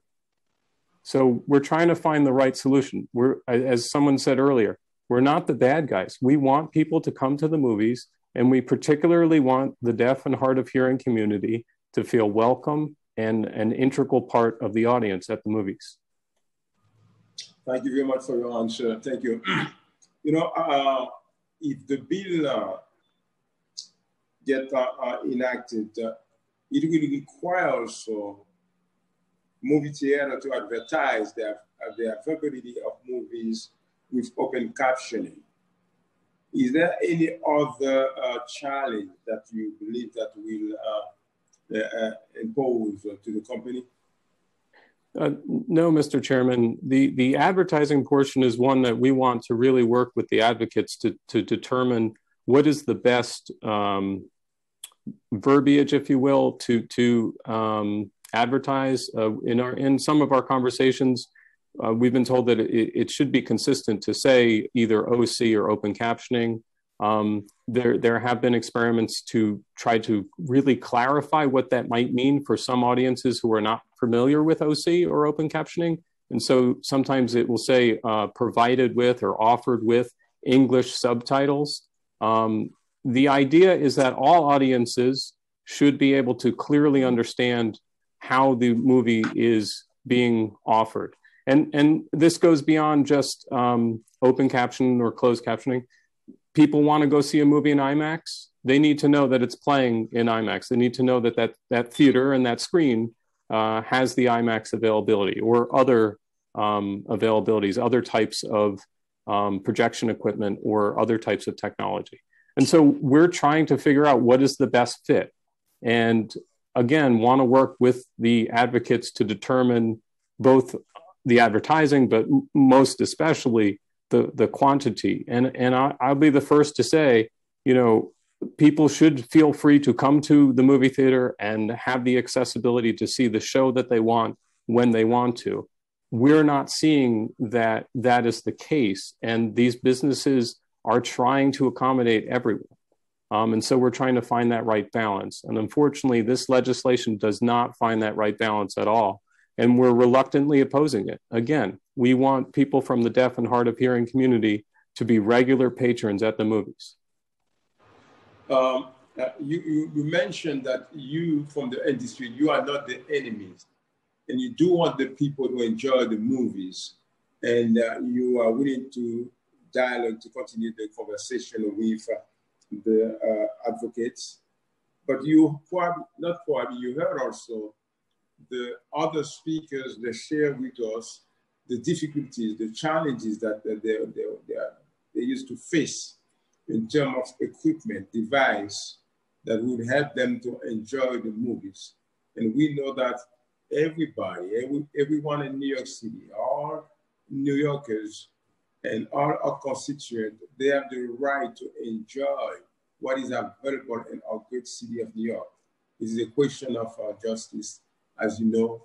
And I think we as a society, we have to provide them with the opportunity to enjoy every good thing that we, other the, all the uh, citizens are enjoying in New York City. But uh, knowing these uh, issues or challenges that some people with difficulty, you know, have been facing, what would be your advice or what would be your thought to try to accommodate them now or to try to respond to their problem or the problem that they are face, you know, when they go to the movies in terms of, you know, being able to understand, you know, what is being said in the movie. What what is a, a, what what is a, the urgent uh, solutions or proposition you would have to resolve the problem right now? It's it's a, it's a great yes, absolutely, and it's a great question, Mr. Chairman. I think it goes at the heart of this very issue. Um, we're trying to assess what is the right solution, and to do so, we need actionable data. And we are currently operating in multiple theaters a pilot project to see what works. We need to find out the right questions to ask, and we need to find out the right methodology to determine what is that right data. As Mr. Waldo has pointed out, in, in some jurisdictions, uh, he, he's looked at the aggregate data. In other words, if you have low open caption turnout, are those other um, theater goers, those patrons going to a non open caption show? And then in the net, are you seeing a gain? Unfortunately, the experience, and maybe more anecdotal than data, but the experience has seen that if you have a patron going to a movie on a Friday night and they don't like that it's open caption, they don't come back. Or maybe they don't come back the following Friday or following Saturday. And so we want to be able to determine that customer behavior. Customer behavior for people who do like open captioning and customer behavior for people who do not like open captioning. Unfortunately, the data right now that is currently being assessed in New York City is showing that there is a large number of empty seats, almost 95% of empty seats in the theaters for open caption showtimes. We don't want to see that. Let me just be very, very clear. We would love to have sellouts of open caption seats. And if that's the case, we would have more open captioning. We want this to be market driven. We understand the role of government. Uh, we work very closely with government and most recently worked to promote vaccination across the city in our theaters and outside of our theaters as a way to make sure that we don't have to close down again. And being closed for a year, I can tell you, was extremely difficult. And I know it's extremely frustrating for people from the deaf and hard of hearing community to not be able to go to any movie that they want to see or to have difficulties with the closed captioning equipment. We've talked with advocates about ways to both improve the closed captioning experience, possibly using new technology and also ensuring that the devices are fully charged and, of course, hygienic. Um, but we want to make sure that the open captioning availability is a fair and balanced approach for everyone, for all patrons. And there are unfortunately patrons who complain about open captioning. There are patrons who don't like it, and the theaters need to be able to respond to their patrons. Um, and that's why we want to be able to continue with the pilot. We want to be able to continue talking with the advocates, and we want to find that right balance. We're, we're very willing to um, you know be mm-hmm. dynamic and flexible. If we see that there are more people coming to the open caption shows the theaters would offer more open caption shows. It's a good problem to have when you have a large population or a large segment of the audience that wants to come. And, it, and that's something that the theaters definitely want to see. Unfortunately they just haven't you know since this pandemic started and since the theaters have been able to reopen the the audience numbers are dismal. The the the box office receipts, which are you know reported publicly, but they're reported for the whole country and all movie theaters, not just New York City. They, the numbers may seem staggering, and it may seem like oh these these movies are making so much money. They're not. Um, and if you do the math, and we have the numbers in our in our testimony, it, it, it's quite dismal. Um, and um, unfortunately, a lot of the audience is is um, choosing to stay home. And we would love for the audience to come to the movies. And I, I can't say it or emphasize it enough.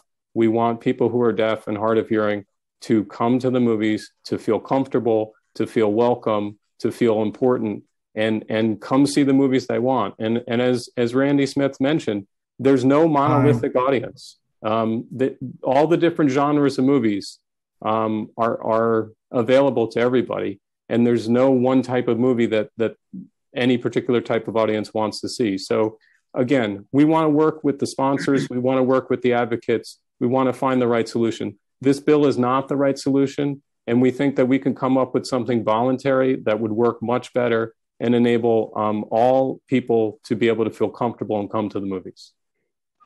Thank you very much for your answer. Thank you.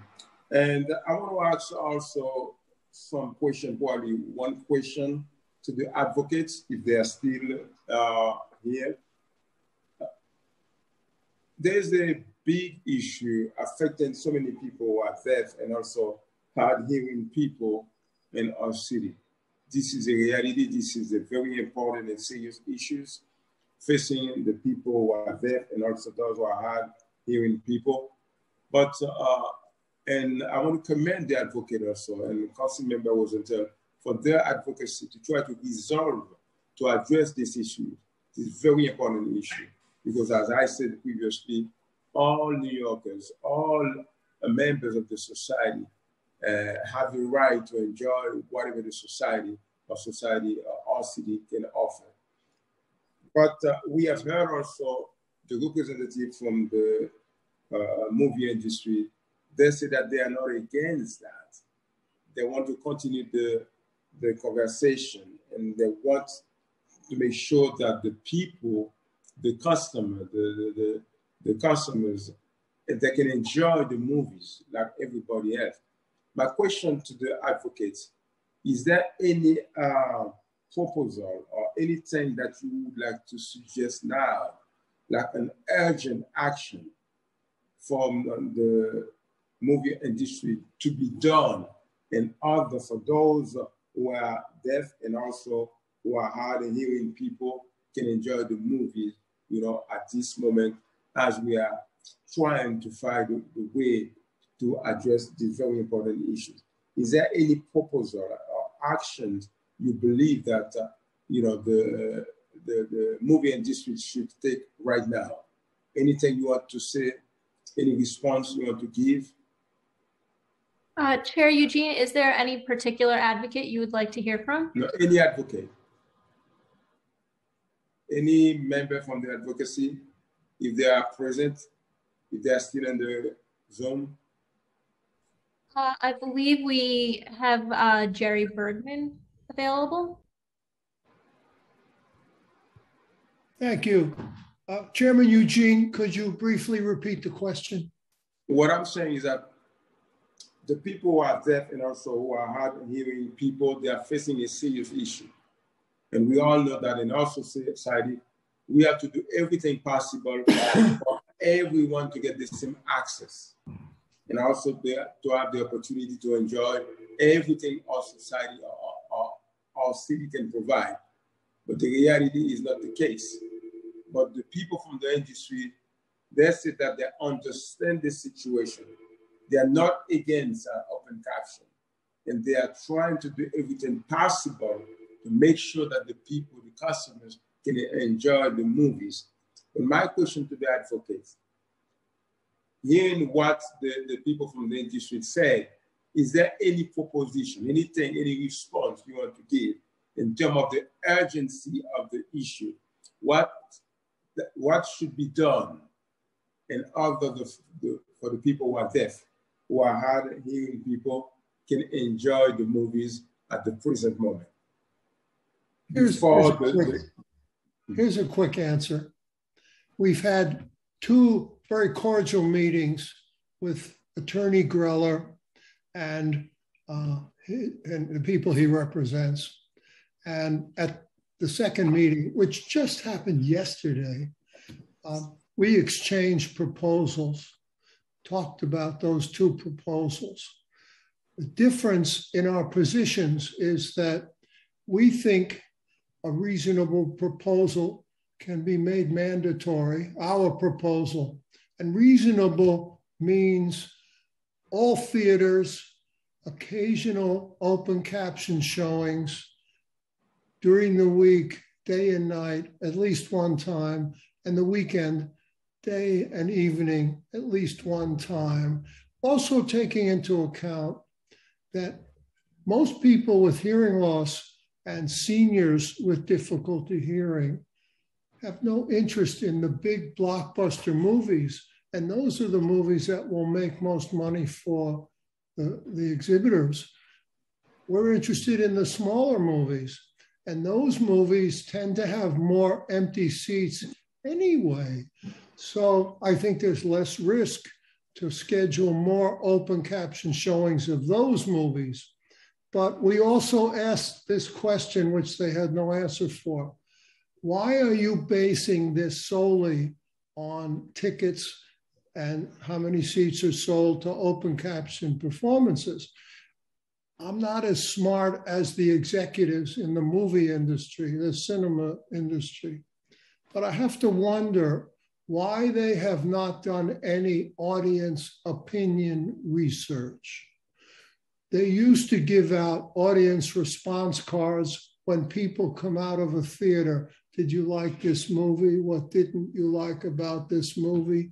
They haven't done anything like that, so far as we know, with open captions because we think, because they're afraid it will put them out of business or their membership will, will balk at it and refuse. So we don't even know, I wrote this down to ask Mr. Greller, we don't even know the basis of the pilot test they're running in New York City. Again, Mr. Smith said they're cooperating fully, but they sprung this test on us. They didn't ask us, what are we interested in in the way of open captions? How many should they test? Where should they test? And so forth. So, you know, we question the criteria which will determine the findings, and we'd rather have them do some opinion research.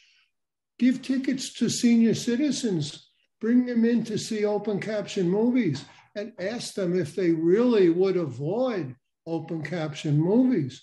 That's all we're asking for. And I think the difference in our positions is we think that our proposal should be made law. Uh, we've submitted it to uh, Council Member Rosenthal, and uh, they would prefer their proposal be voluntary. The percentages aren't that much different. Thank you. Thank you so very much. Thank you. So uh, now I would like to turn it over to the General Counsel, to the uh, Committee Counsel.